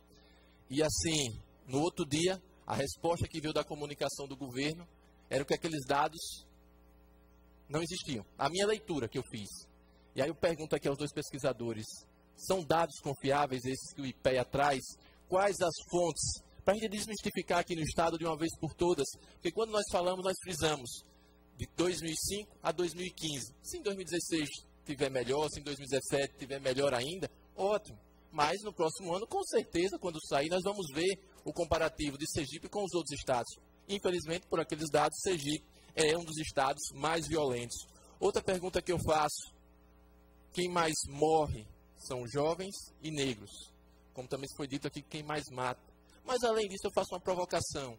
Dentro dos nossos presídios, quem está preso hoje dentro dos nossos presídios? Qual é o perfil do preso hoje sergipano brasileiro? Qual o perfil? Para a gente entender que, infelizmente, provavelmente a resposta vai ser a mesma, quando os pesquisadores disserem aqui. Outra dúvida que eu tenho aqui também, e aí eu tive a oportunidade de assistir uma palestra com o ex-secretário Beltrame, do Rio de Janeiro, onde ele diz que, quando convocado pelo governador, governador que hoje está preso, Cabral, pelo que ele deu a entender, o governador disse a ele: pacifique as áreas né, de confronto no Rio de Janeiro, que o Estado em seguida vai entrar. Ou seja, fizeram toda aquela ação policial e no final ele disse, pelas palavras dele, como se ele tivesse. E aí eu estou interpretando o que ele disse. Eu fui enganado. O Estado não entrou. É o que eu digo. Só a repressão, sem a participação, sem a presença do Estado, e é o Estado aqui, a gente fala do Estado brasileiro, não é o Estado de Sergipe, a gente vai vencer essa guerra? Ou a gente vai estar aqui, deputada Ana Lúcia, né, no final do nosso mandato, próximo ano, mais uma vez repetindo dados, repetindo causos e que pouca solução vai dar. Já na questão policial, e aí o deputado capitão Samuel, lógico, traz né, o conhecimento que ele tem, mas hoje a gente percebe realmente o grande problema psicológico que os policiais vivem. Eu conheço alguns que infelizmente estão afastados e é duro para quem se formou, quem fez ali academia. Mas como também trabalhar a cabeça desse servidor que salário atrasado, aqui em Sergipe a gente paga R$ reais no ticket de alimentação e pede para ele para as ruas trabalhar com a sociedade, que o ideal seria realmente que ele pudesse fazer esse acolhimento. Mas infelizmente as nossas forças policiais não são preparadas para isso. E aí eu posso dar o meu exemplo. Eu fui agente de polícia civil, passei no concurso público aqui em Sergipe, fiz academia de polícia civil, pelo menos na minha época, a gente não via nada no contexto nessa questão, por exemplo. Até tem uma colega que fizemos academia juntos. Assim, na minha visão, não me recordo de nada que tivesse feito esse acolhimento para com o próximo, de como atender as pessoas. E aí eu acho que ainda falta. Não sei se nesses concursos que vieram após, se isso já foi corrigido, se hoje trabalhamos, e aí nós temos aqui o Dr. Robson Barros, da Comissão de Direitos Humanos da OAB também Sergipe, lá também de Ribeirópolis, a gente quer saber se esses temas também são tratados, se vocês já visualizaram né, as polícias trabalhando esses temas durante a formação do policial, ou não, ainda a gente está trabalhando a formação de uma forma lá atrás. Eu acho que, basicamente, era isso que eu tinha para dizer. Né? Eu acho que o Coronel Paiva, se tivesse aqui também diria ele, não adianta a gente querer cobrar que a sociedade olhe o policial, militar, civil, com bons olhos, apenas com discurso. Nós, enquanto servidores públicos, temos que dar o exemplo e fazer com que as pessoas criem a confiança em nós. Hoje a gente vive, e aí eu falo da classe política, que hoje eu faço parte, se a gente fizer uma avaliação, 99% da população rejeita a classe política. Não adianta a gente passar o dia todo aqui na tribuna falando e amanhã cometer ou fazer um ato diferente dissociado. Do mesmo modo é a polícia. Para a polícia conseguir o respeito da sociedade, para que nós, servidores públicos, consigamos o respeito, nós temos que dar o exemplo fazer o bem feito, acolher, dar a segurança da forma que é necessária. Não adianta. E aí todo mundo sabe, a inteligência sabe quem é o grande traficante, a inteligência sabe quem são os grandes corruptores no país, a inteligência sabe quem causa maior dano à sociedade. Mas se a gente for prender, nós vamos estar continuando a aprender os mesmos de sempre. Aqueles que não tiveram oportunidade, que não vão ter um advogado bom para fazer uma defesa, aqueles que não tiveram né, a oportunidade que esse país, infelizmente, ainda coloca né, na periferia um povo que quem movimenta essa sociedade. Então fica aqui as minhas palavras de agradecimento à deputada Ana Lúcia por mais uma vez trazer um tema que recarrega as nossas baterias para enfrentar esse dia a dia que não é fácil. Obrigado, deputado. Eu aqui vou colocar a ordem de inscrição. Nós temos agora Andréia, depois professor Irã, Luiz Moura, professora Jovanca, Sônia, Carlos, Matheus, Luiz Eduardo, Anúbia, do Carmo, Fábio Costa e Delmanira. E, por fim, Capitão Samuel. E se reescreveu, né? Não.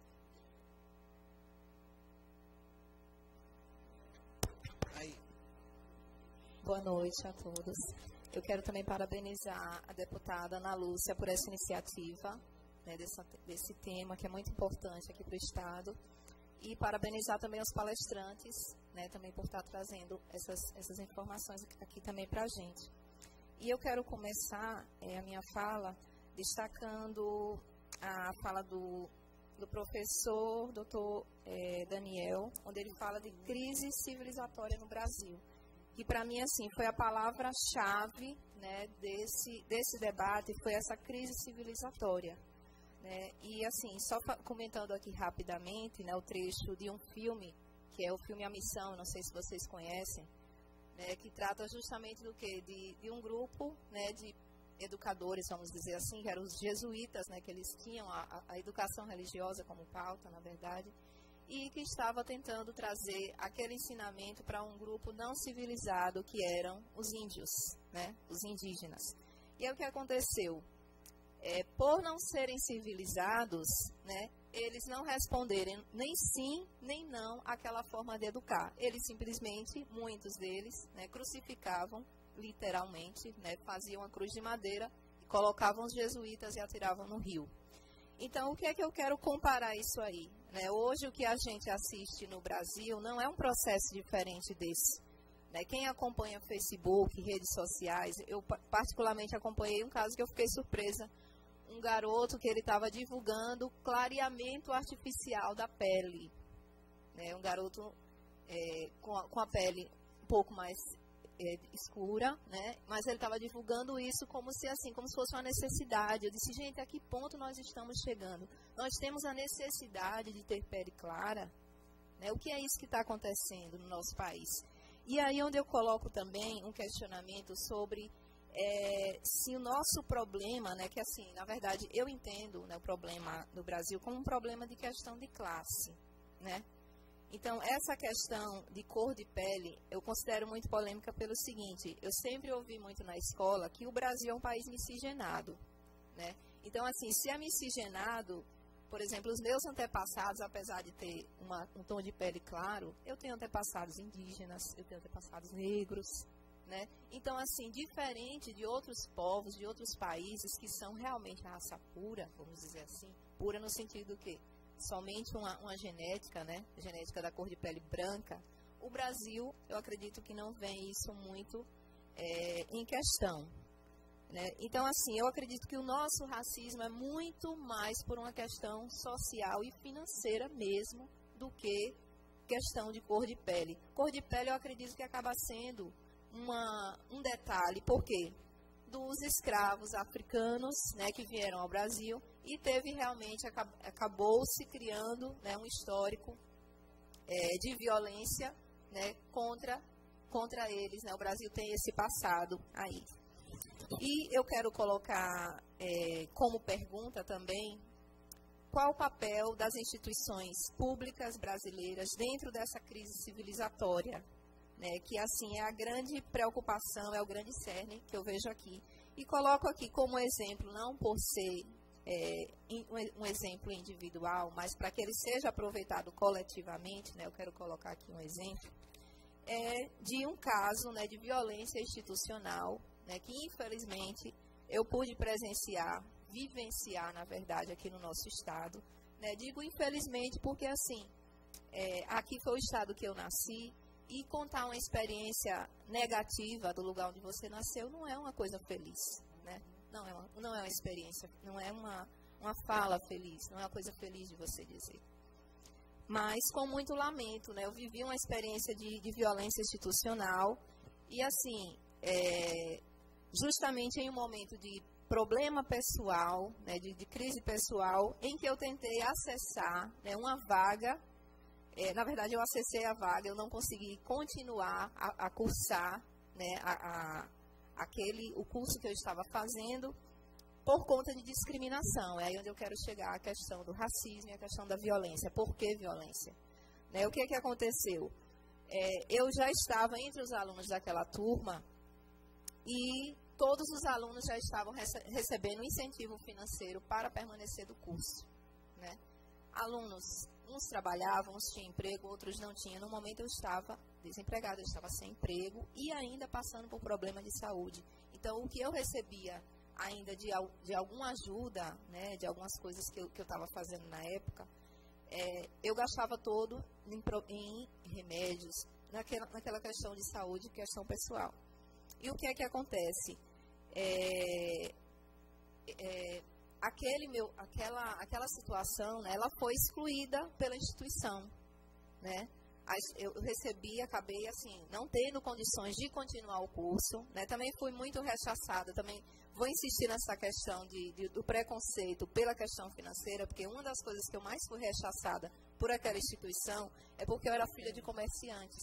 E assim, muitas vezes eu fui ridicularizada porque meus pais eram comerciantes. Coisa assim que para mim não é vergonha, nunca eu ia dizer isso com vergonha, né? Meus pais têm um ensino fundamental, eu repetiria isso para eles assim um milhão de vezes, o que eles, quantas vezes eles precisassem ouvir, né? Meus pais têm um ensino fundamental, mas foi com o sacrifício de um comércio e mesmo com pouco estudo que eles criaram os filhos e cumpriram com, seu, com suas responsabilidades de pais.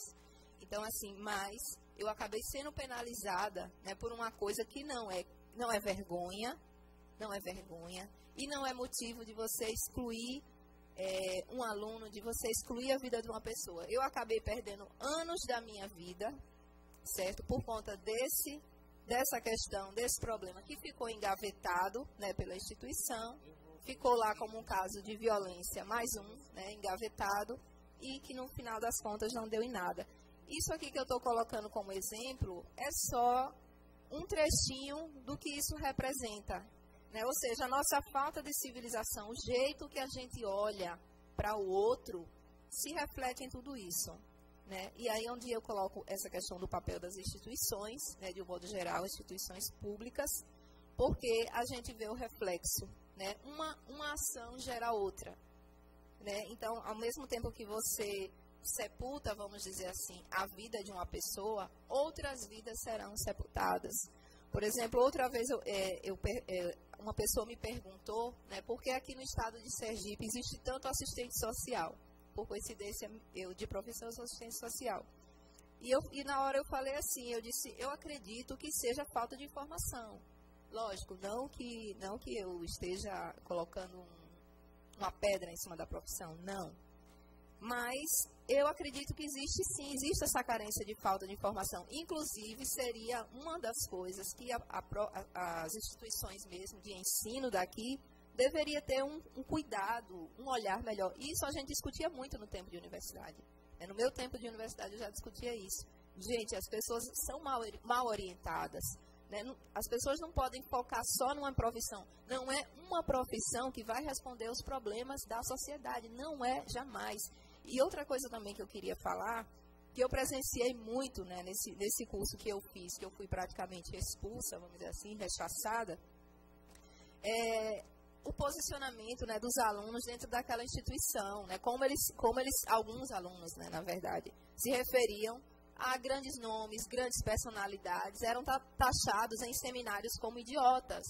E eu assisti aquilo, eu disse, gente, como que uma instituição sabe o que é que está acontecendo com a educação no país? Como que eu vou me referir a um dos grandes nomes, né, grandes nomes da história, pessoas que fizeram marco na história, como um babaca qualquer, como eu ouvi muitas vezes. Ah, esse idiota tá aí, ele, ele é grande, ele é isso tudo, porque, sei lá, jogou essas idiotices. E isso levou nota, né? E em cima disso essas pessoas criaram carreira e hoje estão aí, muitos estão seguindo carreira, né? E a gente simplesmente assiste essas coisas todas sem poder fazer muita coisa. Então, é, o resumo da minha pergunta é essa, né? E tentando atrelar uma coisa com a outra. Violência institucional, como que está a nossa civilização no nosso país, como está sendo tratado. Obrigada. Eu passo a palavra para o Soíra. Lembrando que tem 14 pessoas ainda inscritas né, e está esvaziando e justificando que o Coronel Paiva foi dar aulas às 19 horas e a delegada Karina também foi participar de mo- mesa de debate agora na universidade. Tá bom, deputada. Eu quero muito rapidamente aqui parabenizar a iniciativa pelo excelente debate. Eu acho que a tarde de hoje foi muito produtiva nesse sentido. Parabenizar a frente, parabenizar o Ricardo e a Samira pela explanação bem elucidativa que nos fizeram hoje aqui, na parte da tarde. Muito rapidamente, só alguns aspectos. Primeiro, acho que para quem como eu já passa dos 50 anos, é importante relatar que o nível de agudização da violência no estado de Sergipe é um fenômeno recente. Até bem pouco tempo atrás, Sergipe figurava como um dos estados que tinha tranquilidade. Você pegava o cenário, aqui tem estados vizinhos, aqui a Sergipe, Sergipe estava numa situação de muito mais tranquilidade do ponto de vista da segurança do que outros estados. É lamentável que num curto espaço de tempo nós tenhamos tido uma modificação muito brusca desses dados. Isso é importante porque nos permite é, ter uma visão de até médio prazo de que, é que levou o Estado a essa situação que vive hoje. Segundo, eu queria ressaltar aqui um aspecto. Eu vi que naquele ranking ali, um ranking feliz dos 30 municípios com mais de 100 mil habitantes, foi isso, eu acho? Não, é, 30 municípios que têm mais de 100 mil habitantes. Pois bem, figurava Socorro, né? Nossa Senhora do Socorro, município aqui da Grande Aracaju, Aracaju não aparecia. Só lembrar um detalhe, que nós aqui conhecemos bem, que o município de Nossa Senhora do Socorro, na verdade, se você for pegar, estudar esse dado na sede do município, com certeza ele não deve figurar como um dos mais violentos. Por que é que ele figura? Porque ele tem ali um complexo de moradia, que a gente chama ali o complexo da Isoca, né? que envolve um conjunto, um conjunto de habitações de pessoas que, na verdade, são daqui ou trabalham aqui, mas que passaram a ter residência lá naquele lugar. É uma espécie de cidade dormitório ali naquele entorno. Por que, é que eu estou chamando a trazendo a baila essa reflexão? Para nós percebermos que o fato de Aracaju não estar ali não significa dizer que Aracaju não deva ter um olhar muito atento a esses índices, porque nós temos uma relação intrínseca, uma relação muito profunda com esse dado. Terceiro, é, é, é emblemático que nós percebamos a ênfase que foi feita aqui na tarde de hoje da necessidade de uma ação articulada entre as. Não adianta pensar a questão da violência, sobretudo porque eu vi que aqui a violência tratada, e eu quero daqui a pouco rechaçar algumas teses que começam a produzir, é, a violência tratada aqui foi a violência que eu percebi que é aquela violência mais extrema, é aquela violência que implica em homicídio, é aquela violência que a, a gente reputa como das mais graves. É, não adianta pensar que isso será resolvido apenas com ações da área de segurança pública. É? Para nós, qualquer pessoa que tem um mínimo de leitura de sociedade sabe que não é por aí. Portanto, eu quero enfatizar essa questão e aí eu quero botar o dedo na ferida de problemas que nós temos enfrentado aqui em Sergipe e que talvez seja uma das razões pelas quais os dados têm se aprofundado. Semana passada, ou na semana anterior, já não lembro mais, nós tivemos a oportunidade de ver lá a apresentação do Anuário Socioeconômico 2017 do Estado de Sergipe. O que é que nós identificamos lá? São estudiosos, para os dois palestrantes, estudiosos aqui da Universidade Federal de Sergipe, do Departamento de Economia, que se debruçaram, três estudiosos, sobre os dados disponíveis aí da realidade socioeconômica do Estado e trabalharam e trouxeram a baila análise da, da, da, do resultado da pesquisa deles. O que é que se identifica?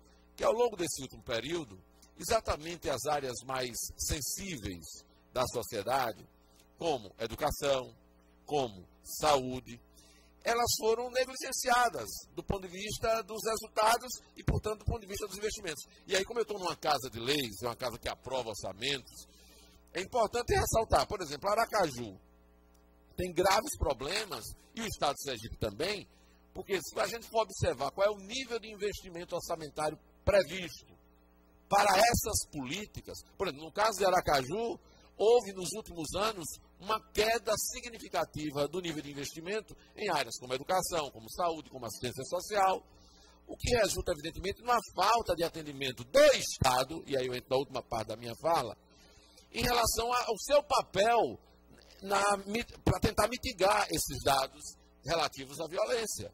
Porque se você deixa de investir nessas áreas, evidentemente você cria uma política de estímulo à barbárie. Portanto, de oposição à marcha civilizatória aqui fez menção aqui o Daniel.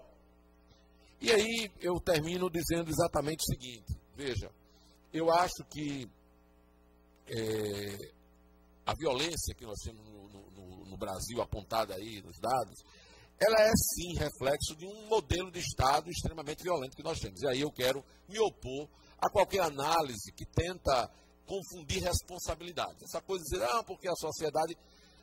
Quem entende do papel de sociedade, do papel do Estado, nós estamos aqui dialogando com pessoas que têm essa noção, sabe perfeitamente que a sociedade, na sua marcha civilizatória, destacou para o Estado a tarefa de cuidar dessa, desse tipo de violência.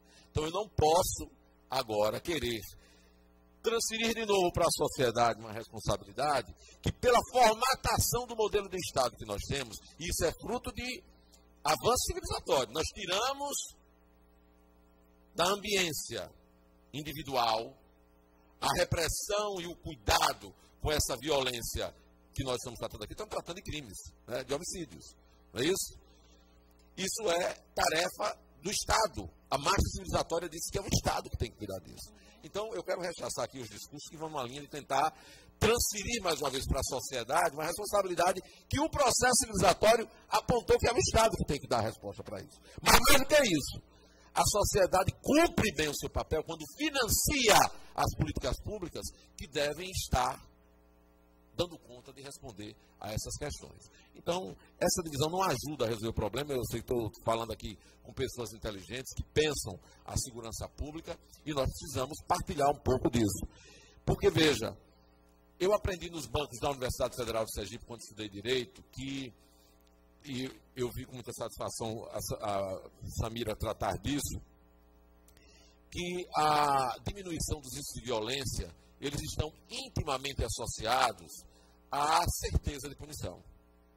Muito mais até do que a, o rigor e a ampliação da, é, digamos assim, da pena. Mais do que você ampliar caráter da pena, né? a certeza da punição ela é muito mais efetiva, ela tem muito mais eficácia sobre o controle da violência. E o que é que nós temos no Estado brasileiro? E é isso é, é que eu queria dizer. Eu vejo que o Estado brasileiro termina sendo um grande estimulador desse tipo de violência. Por quê? Porque nós estamos assistindo a um processo em que o Estado brasileiro ah, demonstra cada vez mais uma tolerância política e judicial aos crimes. Tolerância política e judicial aos crimes, claro, aos crimes cometidos pela parte, aí entra na questão, aos crimes do colarinho branco ou cometidos por aqueles que têm poder econômico e, por, e, portanto, podem usar das artimanhas da lei para se beneficiar. É um Estado que mantém na cadeia alguém que comete crime de caráter de necessidade praticamente, mas libera com muita facilidade quem mata, porque irresponsavelmente no trânsito se embriaga todo final de semana e mata e repete. É um Estado que tem um agente do Estado indo soltar o seu próprio filho que comete crime, né, porque tem o poder judicial nas mãos. É um estado, e aí a gente vê com muita seriedade, eu queria destacar isso, que o índice de aumento da violência tem a ver com o fato de que os agentes do Estado cada vez mais naturalizam discursos e ações que defendem, por exemplo, o retorno da ditadura. Agentes do Estado que atuam no poder legislativo, que atuam nas forças policiais, defendendo o retorno do modelo de Estado autoritário, que é o Estado da violência. É o Estado da violência. Os agentes públicos de Estado que fazem apologia a todo instante às discriminações de toda ordem. De toda ordem. Os agentes de Estado que fazem apologia ao extermínio. O discurso do bandido bom é bandido morto, me desculpem, é um discurso que não ajuda ao combate à violência, porque ele cria uma cultura de apologia à violência. Portanto, é, eu acho que a primeira grande violência ela está institucionalizada assim e a gente precisa entender, mas mais do que entender, a gente precisa é, ouvir isso sem reagir como se isso fosse uma agressão, porque isso é um dado concreto que nós temos. Se a gente quer resolver, a gente não, não pode ficar incomodado pelo fato de que essas coisas são identificadas. A gente tem que buscar caminhos para superar. Parabéns, era isso. Obrigado pela oportunidade. Obrigado, professor, vereador Irã Barbosa. Eu passo a palavra agora a Luiz Moura. Eu fui, eu fui o primeiro a me inscrever, mas a deputada me castigou. É, primeiro, parabenizar os palestrantes e, e a deputada, porque eu acredito que atividade como essa, que tem sido entabulada aí pela deputada, de, de audiências públicas, onde vários temas é, têm sido discutidos, de interesse da, da sociedade, deveria ser feito com uma certa institucionalidade por parte tanto do Legislativo como do Poder Executivo. Então, acredito que essa iniciativa que a deputada tem, tem tido sempre essa iniciativa, é extremamente importante, porque são temas importantes da sociedade que você vai discutir. É, com relação ao, ao trabalho do, do IPEA, eu, eu, eu não consigo aceitar a ideia de que Sergipe é o estado mais violento do Brasil. Porque quando você coloca esse tipo de, de indicador, a mídia se apropria disso como se o Estado fosse um salve-se quem puder. Eu acho que deveria ter uma qualificação melhor desses dados. Né? É, o dado é do DataSUS, então imagina o seguinte: isso foi recolhido dentro dos hospitais. O sujeito tomou um tiro, foi para o João Alves. E lá ele ficou numa maca esperando cinco horas para uma ala vermelha, uma ala azul, enfim. Talvez num estado onde a saúde tem uma providência para acolher esse, esse, esse, essa pessoa resultado dessa violência, ele teria sobrevivido e não estaria aí nos 1.300. O dado em si, solto dessa maneira, dá a entender o seguinte, que o nosso Estado é realmente um Estado de onde prevalece o banditismo. Eu não me sinto seguro, eu sou de Salvador, eu não me sinto seguro de forma nenhuma de andar em Salvador, em determinadas horas, e não é bairro de, de periferia, é bairros é, de classe média mesmo. Eu não me sinto de forma alguma seguro de andar no Rio de Janeiro. Certo? No entanto, o Rio está em décimo e nós estamos em, em primeiro lugar. Acho que é interessante, eu, eu recomendo à Secretaria de, de Segurança que vamos qualificar qual é o tipo de violência do estado de Sergipe. É a mesma do Rio de Janeiro? É, é diferente? Que tipo de crimes acontece aqui? Não vou nem falar nos bairros, porque você acaba. A polícia tem sempre a mania de falar mancha criminal. Né? Não, porque a mancha criminal do Santa Maria aí pega e, e coloca, acaba estigmatizando aquele, aquele bairro. Né? Mas você tem que detalhar melhor essa, essa coisa, para não dar a impressão que de fato nós somos o estado mais violento do Brasil. Eu acredito que nós somos os estados, o estado, pela estatística, onde mais morre gente por 100 mil habitantes é, é, por causa de violência. Isso é verdade.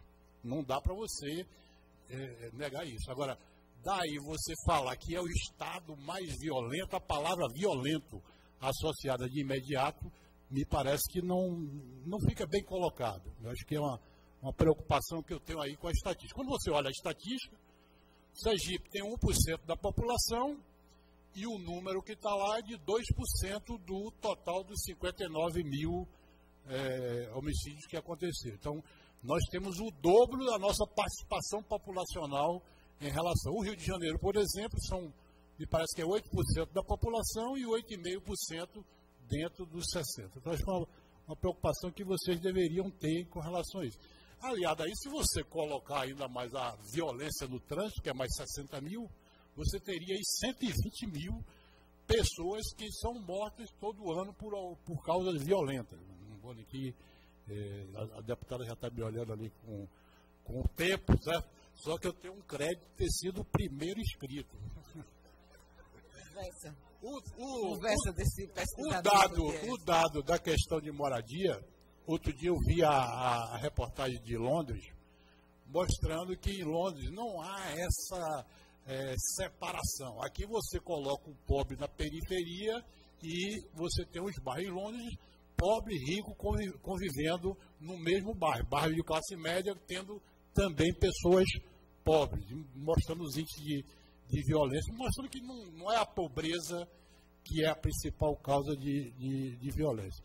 Com relação às armas, aí sim, uma preocupação. No nosso caso, você teria que ter algum tipo de medida restritiva com relação às armas.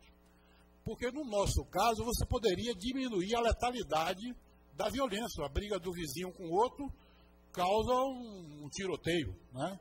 No caso dos Estados Unidos, essa, essa, essa lógica que a arma, o acesso à arma aumenta a violência, não é verdade quando você olha nos Estados Unidos.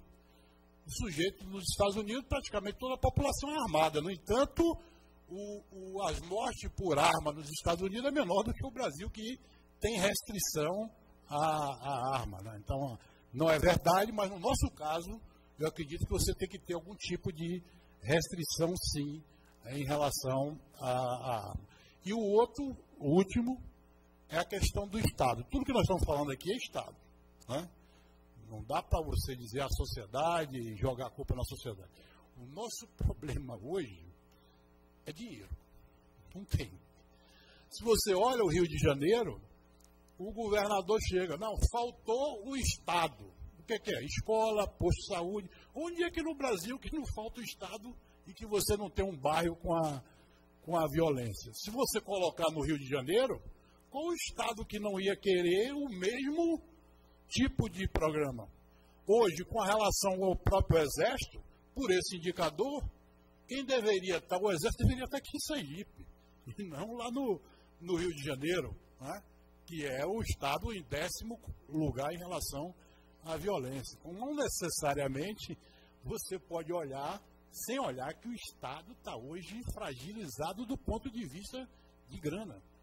Metade da nossa arrecadação é para pagamento de dívida.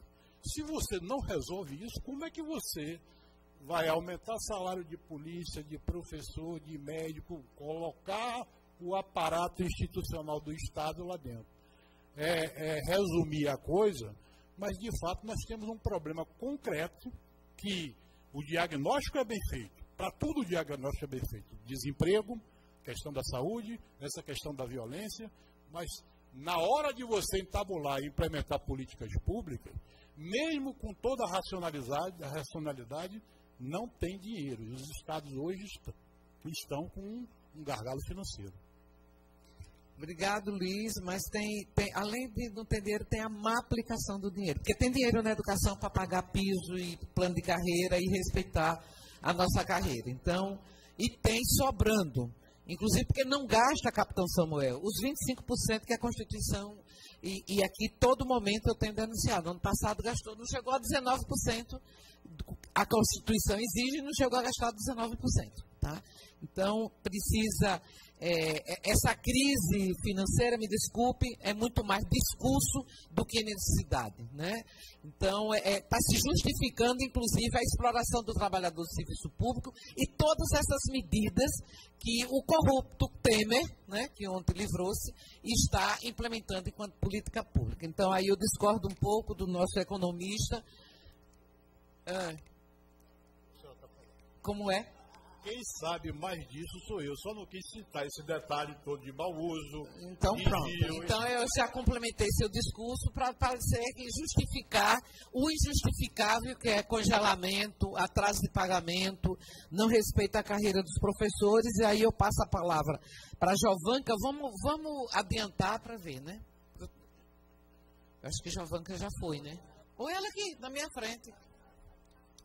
Só você que não é. Boa noite. A senhora me põe de castigo, mas eu espero. É, é por, um bom, por uma boa causa. É, boa noite, pessoal. Eu venho hoje representando... Não, não é castigo, Giovanni. É a... é, eu venho hoje representando não somente o Observatório de Criminologia e Delinquência Juvenil dentro do RENAESP da USP, mas eu venho também hoje representando o Instituto Defesa, que através da, da pessoa do, do, seu presidente, Lucas Silveira, me pediu que viesse hoje. Eu estou representando esse instituto aqui em Sergipe, estamos começando a movimentação aqui em Sergipe. É, e a pauta principal do Instituto de Defesa é a, a defesa armada, né? o direito à legítima defesa armada para o cidadão civil. Eu, como mulher, professora, não sou policial, não tenho policiais na minha família. Né? É, meu sogro, sim, falecido, era policial, foi assassinado em serviço. Todos já sabem, aqui nessa casa mesmo fiz uma homenagem a ele, não é isso? Ele foi assassinado em serviço, justamente talvez porque sua ação policial não tenha sido uma ação irresponsável de atirar primeiro, né? Atirar antes que o bandido mostrasse sua cara e o bandido então foi mais rápido que ele. Pois bem, mas uh, eu tenho dois pontos uh, é, baseados na palestra dos nossos uh, estudiosos, né, nossos pesquisadores desse instituto, que eu, como pesquisadora também, muitas vezes me surpreendo com algumas pesquisas que o, que o IPEA divulga, né? E eu disse, nossa, isso? Então, como pesquisadora, também tenho minhas ressalvas uh, por ser um órgão muito ligado à estrutura do nosso governo, mas eu dou todo, digamos assim, o louvor pela, pelo caráter científico, né, que apresenta o estudo de vocês, que eu dei uma olhadinha antes de, de vir aqui a esta audiência pública. Então, meus parabéns por essa, por essa brilhante produção. É, mas eu tenho algumas considerações para fazer, vou, vou ser bem breve, porque não dá para falar sobre todas elas. Né? A primeira questão é a seguinte, é que o Brasil, e eu já disse isso aqui na outra Assembleia, o Brasil está descumprindo um acordo internacional. E tudo o que nós vemos nesses dados ah, refletem o descumprimento deste acordo. Existe uma teoria, o doutor deve saber muito bem, que é a teoria da, das carreiras delitivas, que mostra, quem trabalha com ela conhece, que é na juventude onde o indivíduo tem maior probabilidade de delinquir, de ser um delinquente. Quando começa a delinquir uma pessoa, provavelmente começa na juventude, se considerarmos aí entre os 15 e 25 anos de idade, o que a gente chama de juventude. É nesse período que ela começa. E a grande questão é que ao longo da sua vida ela vai deixando de delinquir. Então o ápice do volume de delinquência sempre vai ser na juventude. Sempre será. Você não vai encontrar na faixa de idade de 50, 60 anos um ápice de delinquentes. Não, nessa faixa de idade, o ser humano já está deixando de delinquir por várias razões que não dá tempo eu explicar aqui.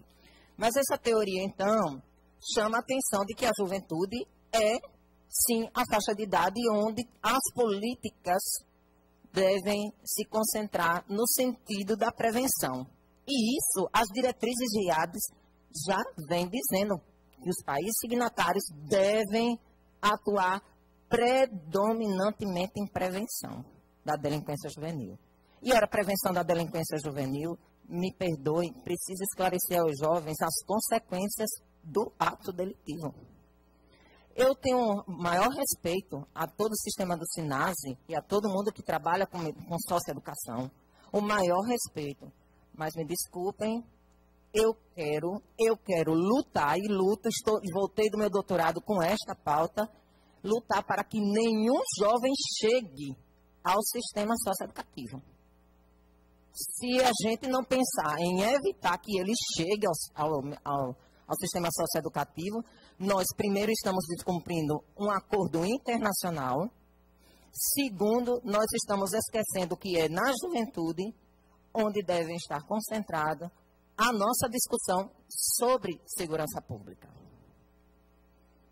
Então, aquele indivíduo que entra na faixa dos 15 anos, negro, provavelmente no Brasil será um delinquente. Isso, infelizmente, é o que está mostrando este.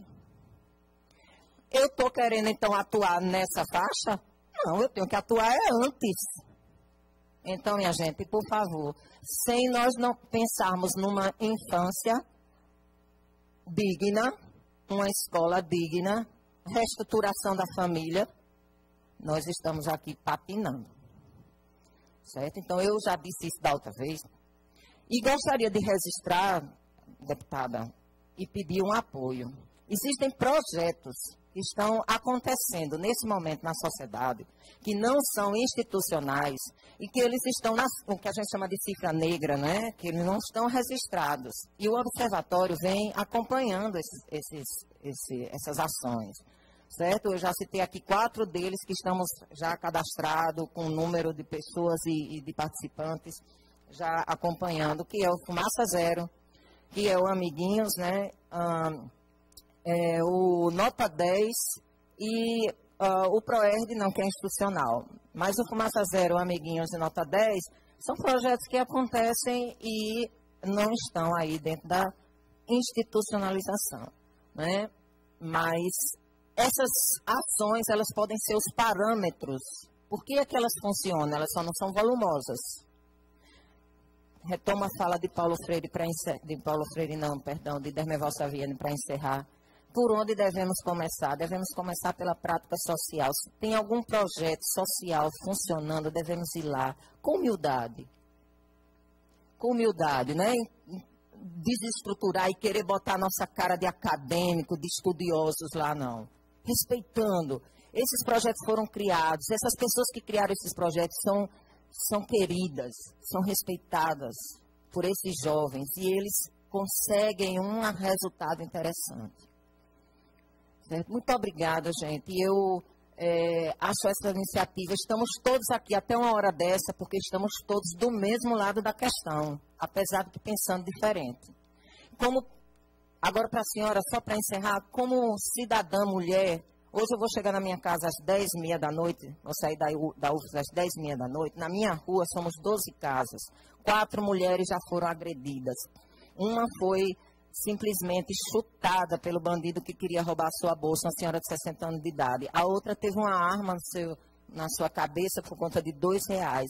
E a outra ficou com cicatriz no pescoço porque lhe puxaram o cordão com muita força. E a outra foi uma, uma auxiliar de casa do lar, que trabalha lá numa casa e que teve seus pertences também levados com seu celular. A minha rua tem 12 casas.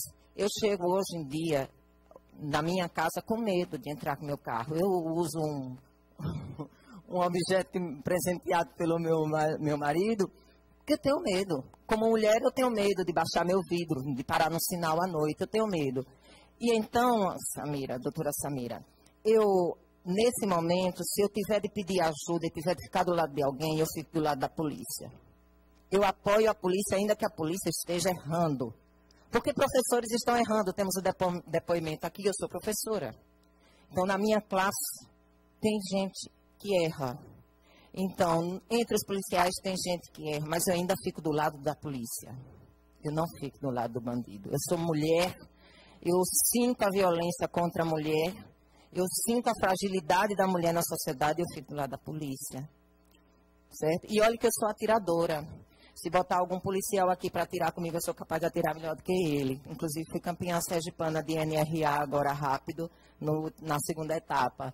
Né? Eu não uso arma porque eu sou apenas uma esportista.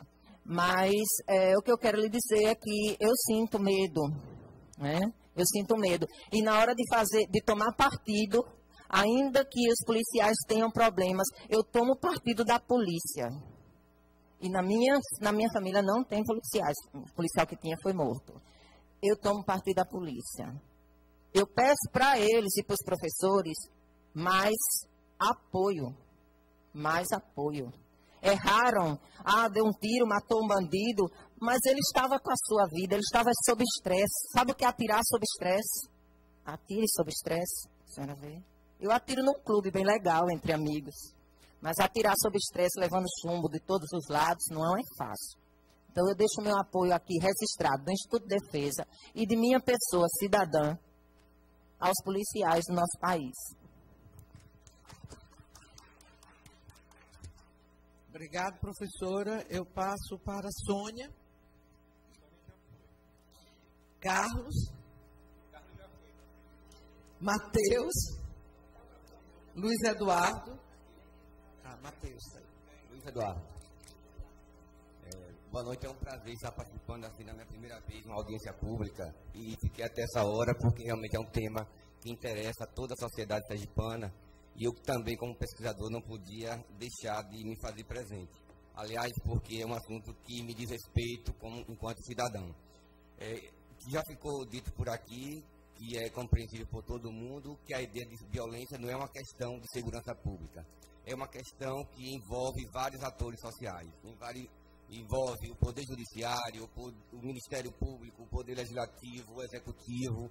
Então a gente tem que passar para a sociedade é, a noção de que a violência é um problema da sociedade, então não só da Secretaria de Segurança Pública. Isso foi um ponto que ficou bem claro aqui nessa audiência pública. Outro ponto é que Aracaju realmente está uma cidade violenta. Quer queiramos ou não, o Atlas tem demonstrado e a ONG mexicana e Paz colocou Aracaju como a 12 cidade mais violenta do mundo. Então não é só um instituto que está fazendo essa pesquisa.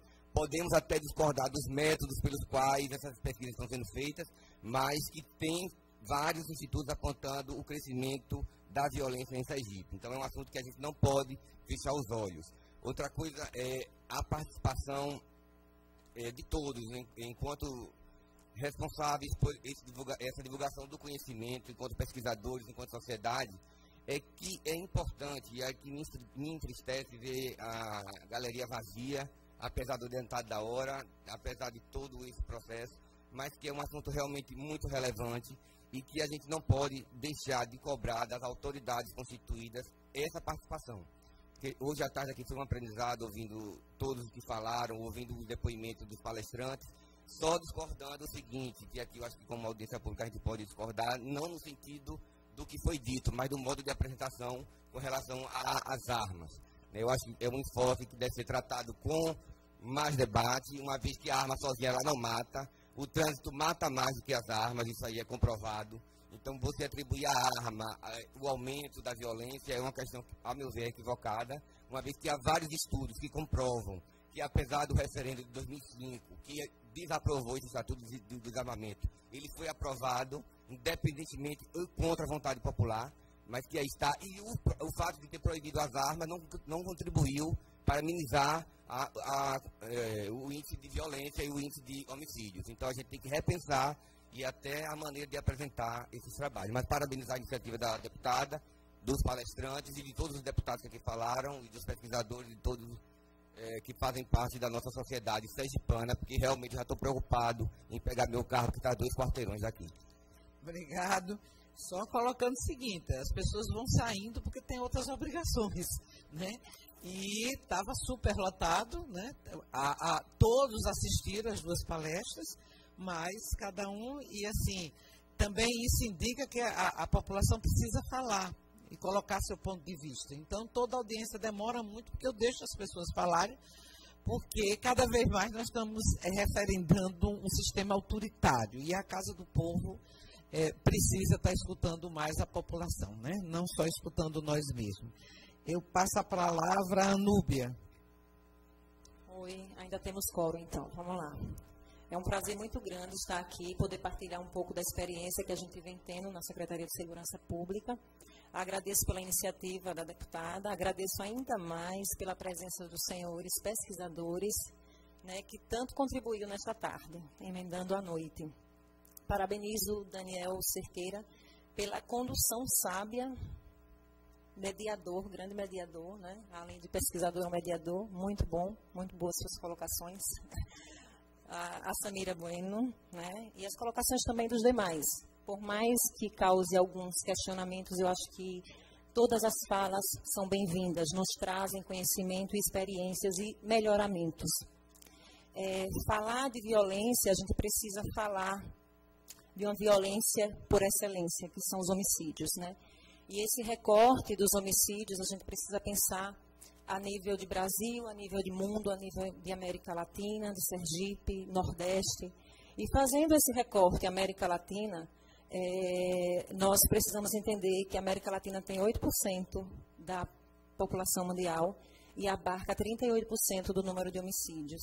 Isso nos leva a entender que necessariamente nós precisamos dar um novo olhar para essa prática da excelência da violência. É, a nível de Brasil, nós que estamos estudando, né, eu já estou me debruçando, já não ainda, pouco tempo, três anos que eu estou estudando homicídios, E no Brasil, a gente percebe um aumento, um recrudescimento dessa violência específica dos homicídios a partir da década de 80, 90, principalmente na região sudeste, São Paulo, Rio de Janeiro. No Nordeste, a gente começa a perceber a partir dos anos 2000. E precisamente, precisamente nas últimas décadas. Ah, nós vimos, através do Atas da Violência, que das, dez capitais, das dez capitais mais violentas, sete estão no Nordeste. E Sergipe em primeiro lugar. Isto é fato, a gente não tem como omitir isso. A respeito dos dados colocados por Luiz, realmente, é, indicador de segurança pública no nosso país é um problema. Quem trabalha com isso sabe muito bem. Padronizar esses dados a nível do Brasil é um problema muito sério. Primeiro, por conta da forma de preencher é, diante do sistema, que é o Sinesp. E aí, alguns estados colocam, por exemplo, é, algo que seria homicídio como morte apurar. A gente sabe disso. E aí pode haver privilégios, maquiagens.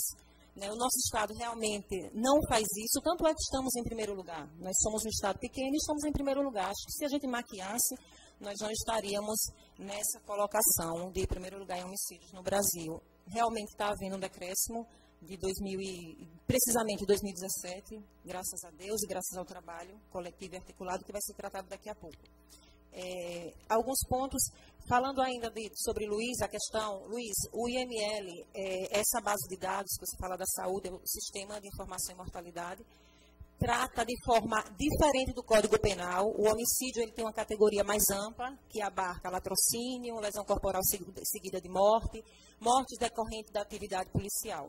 A nossa pesquisa feita pelo NAPSEC, que iniciou de fato o ano passado, em 2016, está se aprofundando nos inquéritos policiais. Nós lemos todos os inquéritos policiais de 2012 a 2015, Aracaju, Socorro e São Cristóvão. Estamos indo para o interior, começamos em Itabaiana, grande problema em Itabaiana. No dia que eu estava lá, semana passada, três homicídios, se eu não estou, salvo engano, três homicídios. A gente estava lá, um homicídio, daqui a pouco outro homicídio. Se brincar, Itabaiana vai estar em primeiro lugar no Brasil. Eu falei em socorro, quando socorro, falei até para Daniel. Daniel, eu fiquei feliz pelo caminhar do nosso trabalho, pelo olhar que nós estamos tendo. Eu, eu sou professora lá em Nossa Senhora de Socorro, sou policial civil, mestranda em Direitos Humanos. E lá em Socorro, eu havia participado de uma reunião no planejamento e eu havia dito, gente, vamos abrir os olhos.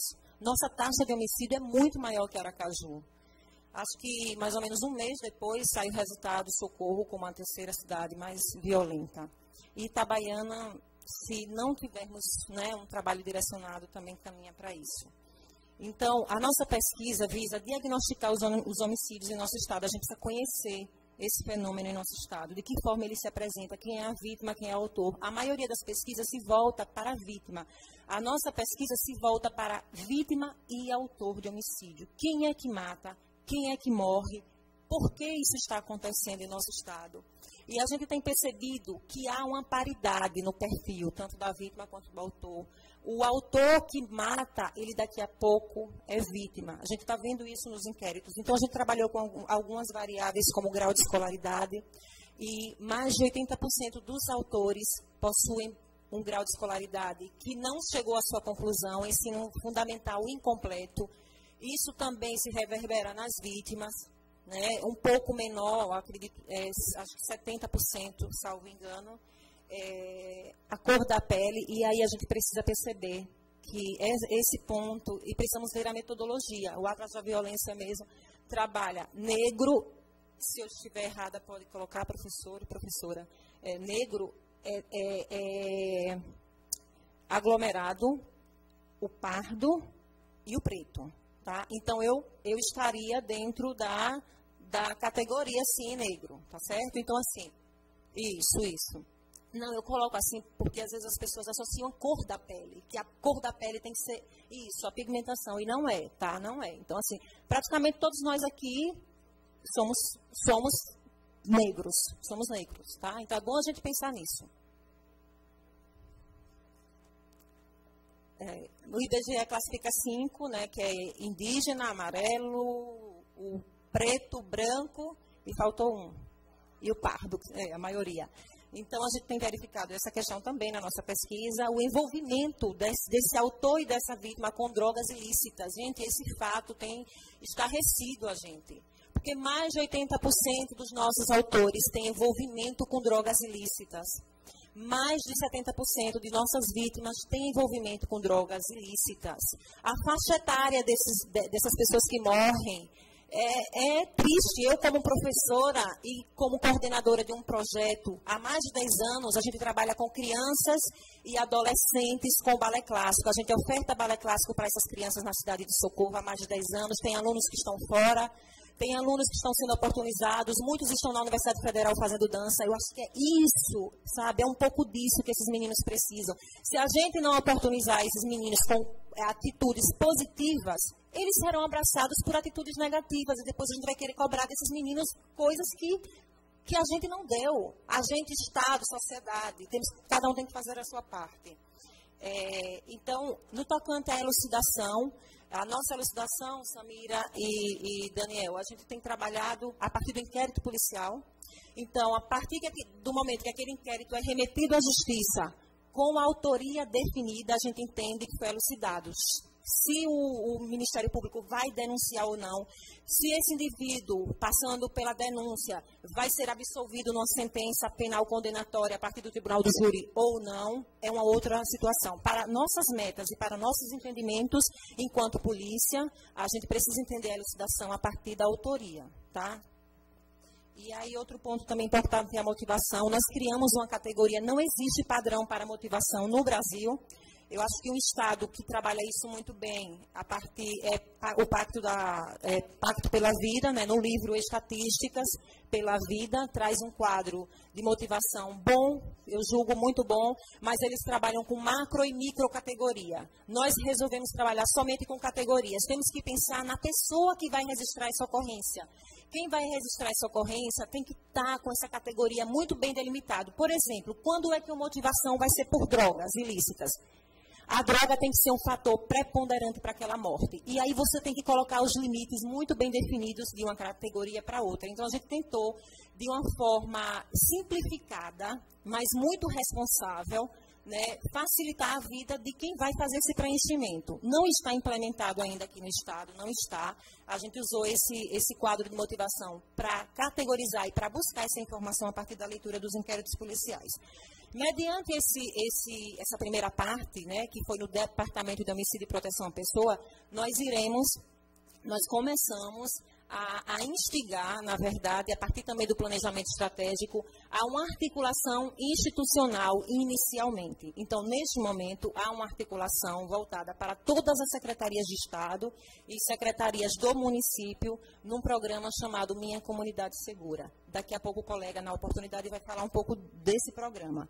É, antes de fechar minha fala, eu gostaria de convidar todos os senhores aqui presentes e senhoras para a apresentação desses dados no dia 5 de setembro, na Academia de Polícia Civil, onde, na oportunidade, o NAPSEC vai apresentar detalhadamente essa pesquisa referente a essas três cidades. Depois, ano que vem, pretendemos lançar um material, né, e se tudo der certo também, com a participação dessas duas criaturas maravilhosas, competentes também, para fazer do nosso trabalho uma validação, sabe, um trabalho de referência, um trabalho sério.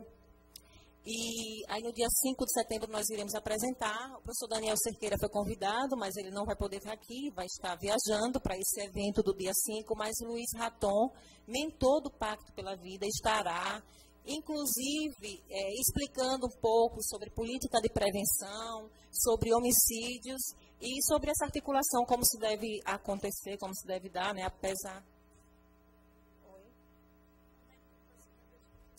Sim, é, e foi dito, né, os, colocaram muito bem sobre a importância do comprometimento e da continuidade. Política sem continuidade não, não dá uma efetividade na redução dos homicídios. Pode servir como paliativo, mas não dá realmente um resultado. Então, espero todos no dia 5 de setembro, onde estaremos trabalhando e dialogando um pouco sobre homicídios e a gente conta também com a contribuição de vocês. Pela manhã, é? Vai ser das, das 7 às 13. O NAPSEC fica no porão da Secretaria de Segurança Pública. Tem que falar porão mesmo, a gente fica no porão. O que é porão? É, o porão é as antigas, as antigas celas, né? Era a prisão. Isso mesmo, é lá que, que ficamos. Convidamos vocês. É, um ambiente gostoso, maravilhoso. 90, 99% são mulheres, só Fábio. Né? Então a gente espera vocês lá para a gente poder partilhar um pouquinho e contribuir. Obrigada. Obrigado. É, do Carmo.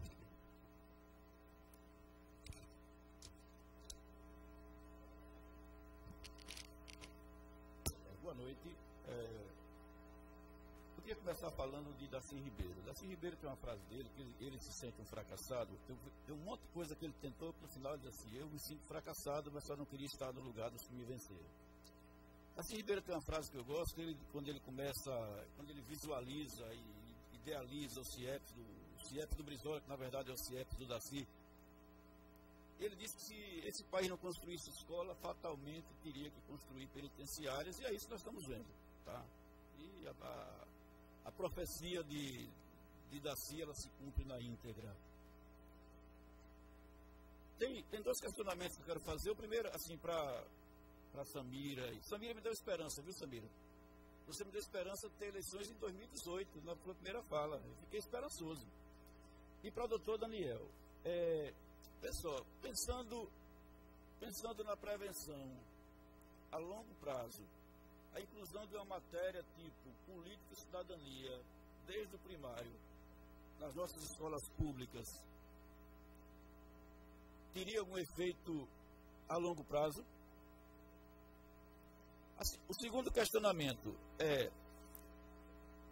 qual a relação, aí é para a Samira talvez para a Ana, também para os, os outros dois deputados, qual a relação da clara, transparente, seletividade da nossa justiça com os índices de violência? Exemplifico.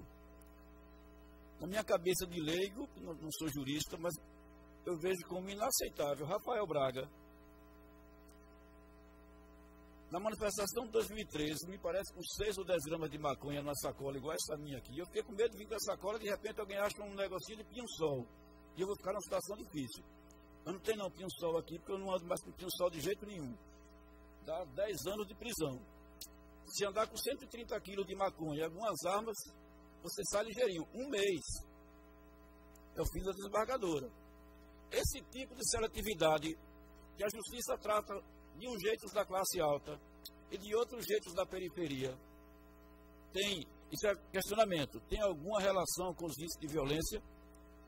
Eu defendo a tese de que para ser juiz e procurador da República, o cara passa no concurso, ele teria que passar, aqui, aqui em Sergipe, ele teria que morar seis meses ali na Santa Maria, depois seis meses no Coqueiral, seis meses no acampamento do MST, e só depois disso ele vinha para poder julgar o povo, para conseguir entender a realidade da nossa população. Porque na classe média eles já sabem como é que funciona. Mas eles não têm noção das angústias do que passa a galera da periferia. Então a senhora agora, que pegou, me parece, dois tablets de chocolate no supermercado, e está na penitenciária. E agora foi alguém da, da Defensoria Pública tentou ajudar essa senhora, bateu no, no STJ e mantiveram a pena dessa senhora. E a gente vê agora assim. Então você pode andar com mala, carregar mala para lá e para cá de 500. A gente vê isso aí tudo, que eu não vou, eu não vou detalhar aqui, até pelo adiantado da hora. Então, assim, eu acho inaceitável a seletividade da justiça, que eu acho uma das causas da violência, na hora que você trata diferente. Na hora, na hora que você tem essa seletividade, complica. Eu ia falar dos programas de policiais, mas o Tiago já falou. No Uruguai, foi, no Uruguai foi proibido e o resultado foi bom. Eu só queria complementar, dando informação, é, a fala, que, a fala que eu concordo inteiramente do doutor, do doutor Eduardo Daniel, do doutor Daniel sobre a questão das drogas. Eu penso literalmente assim. E eu defendo, eu faço esse discurso, eu sou membro de igreja evangélica, estou tratado como ET, que eu faço esse discurso na igreja, assim, parece que eu sou um ET. Tá? Eu sou membro de igreja evangélica, sou tratado como um ET. E o que é que acontece? É, aí eu queria que, assim, os deputados, Ana... Geórgio e George, Samuel. George, gostei muito da tua fala, viu, Jorge? Parabéns, é, capitão Samuel. O que foi feito é, com a Cracolândia na Alemanha. como, Ale... como é que a Alemanha conseguiu resolver a questão das drogas. É uma pesquisa interessante para a gente, saber, gente saber como foi a questão dos, da redução de danos, aí toda uma política. A cidade é. Eu sou nordestino letrado, eu tenho dificuldade de falar palavras que não estão assim na nossa língua. É Frankfurt. E na Cracolândia lá foi resolvido. Então, como que resolveram? Não foi pela repressão. Se a repressão resolvesse a questão das drogas e a questão da violência, nós não tínhamos mais violência, nem tínhamos mais droga nesse país. Obrigado, do Carmo. É, Fábio Costa. Oi, pronto, ele chegou. é, desejar boa noite a todos, é, todos aqui ainda comprometidos com a causa. Desejar boa noite a quem está nos assistindo agora pela TV Alés, está ao vivo ainda, para todos. Está a TV aberta, né, deputada? Está como TV aberta agora. E, na verdade, assim, fazer algumas falas. Primeiramente, convidar é, a deputada Ana Lúcia, o George, o capitão Samuel teve recentemente, numa ação nossa, do projeto Programa Minha Comunidade Segura, Programa este, e aí preciso falar do programa rapidamente, deputada, porque é um programa, e entendo a angústia da senhora quando fala em episódico, como fala, como também é, é a nossa angústia, inclusive, enquanto técnicos da área, porque estamos angustiados é, com tantas ações, às vezes, sabe, deputada, que a gente vai enxugar gelo, vai lá, violenta a comunidade. Eu sempre digo isso, inclusive. O, o Estado, o governo, seja ele estadual, municipal, federal, violenta a comunidade porque faz uma ação é, pontual e depois vai embora, lá não volta mais e fica feio até. Né? Fica feio para o Estado, fica feio para a gente quanto servidores, mas o programa Minha Comunidade Segura, deputado, ela, ele surge justamente por uma necessidade da população que encaminhava pedidos e solicitações à Secretaria de Segurança, porque a população, quando precisa de segurança, ela pede socorro.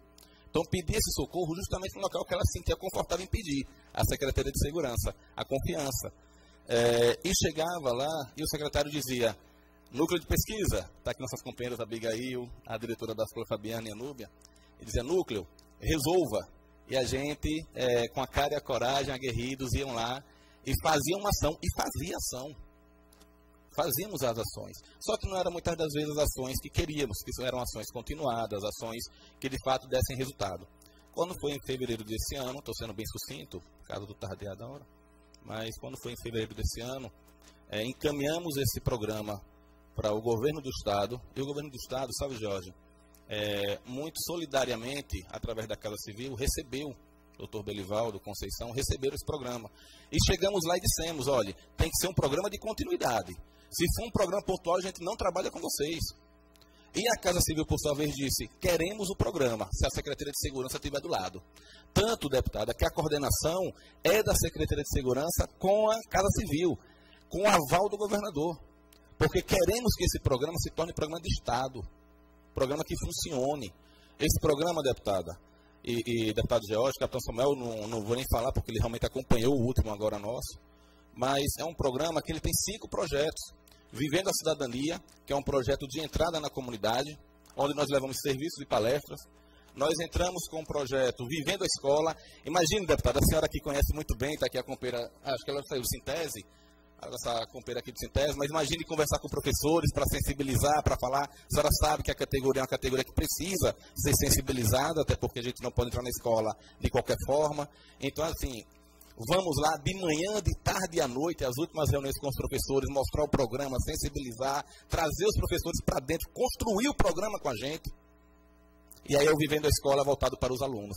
E aí vamos para o Vivendo a Praça, segundo projeto, terceiro projeto, Vivendo a Praça. Vivendo a Praça, projeto eixo, deputada, e para o deputado George capitão Samuel, que vai para a praça e na comunidade que não tiver praça, para dentro da escola ou para dentro das escolas de esporte que tiver, trazer a comunidade escolar, trazer a comunidade geral também, para poder fazer uma ação de esporte, lazer, cultura, cultura inclusive, tendo foco a cultura local, se for hip hop, se for capoeira, se for o que for, a gente traz, grafitagem inclusive vai ter agora, a gente traz para dentro e está funcionando, deputada? A coisa está acontecendo da forma que eu já estou lhe dizendo da forma que eu já estou lhe dizendo. Fora, fora isso, aí vem o Vivendo a Família, Parceria Cidadã, Nós temos uma necessidade, deputado, estamos fazendo isso, isso é importante. Estamos construindo com o CRAS, deputado Jorge. Estamos construindo com o Conselho Tutelar. Estamos construindo, construindo com as lideranças, lideranças locais e religiosas, independente de que religião. Seja católica, seja de, seja de, de, terreiros, no caso do, do candomblé, seja espírita, seja evangélica, estamos construindo com todos. O que eu quero dizer é que o governo do Estado, e não faço defesa de governo, viu, deputada? De verdade, não estou fazendo defesa do governo, estou fazendo a defesa do programa.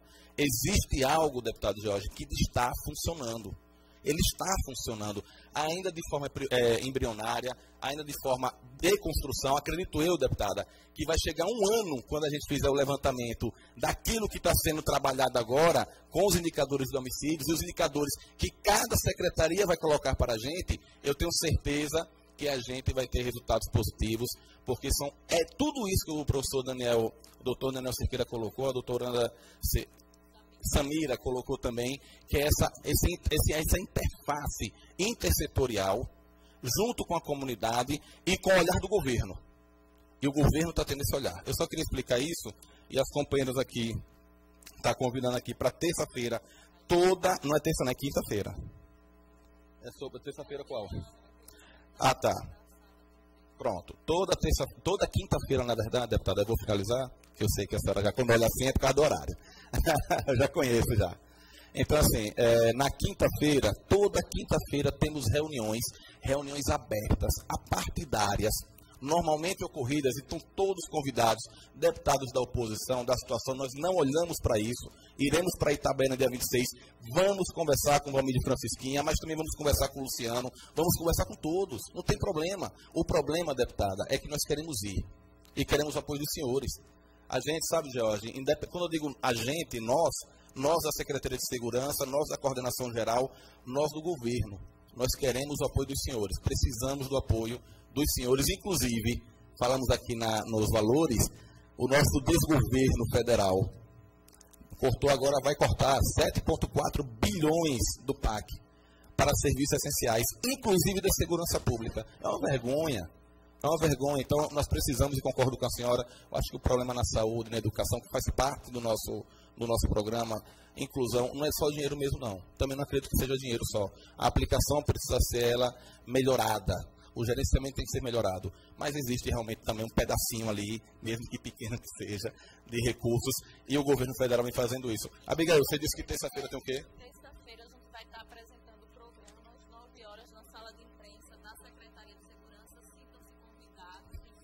Terça-feira, que horário? Às 9 na SSP, na sala de imprensa. plenário aqui. Ah, sim. Pela manhã. Dia de segunda é que é a tarde. Pensamos, deputada, talvez no, no, no mês de setembro.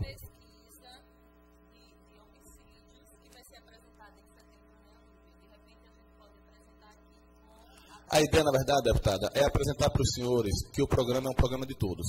E talvez trazer para a Casa do Povo, que é a Assembleia, que é a Casa do Povo do Estado de Sergipe, talvez um programa e apresentar para os senhores um programa que repita um programa partidário. Veja, tem um requerimento meu para que educação, segurança, saúde, cultura venham para casa para discutir, porque veja bem, é, me provar que ainda não é episódio, vamos discutir um bocado. Sem tá? problema, deputada. Porque está convidada. É, vamos discutir bastante. Sem tem, problema. tem que discutir o, o, projeto do cotidiano da escola. Sim. Tá? Político Aqui, pedagógico. Também é. estamos trabalhando isso também. Sim. Não tenha dúvida. É, mas aí uma coisa assim, é, eu conheço minha categoria, né? Difícil.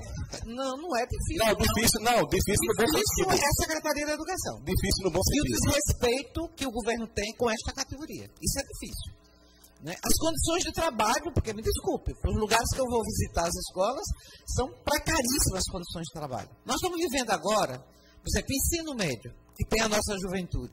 Numa mesma escola, você tem um menino de sete horas lá, sem nenhuma condição de permanecer sete horas, mas tendo cinco refeições, e você tem o jovem que não pode ficar sete horas, tá? mas que está no segundo ou terceiro ano de ensino médio, é, tendo como merenda né, rocambole, queijadinha. Bom, isso já fere de, de, pronto a Constituição. Você não pode estar no mesmo espaço é, tratando de forma diferente esses adolescentes que têm o direito constitucional de estar na escola de qualidade. Eu só quero finalizar, deputado. É Então, eu quero conhecer o projeto, que não dá para a gente avaliar. Não, sem não quero conhecer, isso agora. né? É o programa. Na terça, pela manhã, é difícil a gente ir, porque Sim, eu não sim. posso me ausentar daqui, né? Sim. Mas eu posso procurar vocês para ver uma hora para a E- gente conversar, saber quais são as escolas. Inclusive que na medida que os representantes da categoria, eles ficam totalmente, estão na sala de, não, estão na sala de aula e não conhecem esse projeto, como é que esse projeto está se Não, não, não, mas de forma o- integral? o- o- não, só um segundinho. Por exemplo, eu não conheço ninguém da direção do Sintético, Ô, estava um grande parte deputada, deputada, me perdoe, me perdoe, e com todo o respeito que tenho pela senhora de luta, inclusive, das fileiras de luta, eu digo para a senhora uma coisa. É, primeiro, que realmente não é episódico, e a senhora precisa participar para ver que não é episódico. Esse é o primeiro ponto. E segundo ponto, é, deputada, dizer para a senhora que os professores que são procurados, de fato, nós não procuramos o Sintese mesmo. Porque a ideia, nesse momento, mas não, não, não, não, não, não, não, não, não, deputada, pode acreditar nisso. Não procuramos ainda, eu vou responder, Abigail. Não procuramos ainda, deputada, não foi pelo, pelo governo, não, viu? Não procuramos ainda porque não tivemos braços. Está a equipe aqui de coordenação, de prevenção, que vai rodar 10 municípios aqui no estado, trabalhando de forma articulada todas as secretarias. Então não tivemos braços ainda de procurar Ministério Público, Defensoria, Sintese, está na construção. O programa, ele além de estar na construção, provavelmente essa construção vai finalizar o programa, não vai ter terminado ainda, porque a construção vai ser cotidiana e diária, sabe, eh, deputado? Então, assim, finalizo com a seguinte fala. É, não é episódico, participe, a senhora verá que não é. Os professores estão sendo sensibilizados. Quando eu digo da dificuldade dos professores, não falo quanto à personificação da figura do professor. A CED tem suas particularidades, como os professores têm suas particularidades, como a senhora tem sua particularidade eu tenho. Então, cada um dentro da sua razão está trabalhando as suas motivações e os professores estão sendo motiva- motivados, sensibilizados e os professores do José Alves, do Jugurta Barreto, do Laonte Gama, que são escolas de, de um índice de violência muito grande e periclitante aqui na capital da Cajuana, estão sensibiliza- sensibilizados e ativos nas ações. Só queria colocar isso para a senhora, porque eu sei que é a categoria que a senhora defende muito e com muita honradez. E digo para a senhora que essa sensibilidade dos professores nos remete também a essa abertura, porque a escola é a grande abertura das nossas atividades e ações. Nós necessitamos da escola para isso. E eu queria muito, e vou fazer o convite oficial, a- o programa vai fazer o convite oficial à senhora e fazer o convite oficial ao Sintese para participar das ações. Não para disputa, não para discussão, não para debater assuntos outros, mas para construir. O que aconteceu sábado no Coqueiral é desse programa? É esse programa, A deputado. escola não estava funcionando. Como é? A escola dia de sábado não funciona. Mas aí, porque a senhora tem que entender, a senhora tem que entender o programa. Ali teve, teve um- uma ação. A senhora, um tem que, a senhora tem que entender o programa. Não é uma ação. Eu vou explicar, eu vou explicar, Fabiana. Só, desculpe, deputada, só para aí só para está entender. desvirtuando da Não, não, não, mas eu- não, porque está dentro do contexto de violência e diminuição da violência. Até porque o programa vem para diminuir homicídios naquelas localidades. Então não está desvirtuando, não. O programa, na verdade, deputada, e realmente agora eu vou, só peço mais um minuto e finalizo. Eu digo para a senhora uma coisa: a ação do Coqueiral não é episódica. A ação do Coqueiral é uma ação do Vivendo a Cidadania, que é uma porta de entrada na comunidade, com falas anteriores com todos os professores nos seus três turnos de trabalho, trazendo as associações e comunidade para dentro dessa ação, e aí sim, 15 dias depois, Vivendo a Escola. O Vivendo a Escola só com alunos e também os professores sendo partícipes desta ação. 15 dias depois, a cada 15 dias, durante um ano, estaremos dentro dessa escola fazendo ações contínuas, que não vai aparecer na imprensa não, deputada. Que não vai aparecer em agenda positiva não, porque são ações internas de escola. Isso não gera é, capa de jornal para ninguém. Mas estaremos lá dioturnamente nessas escolas, pode ter certeza disso, É, eu durante tenho um todo ano. o interesse de discutir com vocês participarem, inclusive para não receber, por exemplo, uma denúncia que na segunda-feira eu recebi, de que a- o SAMU tá, tem pouquíssimas ambulâncias, né? inclusive estava enfrentando uma greve. Quem está dando atendimento emergencial é o Corpo Bombeiro, e tinha uma ambulância do Corpo Bombeiro de plantão lá, né? para qualquer emergência, enquanto emergências da sociedade que estava precisando não podia ser atendido, porque exatamente tinha um plantão lá. Né? Então a gente precisa conversar, bom, é, O- o- a ambulância do bombeiro que estava lá estava de que a pé. E quando o Samuel está promessa, defendendo, eu pergunto, assim, levanto uma grande interrogação, porque é, nós discordamos de concepção, porque nós temos uma concepção, por exemplo, ele defende a militarização das escolas, né? nós temos uma concepção bastante diferente de, de educação, de sociedade, de concepção de, de jovem, né? de, de, de homem do bem, de homem do mal. Né? Então a gente precisa conhecer, porque eu não posso avaliar nem julgar. Agora, o ato de sábado, né? eu como cidadã e professora, avaliei como política também, avaliei como um, um, um episódio. Né? Essa continuidade, porque, por exemplo, o que eu defendo de articulação não é exatamente isso. Né? Eu tenho uma outra visão de articulação. Eu preciso me sentar com vocês para a gente discutir, inclusive, uma concepção de pedagogia. Tá? É, então, preciso conhecer, como também vocês precisam conhecer o que é que eu estou defendendo, né?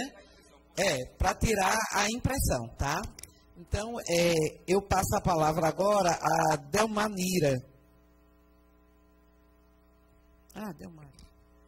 É, é somente assim, uma sugestão, né? E chama também a atenção. O seguinte, é, é comprovado né, que a sociedade perdeu a confiança na polícia né? Porém, eu vejo assim que o grande causador dessa perda de confiança da sociedade na com a polícia é o governo. Primeiro, paramos para pensar que a polícia também ela é violentada. E de que maneira? Ela é, ela é violentada, principalmente a polícia militar, quando? Vou falar por dores, que é onde eu estou. Onde eu vejo lá a Polícia Militar trabalhando diariamente sem condições nenhuma de trabalhar. Exemplo, falta viatura, falta condições de trabalho, falta colete, falta tudo que o militar precisa ter. O militar é um ser humano. Ele sai de casa, ele é um pai de família também, é um filho, né? Outra coisa também é a Polícia Civil também ela é violentada. Desde quando tem um prédio da delegacia na Senhora das Dores caindo em cima da polícia.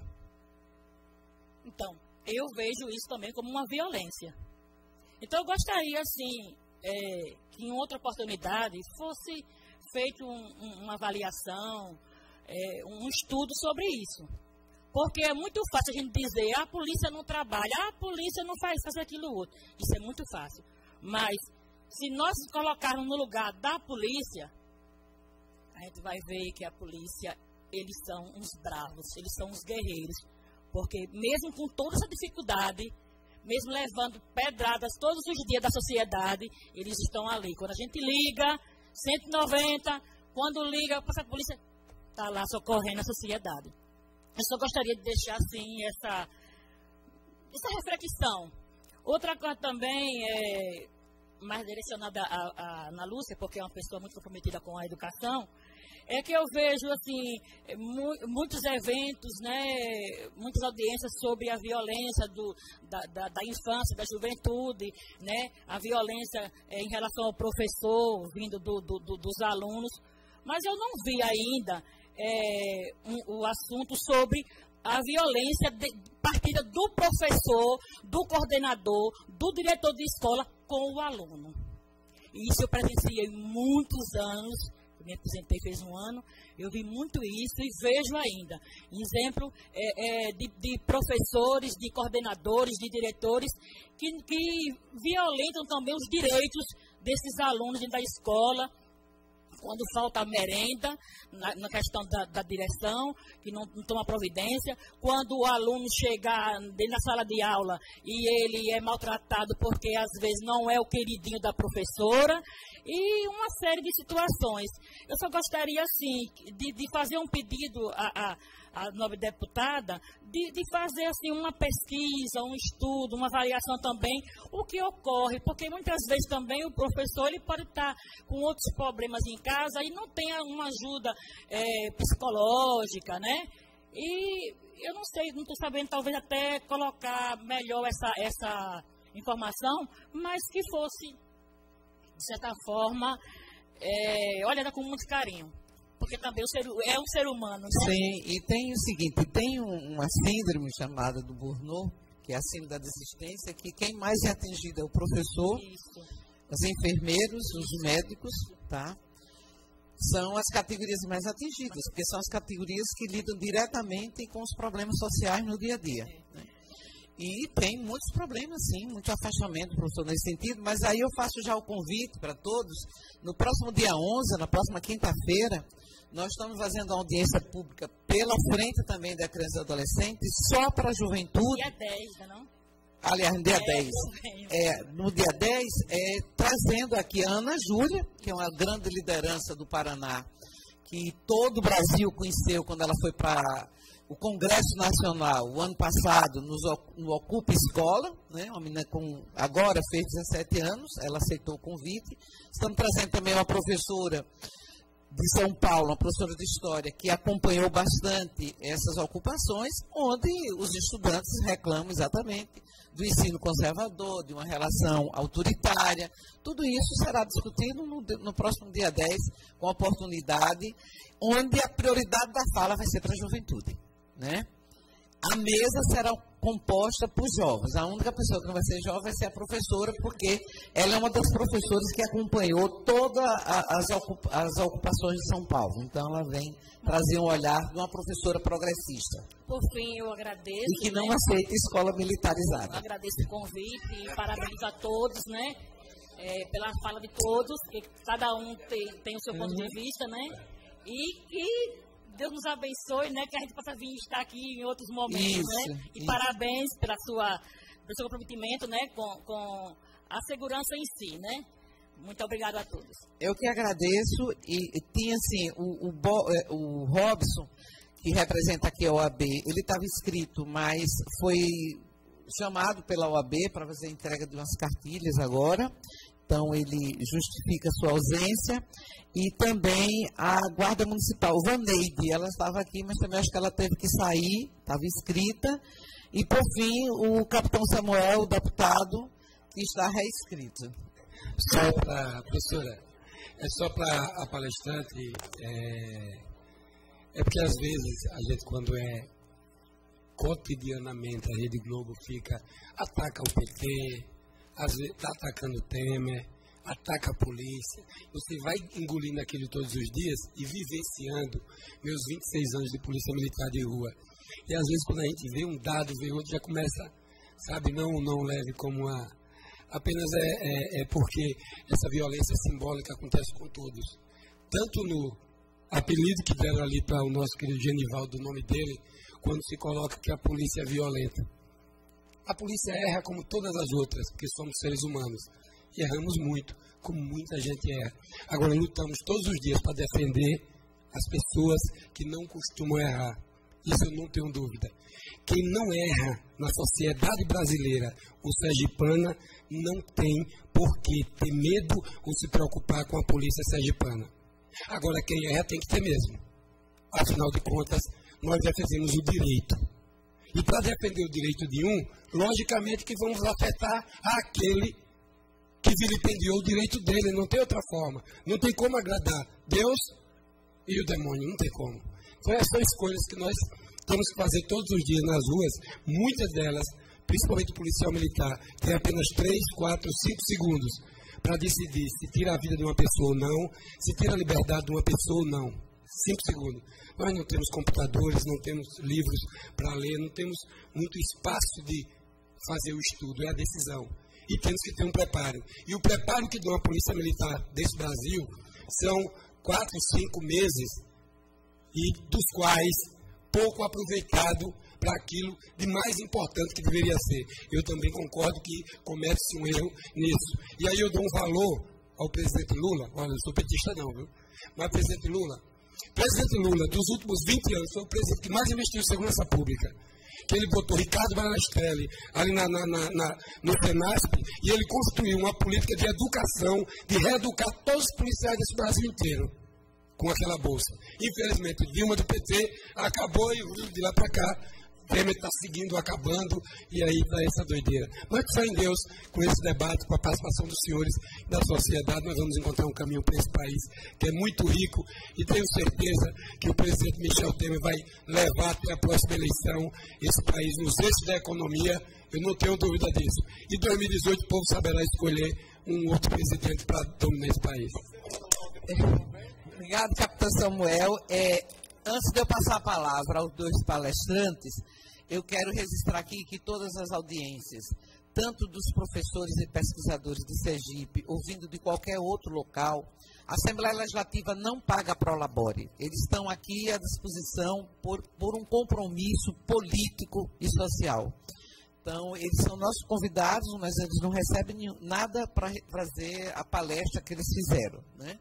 É, todas as nossas audiências públicas são convidados que vêm voluntariamente. Isso é bom esclarecer, né? Numa sociedade onde o ter vale mais, mais do que o ser, é importante nós é, esclarecermos. E, portanto, ao passar a palavra para os dois, eu quero entregar também aqui um kit, né? De, das nossas doceiras. Nós temos aqui uma fruta deliciosa, que é a mangaba, né? Inclusive, a mangabeira é o símbolo da sergipanidade. E é todo um trabalho que começou quando era secretária de Inclusão Social e que avançou bastante depois com o apoio da Petrobras. E hoje você tem várias cozinhas né, das mangabeiras que transformam essa fruta né, em vários produtos deliciosos.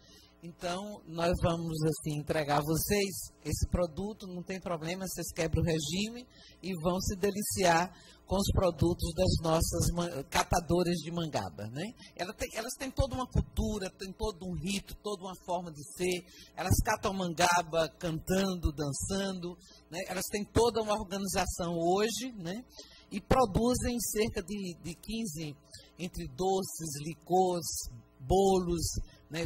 É, trufas, balas. São mais ou menos 15 produtos fruto da nossa mangaba. Eu vou passar a palavra a vocês, mas vou entregar também os kits das, nossa, das nossas catadoras de mangaba. Tem já o selo, a marca, né? Tudo isso graças a, a um edital, né? É, onde uma professora da universidade, a professora Sônia Meire, com um grupo de pesquisadores, eles conseguiram conquistar esse projeto, e esse projeto teve a duração acho que de uns 4 ou 5 anos, financiado pela Petrobras, e que hoje elas estão autônomas e independentes na sua produção. Puxa, deputada, mas esse é o melhor pagamento que você podia, depois de seis horas de audiência pública. Estou até pensando em dividir com a plateia aqui meu doce de mangaba, porque. Não, porque também é muita generosidade da parte de vocês ficar aqui até as 8 horas para debater com a gente. Então, queria agradecer o convite, agradecer a oportunidade de vir fazer esse diálogo com vocês. Deputado, fique tranquilo, esse é sempre um tema quente. Por acaso é o meu objeto de estudo, então eu, eu sei que eu também sou bastante aguerrida é, em relação a essa temática, é, mas eu acho que é isso. No final a gente está todo mundo defendendo a mesma coisa, né? é, é, o investimento nas polícias, são polícias fortes, polícias bem treinadas, bem formadas, valorizadas no seu dia a dia, o que implica não apenas no, salário que seja adequado, mas nos, nas condições de trabalho. Né? E a gente sabe que a maior parte dos policiais brasileiros não atuam nem com mínimas condições de trabalho hoje. E aí eu até ia, eu ia falar para. É, Ideu, Ideumanira, é isso? Ideumanira.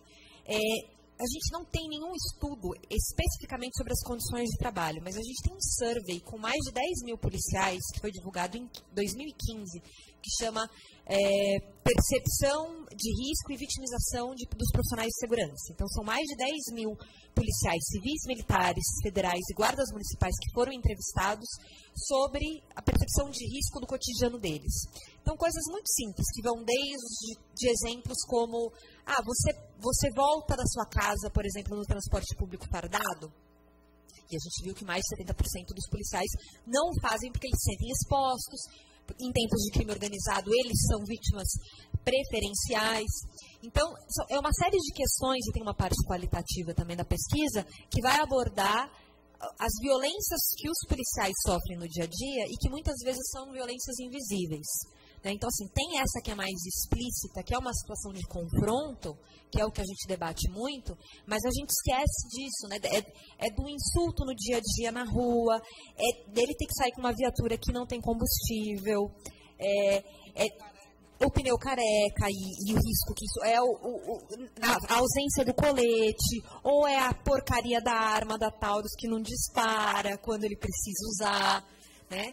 Então, é um, é um e, ou não tem munição. Então, é, é, um amplo estudo, ele é enorme, tem para todas as unidades da federação os dados desagregados, e é de 2015. Então, na época, a gente fez isso numa parceria com a Senasp, então eles ofereceram, nos deram acesso à base da RENAESP, então a gente mandou esses questionários para né, os policiais civis e militares, é, e a gente e, e polícias federais e guardas e agora a gente vai tentar replicar no ano que vem esse estudo, mas ele é bastante recente e acho que conta um pouco sobre isso. E para encerrar, que eu não vou falar demais por conta do horário, é, o deputado Jared perguntou sobre os dados, se os dados seriam confiáveis. É, eu acho que o Daniel também pode falar um pouco mais sobre isso, mas eu, eu queria chamar atenção para dois tipos de dados que, em geral, são divulgados e são bastante questionados, não só aqui em Sergipe, mas em todos os estados. Os dados do Atlas, que são que, cujo cuja produção é com base nos dados da saúde, então são os registros de óbito que são considerados, que deu origem a essa publicação que o Fórum Brasileiro de Segurança Pública tem em parceria com o IPEA. Então, esses dados, eles seguem a classificação internacional de doenças, que é a CID-10.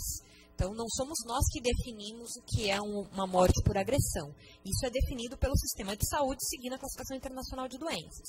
Existem alguns critérios que a gente utiliza para verificar se esses dados estão subnotificados, se eles passaram a ser registrados em outras categorias, como as, né, as mortes a esclarecer no campo da segurança pública. O meu estado, São Paulo, é um dos que tem maior, a maior proporção, mais de 10%, é, são mortes a esclarecer, o que indica que provavelmente a taxa de homicídios em São Paulo é maior. O pior caso é a Bahia, como o Daniel é, citou na apresentação. Então, a gente tem alguns estados que têm um número muito alto é, dessas mortes, cujas causas não estão esclarecidas, mas que existem indícios de uma morte violenta, né, um, seja uma, uma, por arma de fogo ou por arma branca. No caso do Anuário Brasileiro de Segurança Pública, é, que eu sei que também causou polêmica no final do ano passado, quando divulgado aqui, ele é feito com base nos registros policiais. E lá, como não existe uma padronização internacional, nem uma padronização em âmbito nacional, a gente trabalha com grupos de qualidade dos estados, ou seja, a gente separa os estados que têm classificações e têm sistemas de informação mais sólidos e consistentes, que a gente pode dizer que a qualidade do dado ela é melhor, e a gente tem aqueles estados em, outros, em outro grupo que a gente justamente destaca que tem problemas em relação aos registros e que os dados eles podem estar subnotificados. No caso do Sergipe, vocês já estão no grupo 1 de qualidade, ou seja, no melhor grupo de qualidade. Então, quando a gente faz algum tipo de comparação durante a divulgação, a gente compara entre os grupos. Então, dentre os estados que têm dados que são tidos como confiáveis, a gente pode tecer essas análises. Agora, de fato, a gente ainda tem um desafio imenso no Brasil, que é um Sistema Nacional de Informações de Segurança Pública, que é um projeto que não foi para frente. Ele foi institucionalizado em 2012 por meio de um projeto de lei, mas é uma coisa que ainda não faz parte dos usos e costumes das, das polícias no dia a dia. É, produzir informação e alimentar esses boletins de ocorrência de forma adequada. Então, até hoje, os BOs das polícias não nos dizem, em âmbito nacional, qual é a cor da vítima. A gente usa o dado da saúde. Então, informações muito simples, a área de segurança ainda não é capaz de prover. Então, a gente tem aí um longo percurso em termos de qualificação da informação, e é por isso que a gente bate tanto na tecla quando a gente fala de diagnóstico e de informação e desse investimento é, nessa área, porque os dados da segurança ainda são muito ruins. A gente está aqui até agora, depois de seis horas de debate, debatendo dados da saúde, porque os dados da segurança não, não, não nos dizem. É, é, essas mesmas coisas, não têm essas mesmas informações e não nos permitem esse tipo de análise. Então, esse é um desafio enorme e que eu acho que exige um esforço permanente de todo mundo. Deixa eu ver se tem alguma questão. Ah, só então para encerrar, em que relação, o, o do Carmo falou sobre a seletividade da nossa justiça.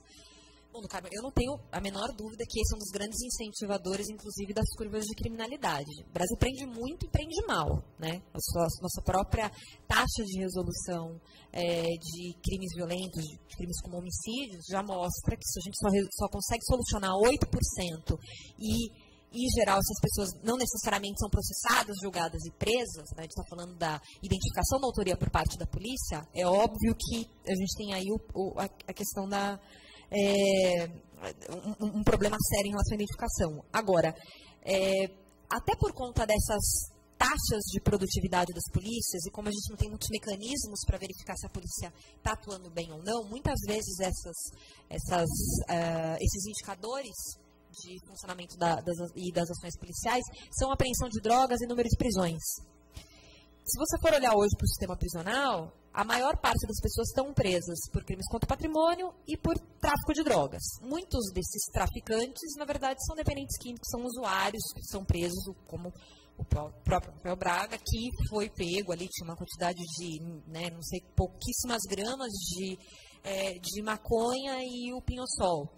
Então, sim, é uma justiça que é extremamente seletiva, que atua com muito rigor contra pobres, e são esses que estão lotando os presídios, e que não tem o mesmo rigor é, com a população da classe, né? O filho da desembargadora é o, é o melhor exemplo que a gente tem, porque é o grande absurdo da semana.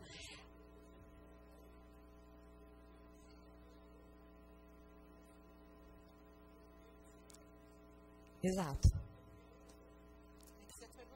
Tá, aqui está ao vivo. A, a, você está denunciando o helicóptero, né? que tinha 500 quilos de, de, de, de maconha e, na verdade, ninguém foi nem indiciado, aliás, de cocaína, ninguém nem foi indiciado, né?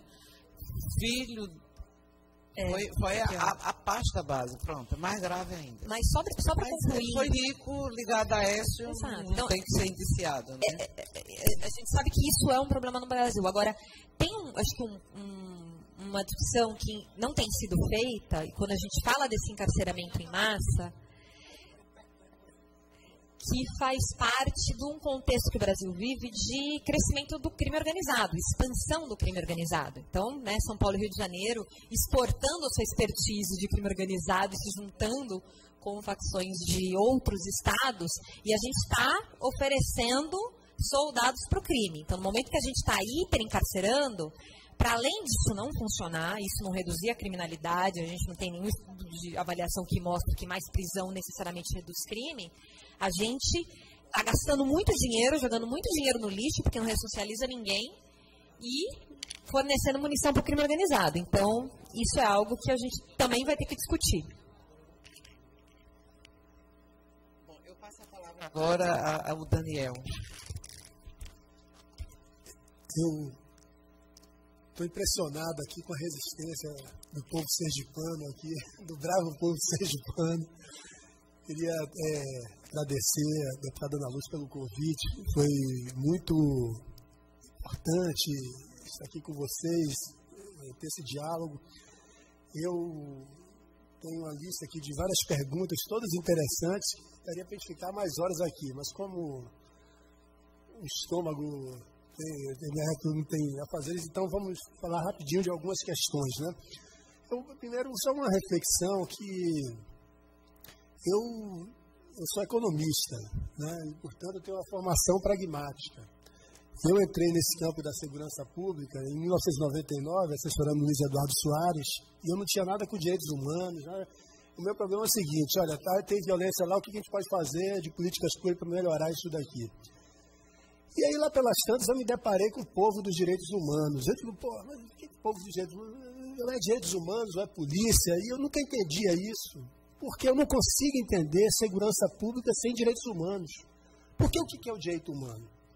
Ou o que é o direito?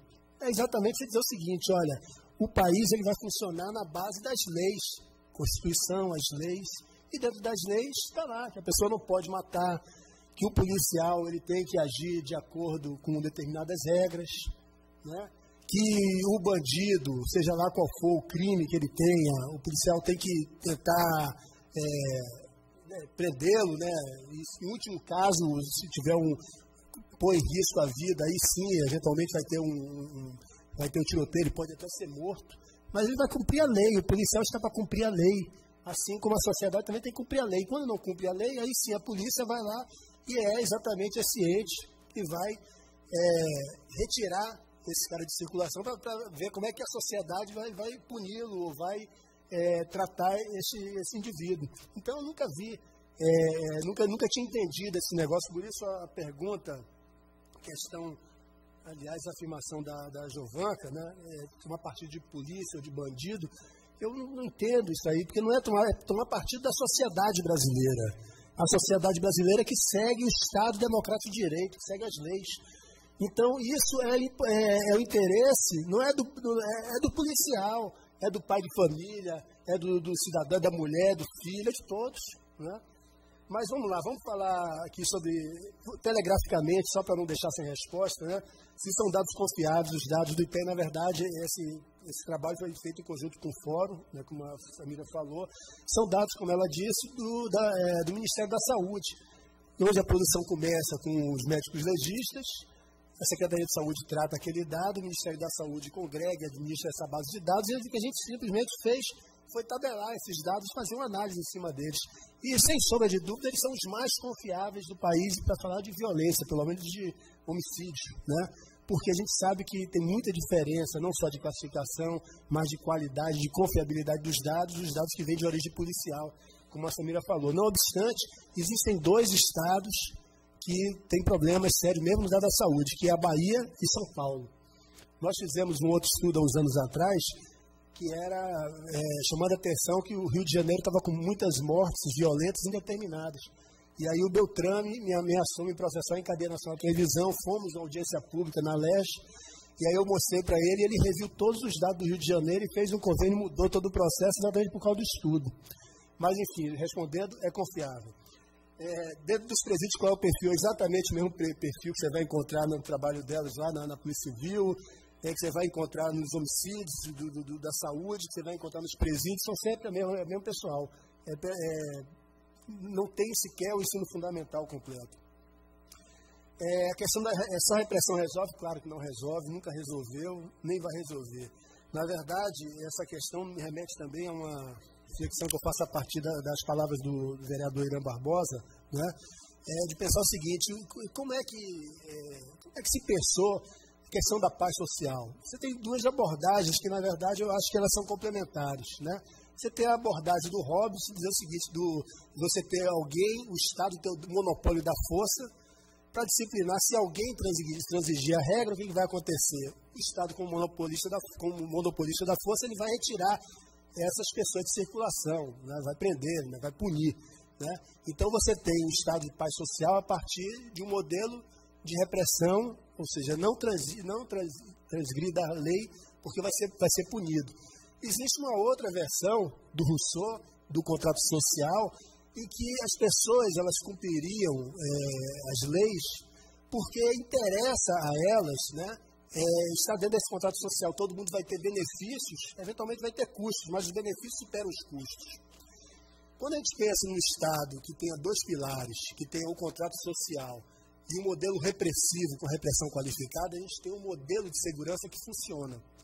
Quando a gente tem um Estado como o Estado brasileiro, onde você não tem esse contrato social, onde você tem uma enorme desigualdade, onde você tem, o, como a gente já falou, racismo, uma sociedade escravocrata, uma sociedade que se diz que todos são iguais, mas mesmo se eu for preso, eu vou para uma prisão diferente de quem não tem um curso superior. Então não existe igualdade.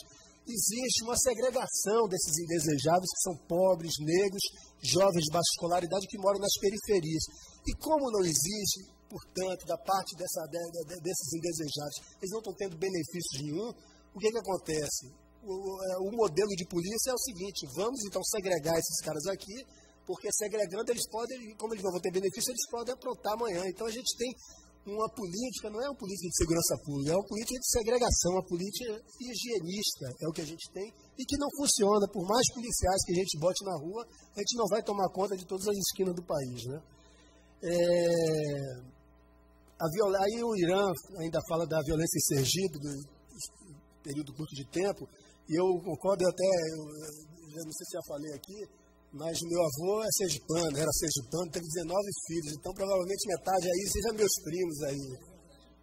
19 lá à distância. Então eu vinha muito aqui, passava o São João lá, e realmente isso aqui sempre foi uma terra pacífica.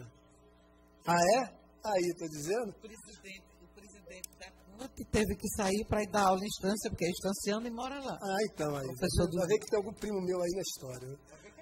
É. é. Aí ele falou da questão de socorro, né? E realmente os óbitos são por residência. Então, como socorro é uma cidade dormitório, como o cara mora em Socorro, o número vai estar lá em Socorro. Então é possível que esse problema exista realmente. É, vamos lá. A questão, aí vamos falar da questão aqui do, do, dos indicadores. Do Luiz, ele ficou incomodado lá com os indicadores. Isso incomoda todo mundo. Né? Eu me lembro que eu fiz uma pesquisa em 2005, a primeira pesquisa com municípios, todo mundo reclamou. Quem estava lá pior no índice falou que pô, me xingou, que me processar. Quem estava em cima também falou: esse cara é maluco, como é que ele disse que a nossa cidade é pacífica? Olha só o que está acontecendo. Então, todo mundo reclama e fica incomodado.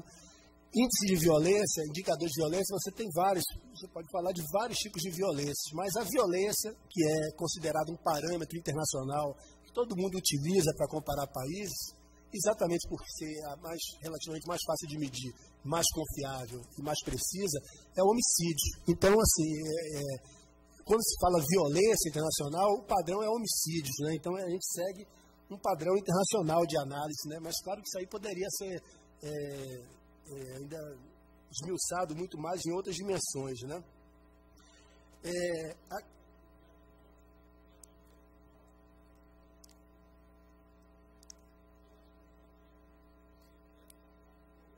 Não, sem dúvida. Não, não. Isso aqui, isso aqui é uma, como a gente queria pegar o Brasil, isso aqui é uma visão geral, mas que tem a sua importância. Eu vou dizer o seguinte, eu, em 2005, quando a gente fez um, um, trabalho semelhante a esse, em dois estados reclamaram, o primeiro e o segundo lugar. O primeiro era Pernambuco, o segundo Espírito Santo.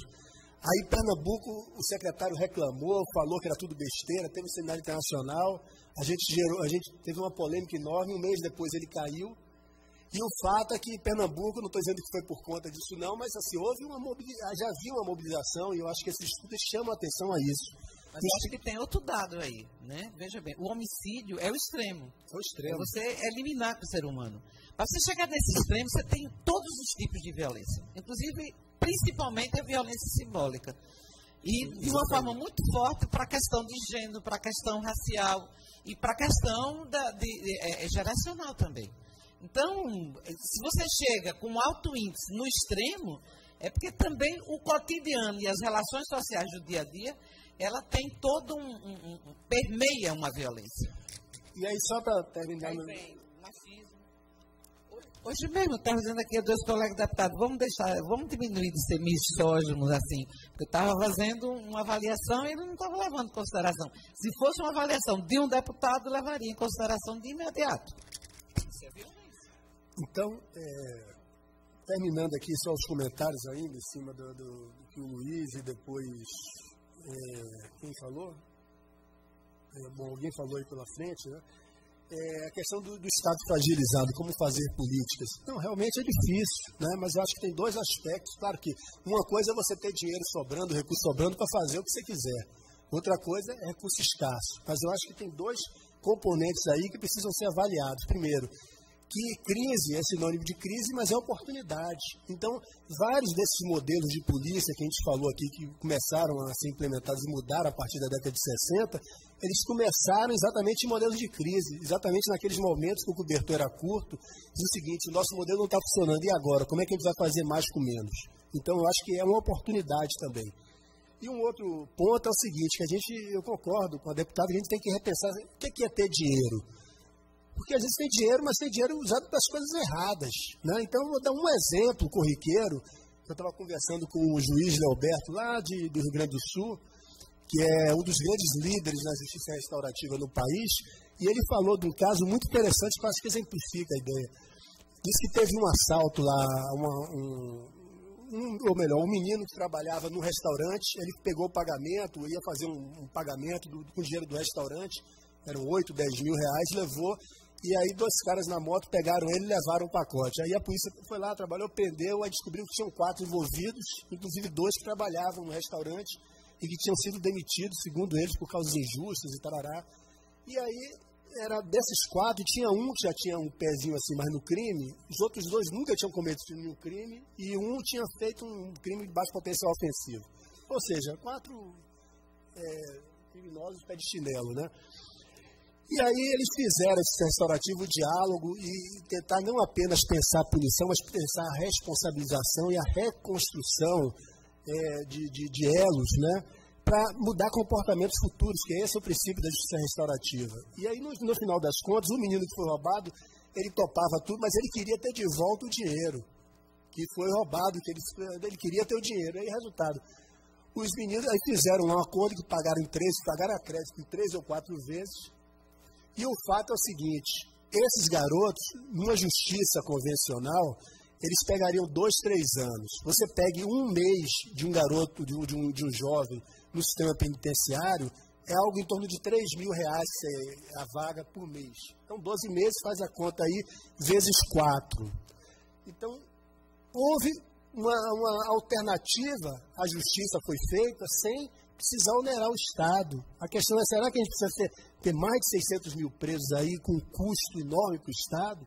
Quanto de irracionalidade nós não estamos alimentando em outras políticas públicas? Repensar isso é possível e você, com isso, você teria uma sobra que poderia ir para as ações que, que, na verdade, são as mais importantes.